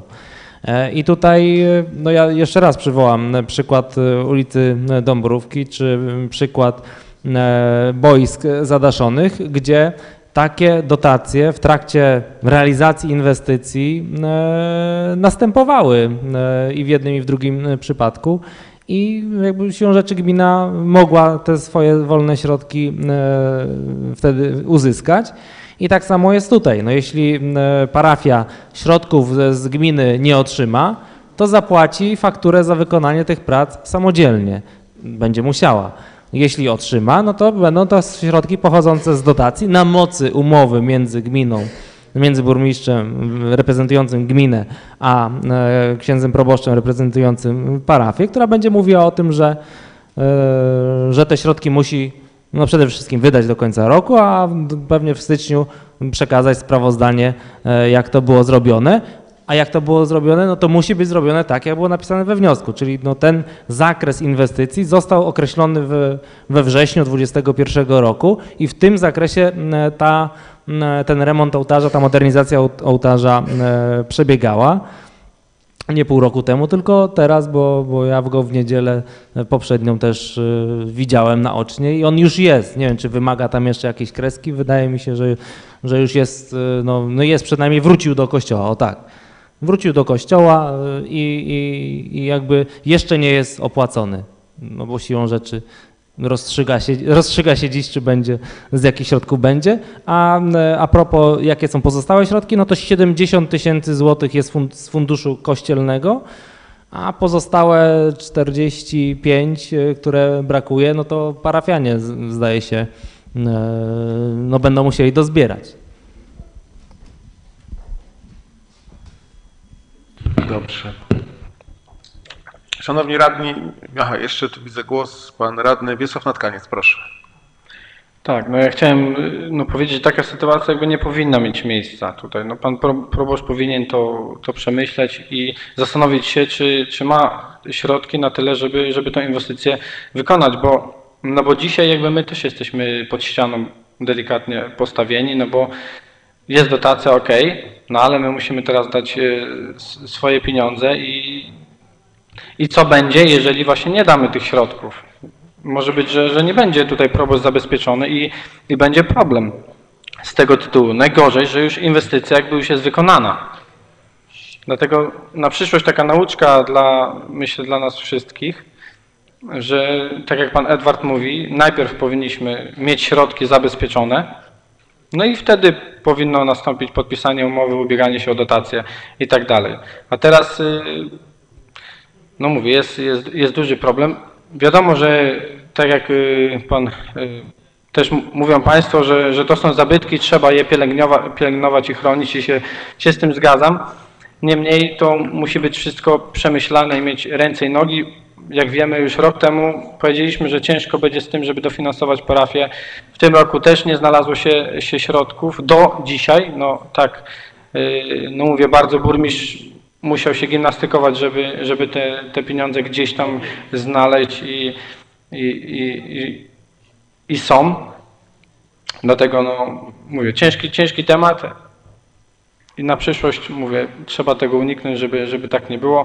No z jednej strony jestem przeciw, bo, no bo mówię, moim zdaniem Kościół ma tyle pieniędzy, tyle ziem, tyle wszystkiego, że spokojnie by sobie poradził, te parę złotych tutaj dał na, na tą parafię. Z drugiej strony, no to też jakby jest zasób taki tej gminy i, i też trzeba pomagać, tym bardziej, że jakby ta biała jest bardzo zżyta i tam y, bardzo dużo ludzi chodzi do, do tego kościoła i, i pomagają. I, no i szkoda też, też tych mieszkańców, bo no uważam, że też trzeba było im po prostu pomóc w tym, żeby to, to fajnie funkcjonowało. Dziękuję. Dobrze, dziękuję. Pan radny Witold Perski, proszę.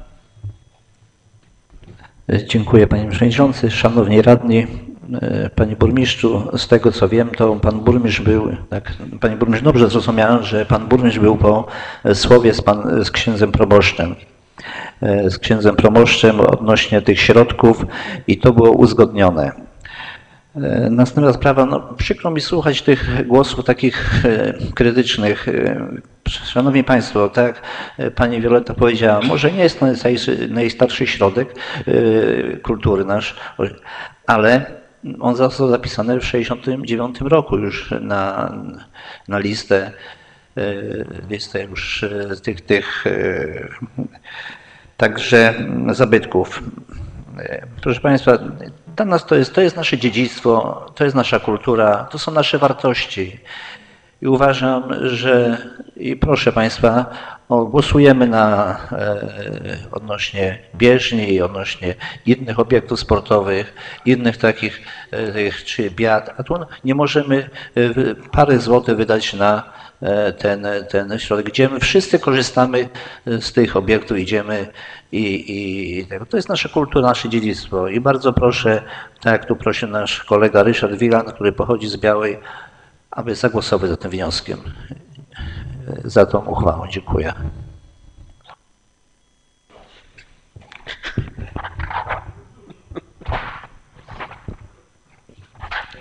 Dziękuję bardzo. E, Nie widzę więcej głosów. E, Przechodzimy do głosowania, szanowni radni.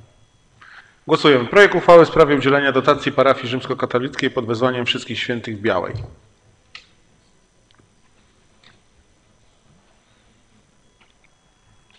Pani radnej Kamińskiej nie ma? Nie ma. Okay. Nie sprawdziała się. Wyszło. No, no właśnie. Tak Dobrze. Jest, są święta. Robimy prezenty. Idziemy. Dobrze. Za 13 radnych, dwóch radnych przeciw, czterech radnych wstrzymało się od głosu. Dziękuję bardzo.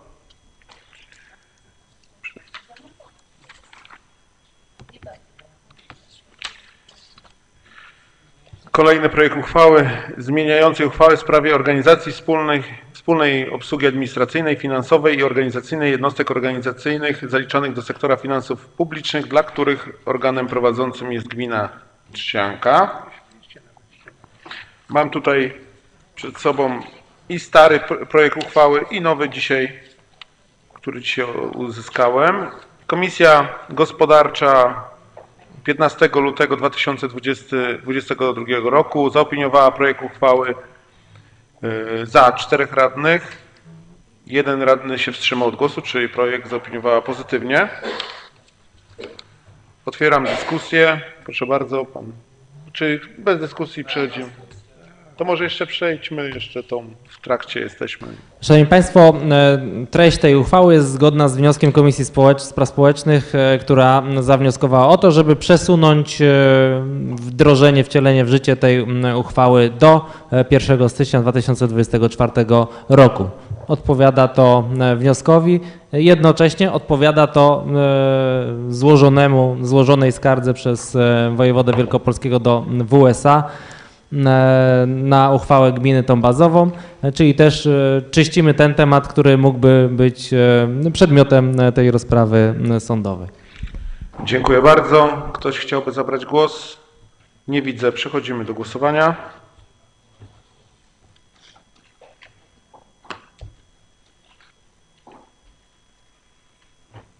Głosujemy.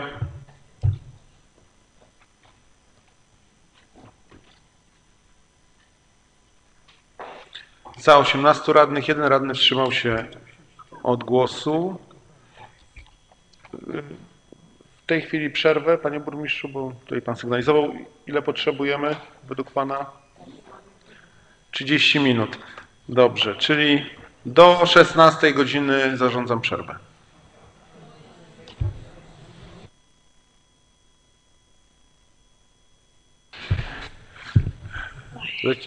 Już jesteśmy? Dobrze. Witam wszystkich po przerwie. Jest, mamy przed sobą kolejny punkt. Punkt dziesiąty. Projekt uchwały w sprawie przyjęcia gminnego programu profilaktyki i rozwiązywania problemów alkoholowych oraz przeciwdziałania narkomanii na 2023 rok. Projekt uchwały sprawie przyjęcia gminnego programu profilaktyki i rozwiązywania problemów alkoholowych oraz przeciw- przeciwdziałania narkomanii na 2023 rok. Komisja Gospodarcza w dniu 15 grudnia zaopiniowała projekt w głosowaniu za jednogłośnie pozytywnie. Mamy tutaj pana przewodniczącego komisji. Czy chciałby pan zabrać głos w tej sprawie? Prosimy.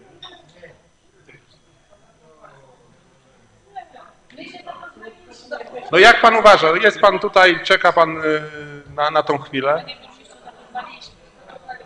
Dobrze.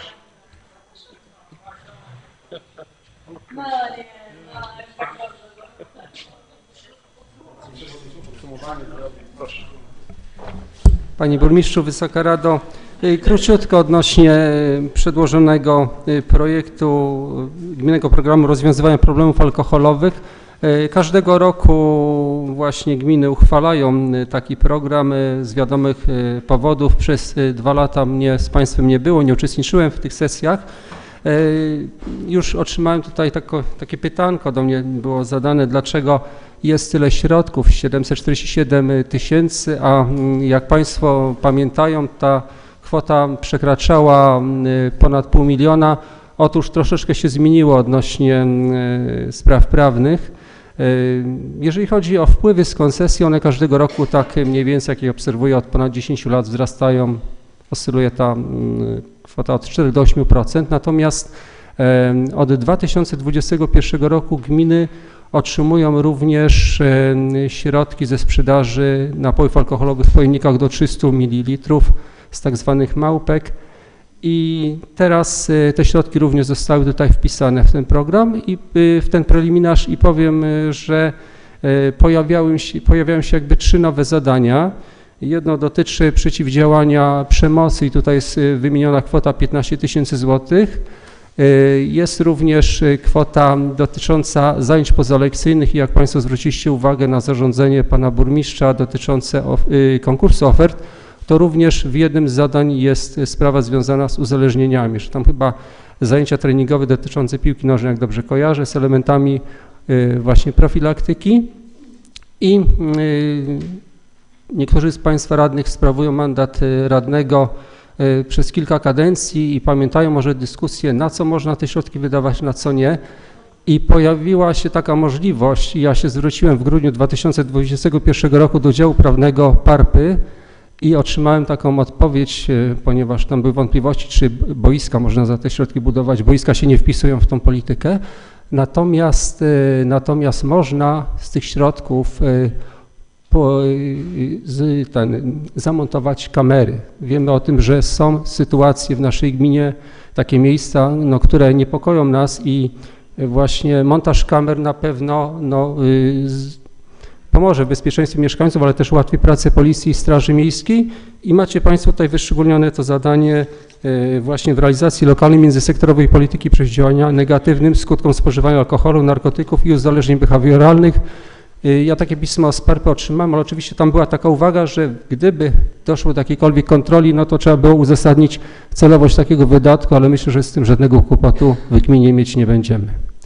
Także są takie pewne nowości sprzed dwóch lat, a myślę, że reszta zadań jest podobna, kwoty nieco wzrastają, no też wydatki są, są nieco, nieco większe.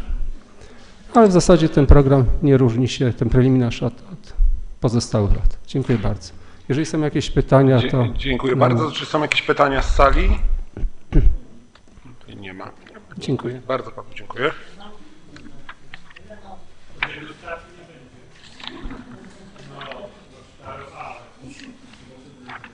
Dobrze. E, Szanowni radni, e, czy jest potrzeba dyskusji nad projektem?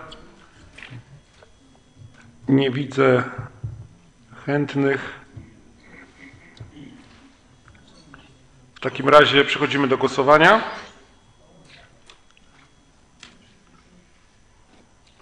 Jest to projekt uchwały w sprawie przyjęcia gminnego y, y, programu profilaktyki i rozwiązywania problemów alkoholowych oraz przeciwdziałania narkomanii na 2023 rok.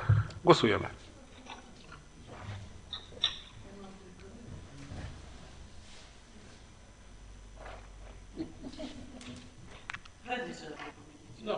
Proszę o spokój. Kto jeszcze? Bo nie widzę. Pan Łastowski. Dobrze. Dobrze. E, 19 radnych za, jednogłośnie gratuluję. Projekt uchwały został przyjęty.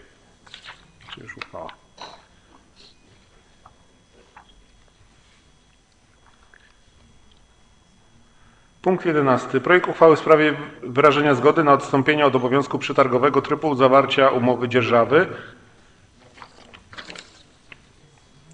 Y, Komisja Gospodarcza zaopiniowała pozytywnie projekt uchwały w głosowaniu za sześciu radnych jednogłośnie. Proszę bardzo, panie burmistrzu. Przy okazji otwieram dyskusję. Szanowni Państwo, uchwała dotyczy terenu przy e, GPZ tutaj na rozjeździe na Białą i na cmentarz. E, Jest to e, teren e, gminny i znaczy na, na Białą i na Piłę de facto ta działka. Jest to teren gminny. Do tego miejsca ma być przyłączona farma wiatrowa, która została wybudowana w Ujściu. I te kable tutaj, ten prąd tutaj przyjdzie do nas. Natomiast no, podatki z tytułu tych farm wiatrowych będą w Ujściu. No, Ale e, firma, która e, tą e, inwestycję realizuje, zwróciła się do nas o wydzierżawienie tego gruntu pod te mm, elementy infrastruktury technicznej. Taką dzierżawę posiada. Oczywiście w gestii burmistrza było podpisanie umowy na trzy miesiące, a chodzi tutaj o długofalową dzierżawę. E, I oczywiście proponuje się, żeby Państwo podjęli tę e, uchwałę ze względu na to, że po co przeprowadzać przetarg, jeśli to jest inwestycja celu publicznego m, e, i no, należałoby podejść tutaj po partnersku do tej propozycji. No, tyle, tyle, co z tej dzierżawy dosta- otrzymamy. No. Nie, nie, nie, to jest po lewej stronie, tam gdzie jest GPZ, bezpośrednio przy, przy GPZ. Szanowni Nie. radni, jest sesja, proszę. Bezpośrednio przy GPZ staną dodatkowe kontenery po prostu na naszej już y, działce. Dobrze. Y, Czy jest potrzeba y, rozmowy na ten temat? Zresztą to, było, to był temat omawiany na Komisji Gospodarczej dosyć, dosyć długo i, i wiem o co chodzi. Także w takim razie zamykam dyskusję. Przechodzimy do głosowania. Głosujemy.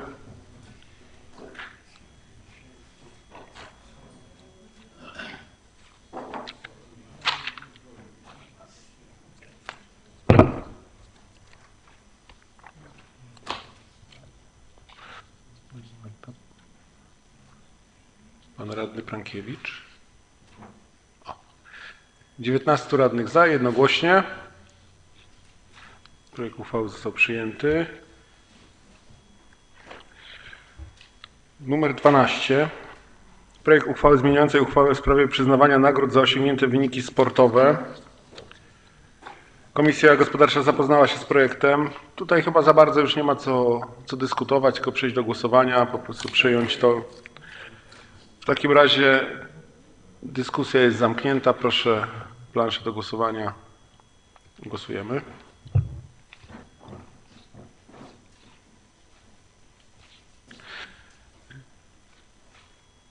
Osiemnastu radnych za, jeden radny przeciw. Nie było głosów wstrzymujących, także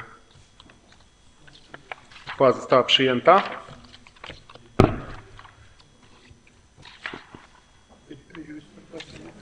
I teraz jesteśmy w punkcie numer 13.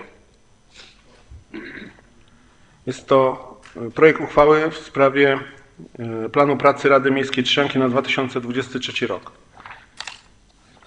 I tu przedstawiłem właśnie taki plan pracy Rady Miejskiej Trzcianki. Omawiałem go akurat na Komisji e, Gospodarczej. Radni też dostaliście ten plan pracy 10 dni przed, przed sesją, więc nie wiem, czy, czy go odczytywać w tej chwili publicznie. Natomiast, yy, natomiast jest, yy, mam takie odniesienie z Komisji Gospodarczej, że 15 grudnia 2022 roku przewodniczący Rady Robert Matkowski zaproponował przeniesienie tematu z marca na miesiąc wrzesień, a tematu z września na miesiąc, na miesiąc marzec. I o, takie, y, o taką zmianę bym tutaj prosił w ramach powiedzmy autopoprawki. I drugi punkt, w miesiącu kwietniu, żeby dodać temat ocena aktualności studium uwarunkowań i kierunków zagospodarowania przestrzennego oraz miejscowych planów zagospodarowania przestrzennego gminy Trzcianka. I tutaj komisja zaopiniowała projekt uchwały jednogłośnie sześciu radnych za. Czyli byłoby dopisanie do w miesiącu kwietniu właśnie tą ocenę aktualności studium uwarunkowań i kierunków zagospodarowania przestrzennego. I teraz, jeżeli chodzi o głosowanie, możemy w, w całej razem łącznie. Zresztą otwieram dyskusję, jeżeli ktoś chciałby. Dobra, pan, pan burmistrz chciałby zabrać głos, proszę, bardzo. To jeszcze ze strony e, urzędu, raz na kadencję, wspomnieliśmy o tym na, na Komisji Gospodarczej, raz na kadencję powinna się odbyć taka dyskusja w sprawie aktualności studium i, i planów przestrzennych i żeby to też wybrzmiało e, w tym planie pracy Rady w przyszłym roku. Tak, zgadza się. I to był właśnie wniosek burmistrza. Czyli jest, y, czy jest potrzeba dyskusji nad planem? Dobrze. Doko- Dokonujemy tak. Poprawki do planu pracy, czyli przeniesienie tematu z marca na miesiąc wrzesień, tematu z września na miesiąc y, marzec, a w miesiącu kwietniu dodać ocenę aktualności studium uwarunkowań, kierunków zagospodarowania przestrzennego oraz y, miejscowych planów zagospodarowania przestrzennego gminy Trzcianka. Głosujemy.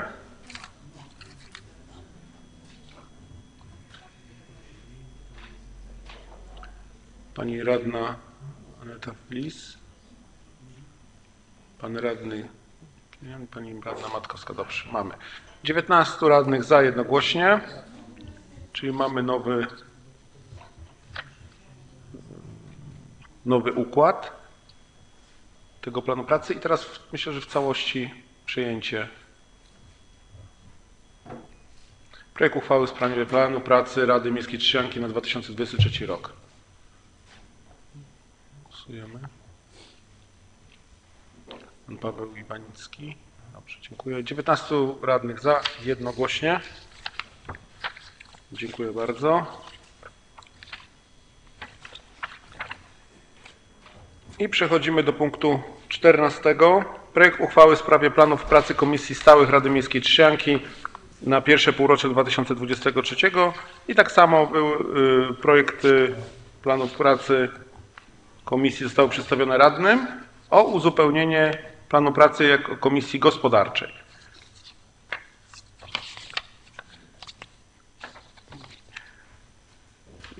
I tutaj komisja zaopiniowała projekt uchwały za sześciu radnych jednogłośnie z wnioskiem o wprowadzenie załącznika nr 5 dotyczących planu pracy Komisji Gospodarczej. Tak jest. Więc w tej chwili powinniśmy wprowadzić jako, jako w głosowaniu i potem za, tak, czy jest jeszcze chęć dyskusji nad tym projektem? Nie ma. Dodanie załącznika nr 5 planu pracy Komisji Gospodarczej.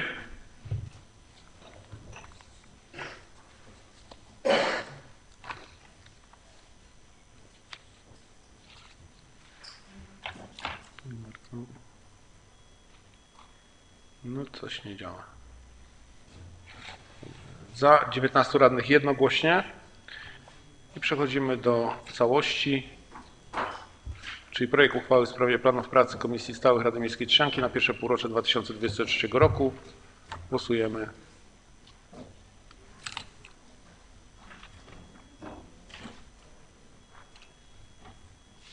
Za 19 radnych jednogłośnie.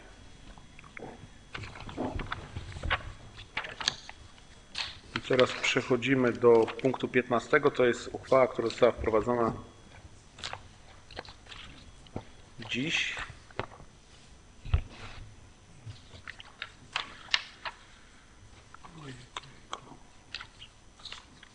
Gdzie? No tak, o co jest...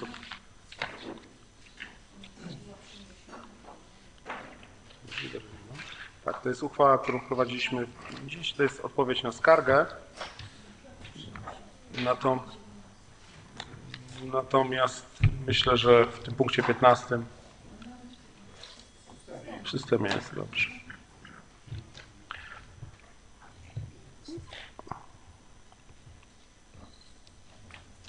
Mhm. Już momencik. Jest to skarga właśnie wojewody wielkopolskiego na uchwałę, ale już praktycznie można powiedzieć, że jest nie bezzasadna, ponieważ po- poprawiliśmy te błędy. Tak, znaczy tak. Tak, za zasadną, ale już nie ma przed, przed mocy. Bezprzedmiotowa jest, tak właśnie. Dobrze. Tak, musimy dokończyć procedurę. W takim razie e, otwieram dyskusję. Jest chęć dyskusji, nie widzę. Zamykam dyskusję, przechodzimy do głosowania.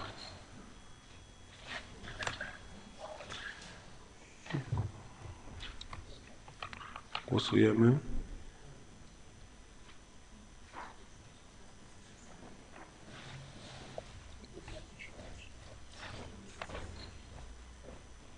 Pan radny Czesław Rogosz.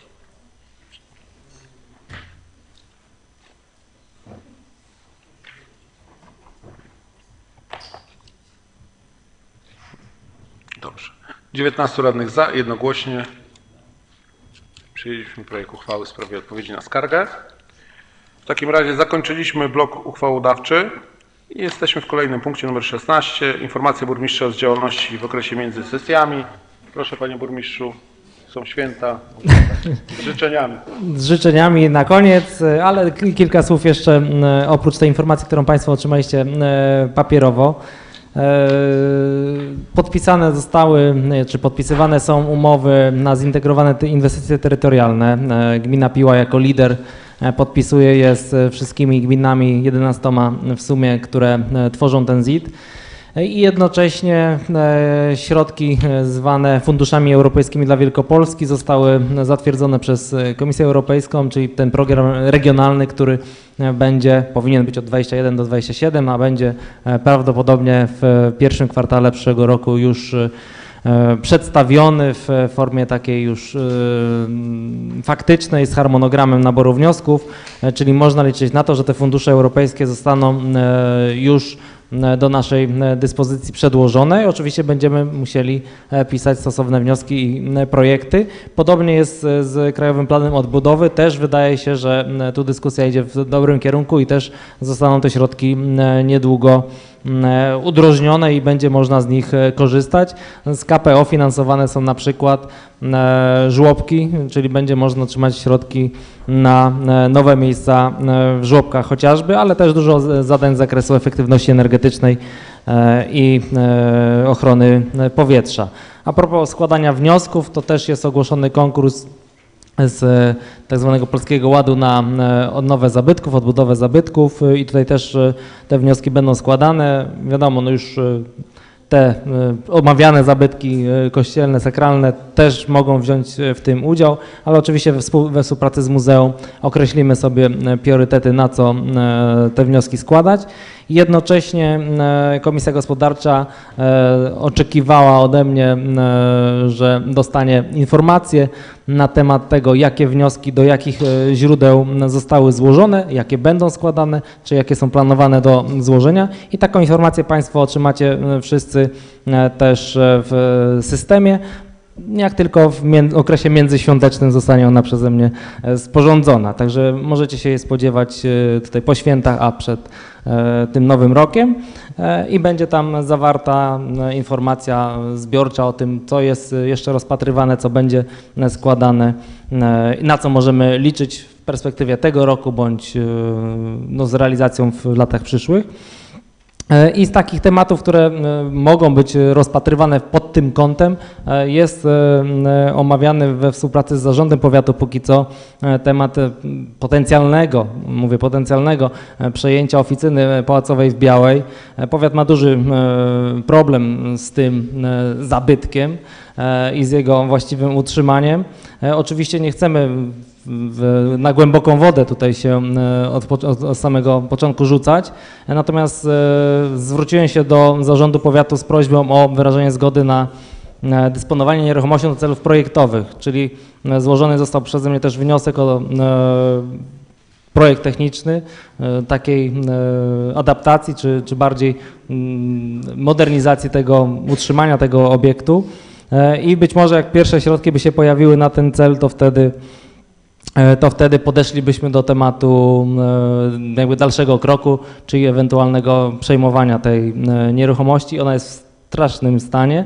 E, Tam jest na, e, nakaz konserwatorski do doprowadzenia tego do stanu właściwego, ale no, powiat takich środków e, ani entuzjazmu do takiego działania nie przejawia. Natomiast jest skłonny, żeby no, wszelkimi innymi pozafinansowymi sposobami wesprzeć gminę w, realizacji tego, co gmina zamierzy z tym obiektem. Tak. Powiat jest bardzo chętny, a e, ja, no mam nadzieję, że Państwo to podzielą. e, Wydaje mi się, że jesteśmy na tyle ambitni, e, że, że mamy ten jeszcze entuzjazm do działania, żeby, żeby tutaj te środki próbować pozyskać, mimo że jest to z pewnością dużym wyzwaniem. Ale chociażby ten Polski Ład dla zabytków jest taką szansą, żeby tu pierwszy krok jakiś poczynić. Podobne rozmowy, podobne rozmowy na temat przejęcia nieruchomości odbywają się i odbyły się w minionym tygodniu e, z PKP.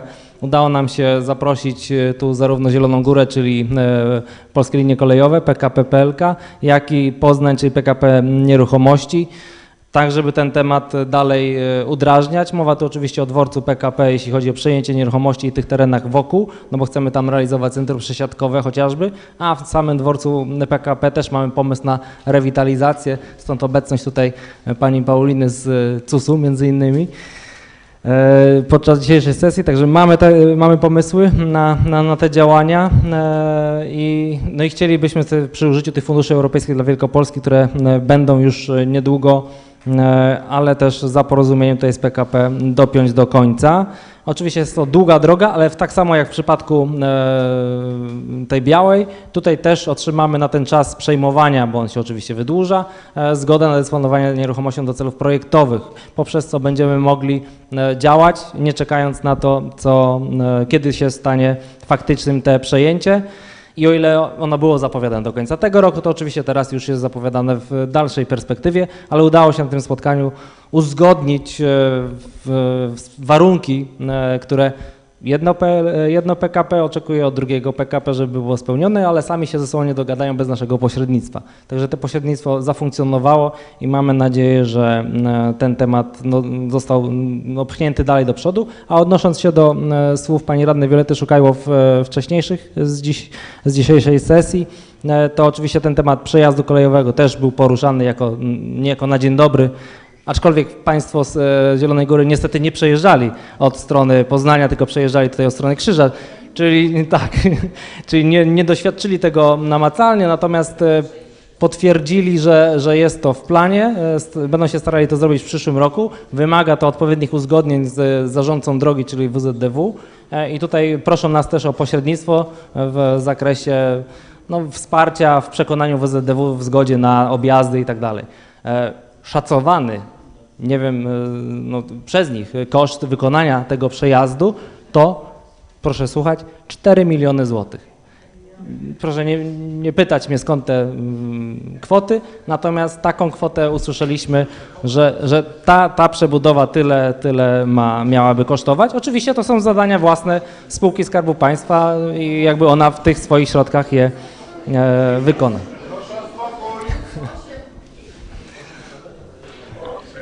Proszę o spokój.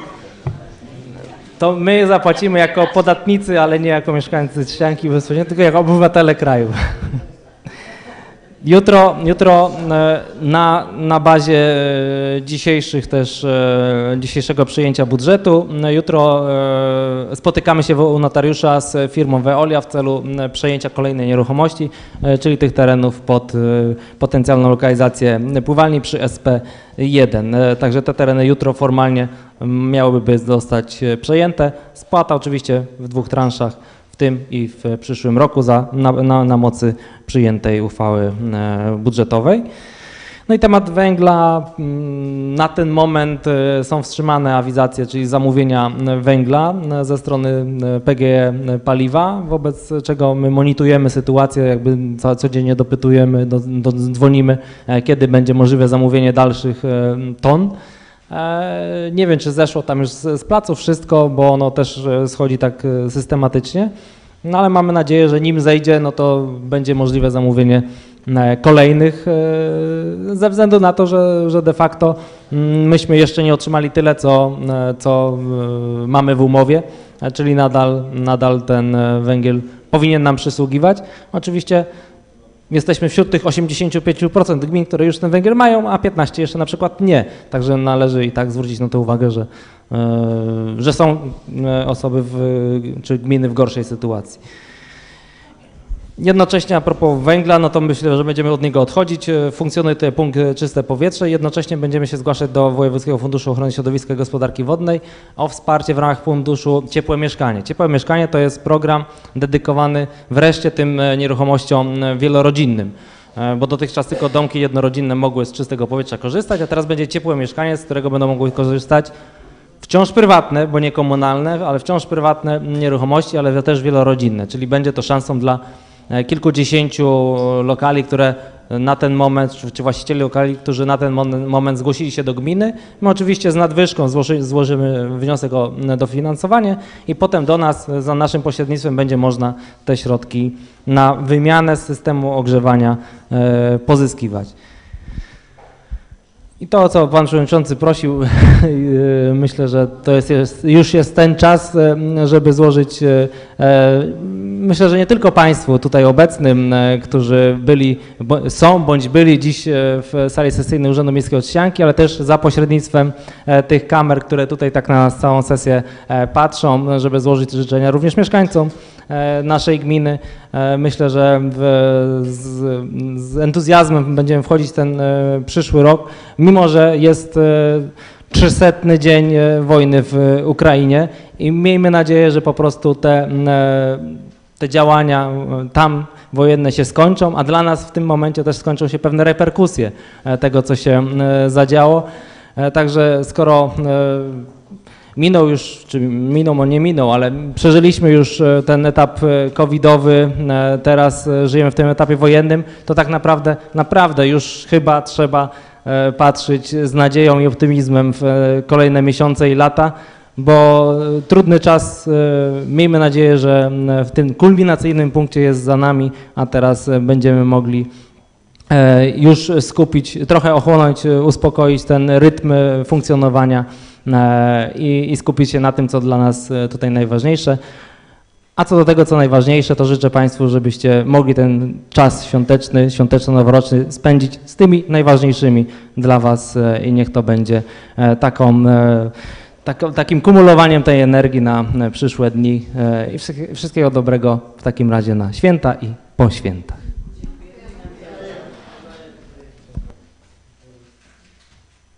O głos poprosił pan radny Zygmunt Czarny, proszę. Bardzo króciutko, także tylko z takim zapytaniem do pana burmistrza. Zapomniany temat, znaczy wrócę do kolei. Zapomniany temat, praktycznie ulica ta kolejowa nasza jest nieprzejezdna. Czy w ogóle wróci to kiedyś do normalności, że ta ulica będzie otwarta i będzie można się przedostać na przykład ta strona południowa, jak to pan tam pro- projektuje inwestycje w tym kierunku.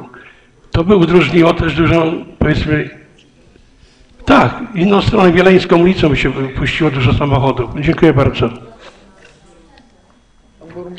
I tak, i nie.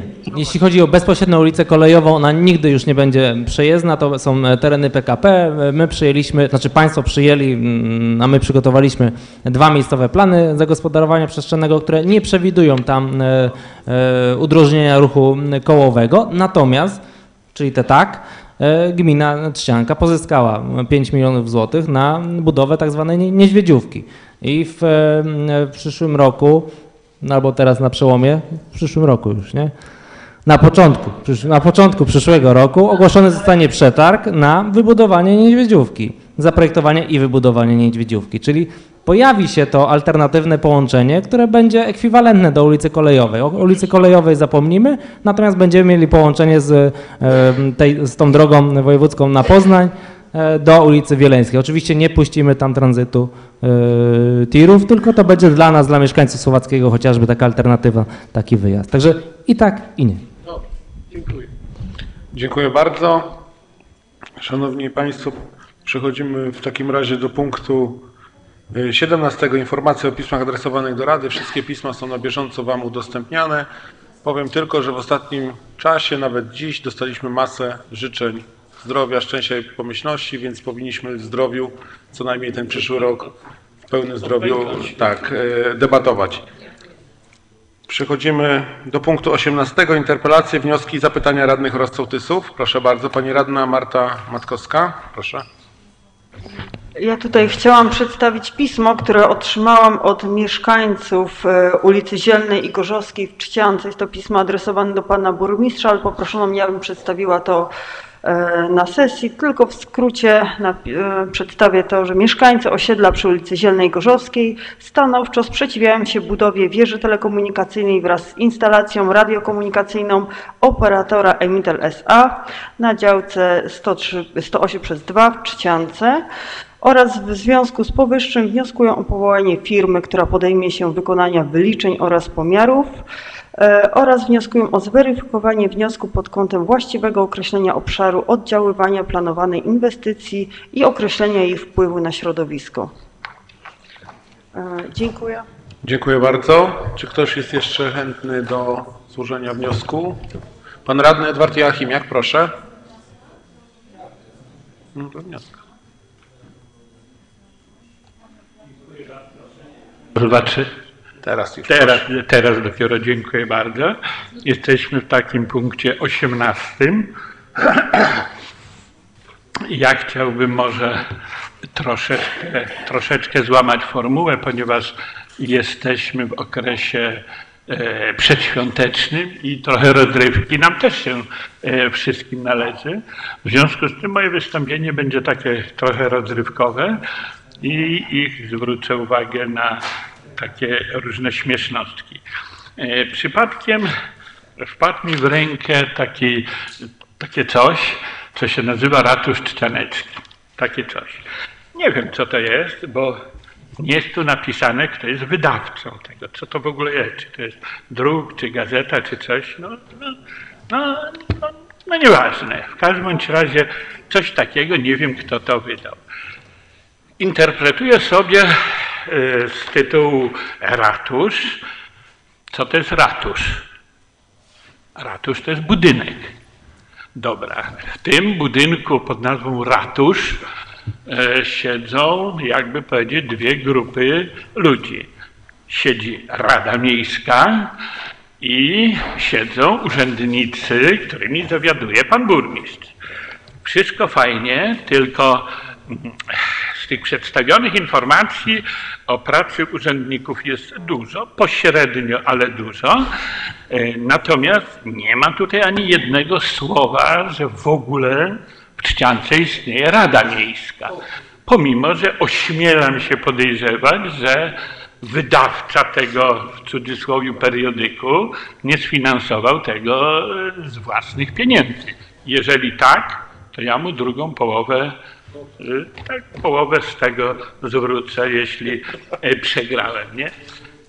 Czy jest to jakiś pomysł, żeby zlikwidować Radę Miejską i żeby zamilczeć, że jej w ogóle w Trzciance nie ma? Nie wiem. Gdzieś tam czasami w paru miejscach widzę y, sympatyczną e, twarz organu e, wykonawczego, ale nie widzę tej niesympatycznej widocznie e, twarzy szefa organu uchwałodawczego. A za sprawą tego organu naszego uchwałodawczego mogło się zadziać dokładnie to wszystko, o czym e, tutaj e, jest napisane, bo gdyby nie wspólne decyzje urzędników i rady, no, tego typu rzeczy, które są tutaj e, opisywane, w zdecydowanej większości e, miejsca by nie miały. Znalazłem tą bardzo ciekawą informację, a zwrócę uwagę to y, znowu pół żartem, pół serio, żeby ostrzec wszystkich, którzy zajmują się finansami, a pana burmistrza również. Dotyczy to wprawdzie spółki, ale ta spół- spółka to jest, są gminne pieniądze. To nie są żadne tam e, elewy, to są y, pieniądze i widzę, że modernizacja kanalizacji odbywa się z 12 mi- tak, milion dwieście kredytów, milion siedemset, potencjalnie 30% umarzane. Ok, czyli milion dwieście kredytów wzięła e, firma ZIG. Okej, może to będzie dobrze, może źle, ale przypominam sobie, jak e, główny szef tej firmy ładnych parę lat temu brał kredyty, to my jeszcze chyba je do dzisiaj spłacamy, jeśli się nie mylę, czyli trzeba po prostu uważać. I kończąc, widzę, że jak w takim sprzed 30 lat takim, takim mocno polityczno-ustrojowym tonie pisze usłużny bazeliniarz jakoś tekstu, że nasz burmistrz wziął udział w pływaniu i był prawie najlepszy. Pobił swój rekord, że jest dobrym sportowcem, że biega i tak dalej, i tak dalej. No i aż mnie zatkało, bo myślałem, że te czasy już minęły. Mówi się trudno. I y, koniec końców, tak zbliżam się i patrzę, no ślicznie, wesołych świąt, Bożego Narodzenia. Życzy burmistrz Cianki Krzysztof Jaworski. Na 36 czy 35 stronie. I teraz się zastanawiam, czy w tym wszystkim nie dało się, nie dało się znaleźć wpisu burmistrz Trzcianki i przewodniczący, czy we właściwej kolejności przewodniczący Rady y, i burmistrz, czy dać osobną e, stronę e, w tym dla Rady Miejskiej reprezentowanej przez przewodniczącego? Nie wiem. W związku z tym bardzo proszę o taką refleksję. Z jednej strony kochamy się, udajemy, że klepiemy się po plecach i jest wszystko bardzo ładnie. A jak przychodzi do takich e, wydawnictw, to tak jakbyśmy byli złośliwi, niegrzeczni, no i tacy mali w stosunku do innych. Dziękuję uprzejmie. Odpowiedzi nie oczekuję, bo nie jest to ani pytanie, ani wniosek. Takie moje refleksje pół żartem, pół serio. Dziękuję uprzejmie. bardzo. Jeszcze wniosek tutaj pani Marty Matkowskiej, potem pan burmistrz. E, Tutaj e, odnośnie e, informacji pana Edwarda jedynie żałuję, że mój wniosek odnośnie tego, aby ratusz wydawany był na papierze recyklingowym lub takim, który przynajmniej będzie można zutylizować w tani sposób, no nie został spełniony, no szkoda. E, aczkolwiek teraz chciałam złożyć wniosek. Wnioskuję o inwentaryzację sprzętu znajdującego się na przystani żeglarskiej, jaki sprzęt, w jakiej ilości, do kogo należy oraz jakie jest zapotrzebowanie na sprzęt w związku z możliwością doposażenia w sprzęt, e, korzystając z udziału we wspólnych projektach z OZZ. Dziękuję. Dziękuję bardzo. Pan burmistrz. Ja tylko uzupełnię m, te życzenia, które tam były napisane, były od burmistrza i pracowników Urzędu Miejskiego Trzcianki, o czym pan zapomniał raczyć doczytać. Panie Edwardzie, pracownikiem nie jestem. Ja nie cytowałem tutaj niczego, tylko omawiałem. Dobrze. Bo ja szanuję i lubię burmistrza. E, Okej. E, W takim razie myślę, że doszliśmy już do końca. W miłej atmosferze, z tyłu mając za plecami światełko betlejemskie, pozwólcie, szanowne radne, szanowni radni, panie burmistrzu, zebrani jeszcze goście na sali, przed nami czas świąteczny, pełen ciepła i życzliwości. Niech sprawy, które tutaj do- dotykaliśmy tak naprawdę na tej sesji, zostały tu na tej sali. Życzę wszystkim, aby w końcu na końcu te złe emocje odparowały, a na twarzach pojawił się pojawiła się ulga i radość. I tutaj 100 lat, panie Zygmuncie. Życzę wszystkim dużo dobrego z okazji Świąt Bożego Narodzenia oraz dużo zdrowia w nowym 2023 roku. Dziękuję bardzo, zamykam sesję. Prawda.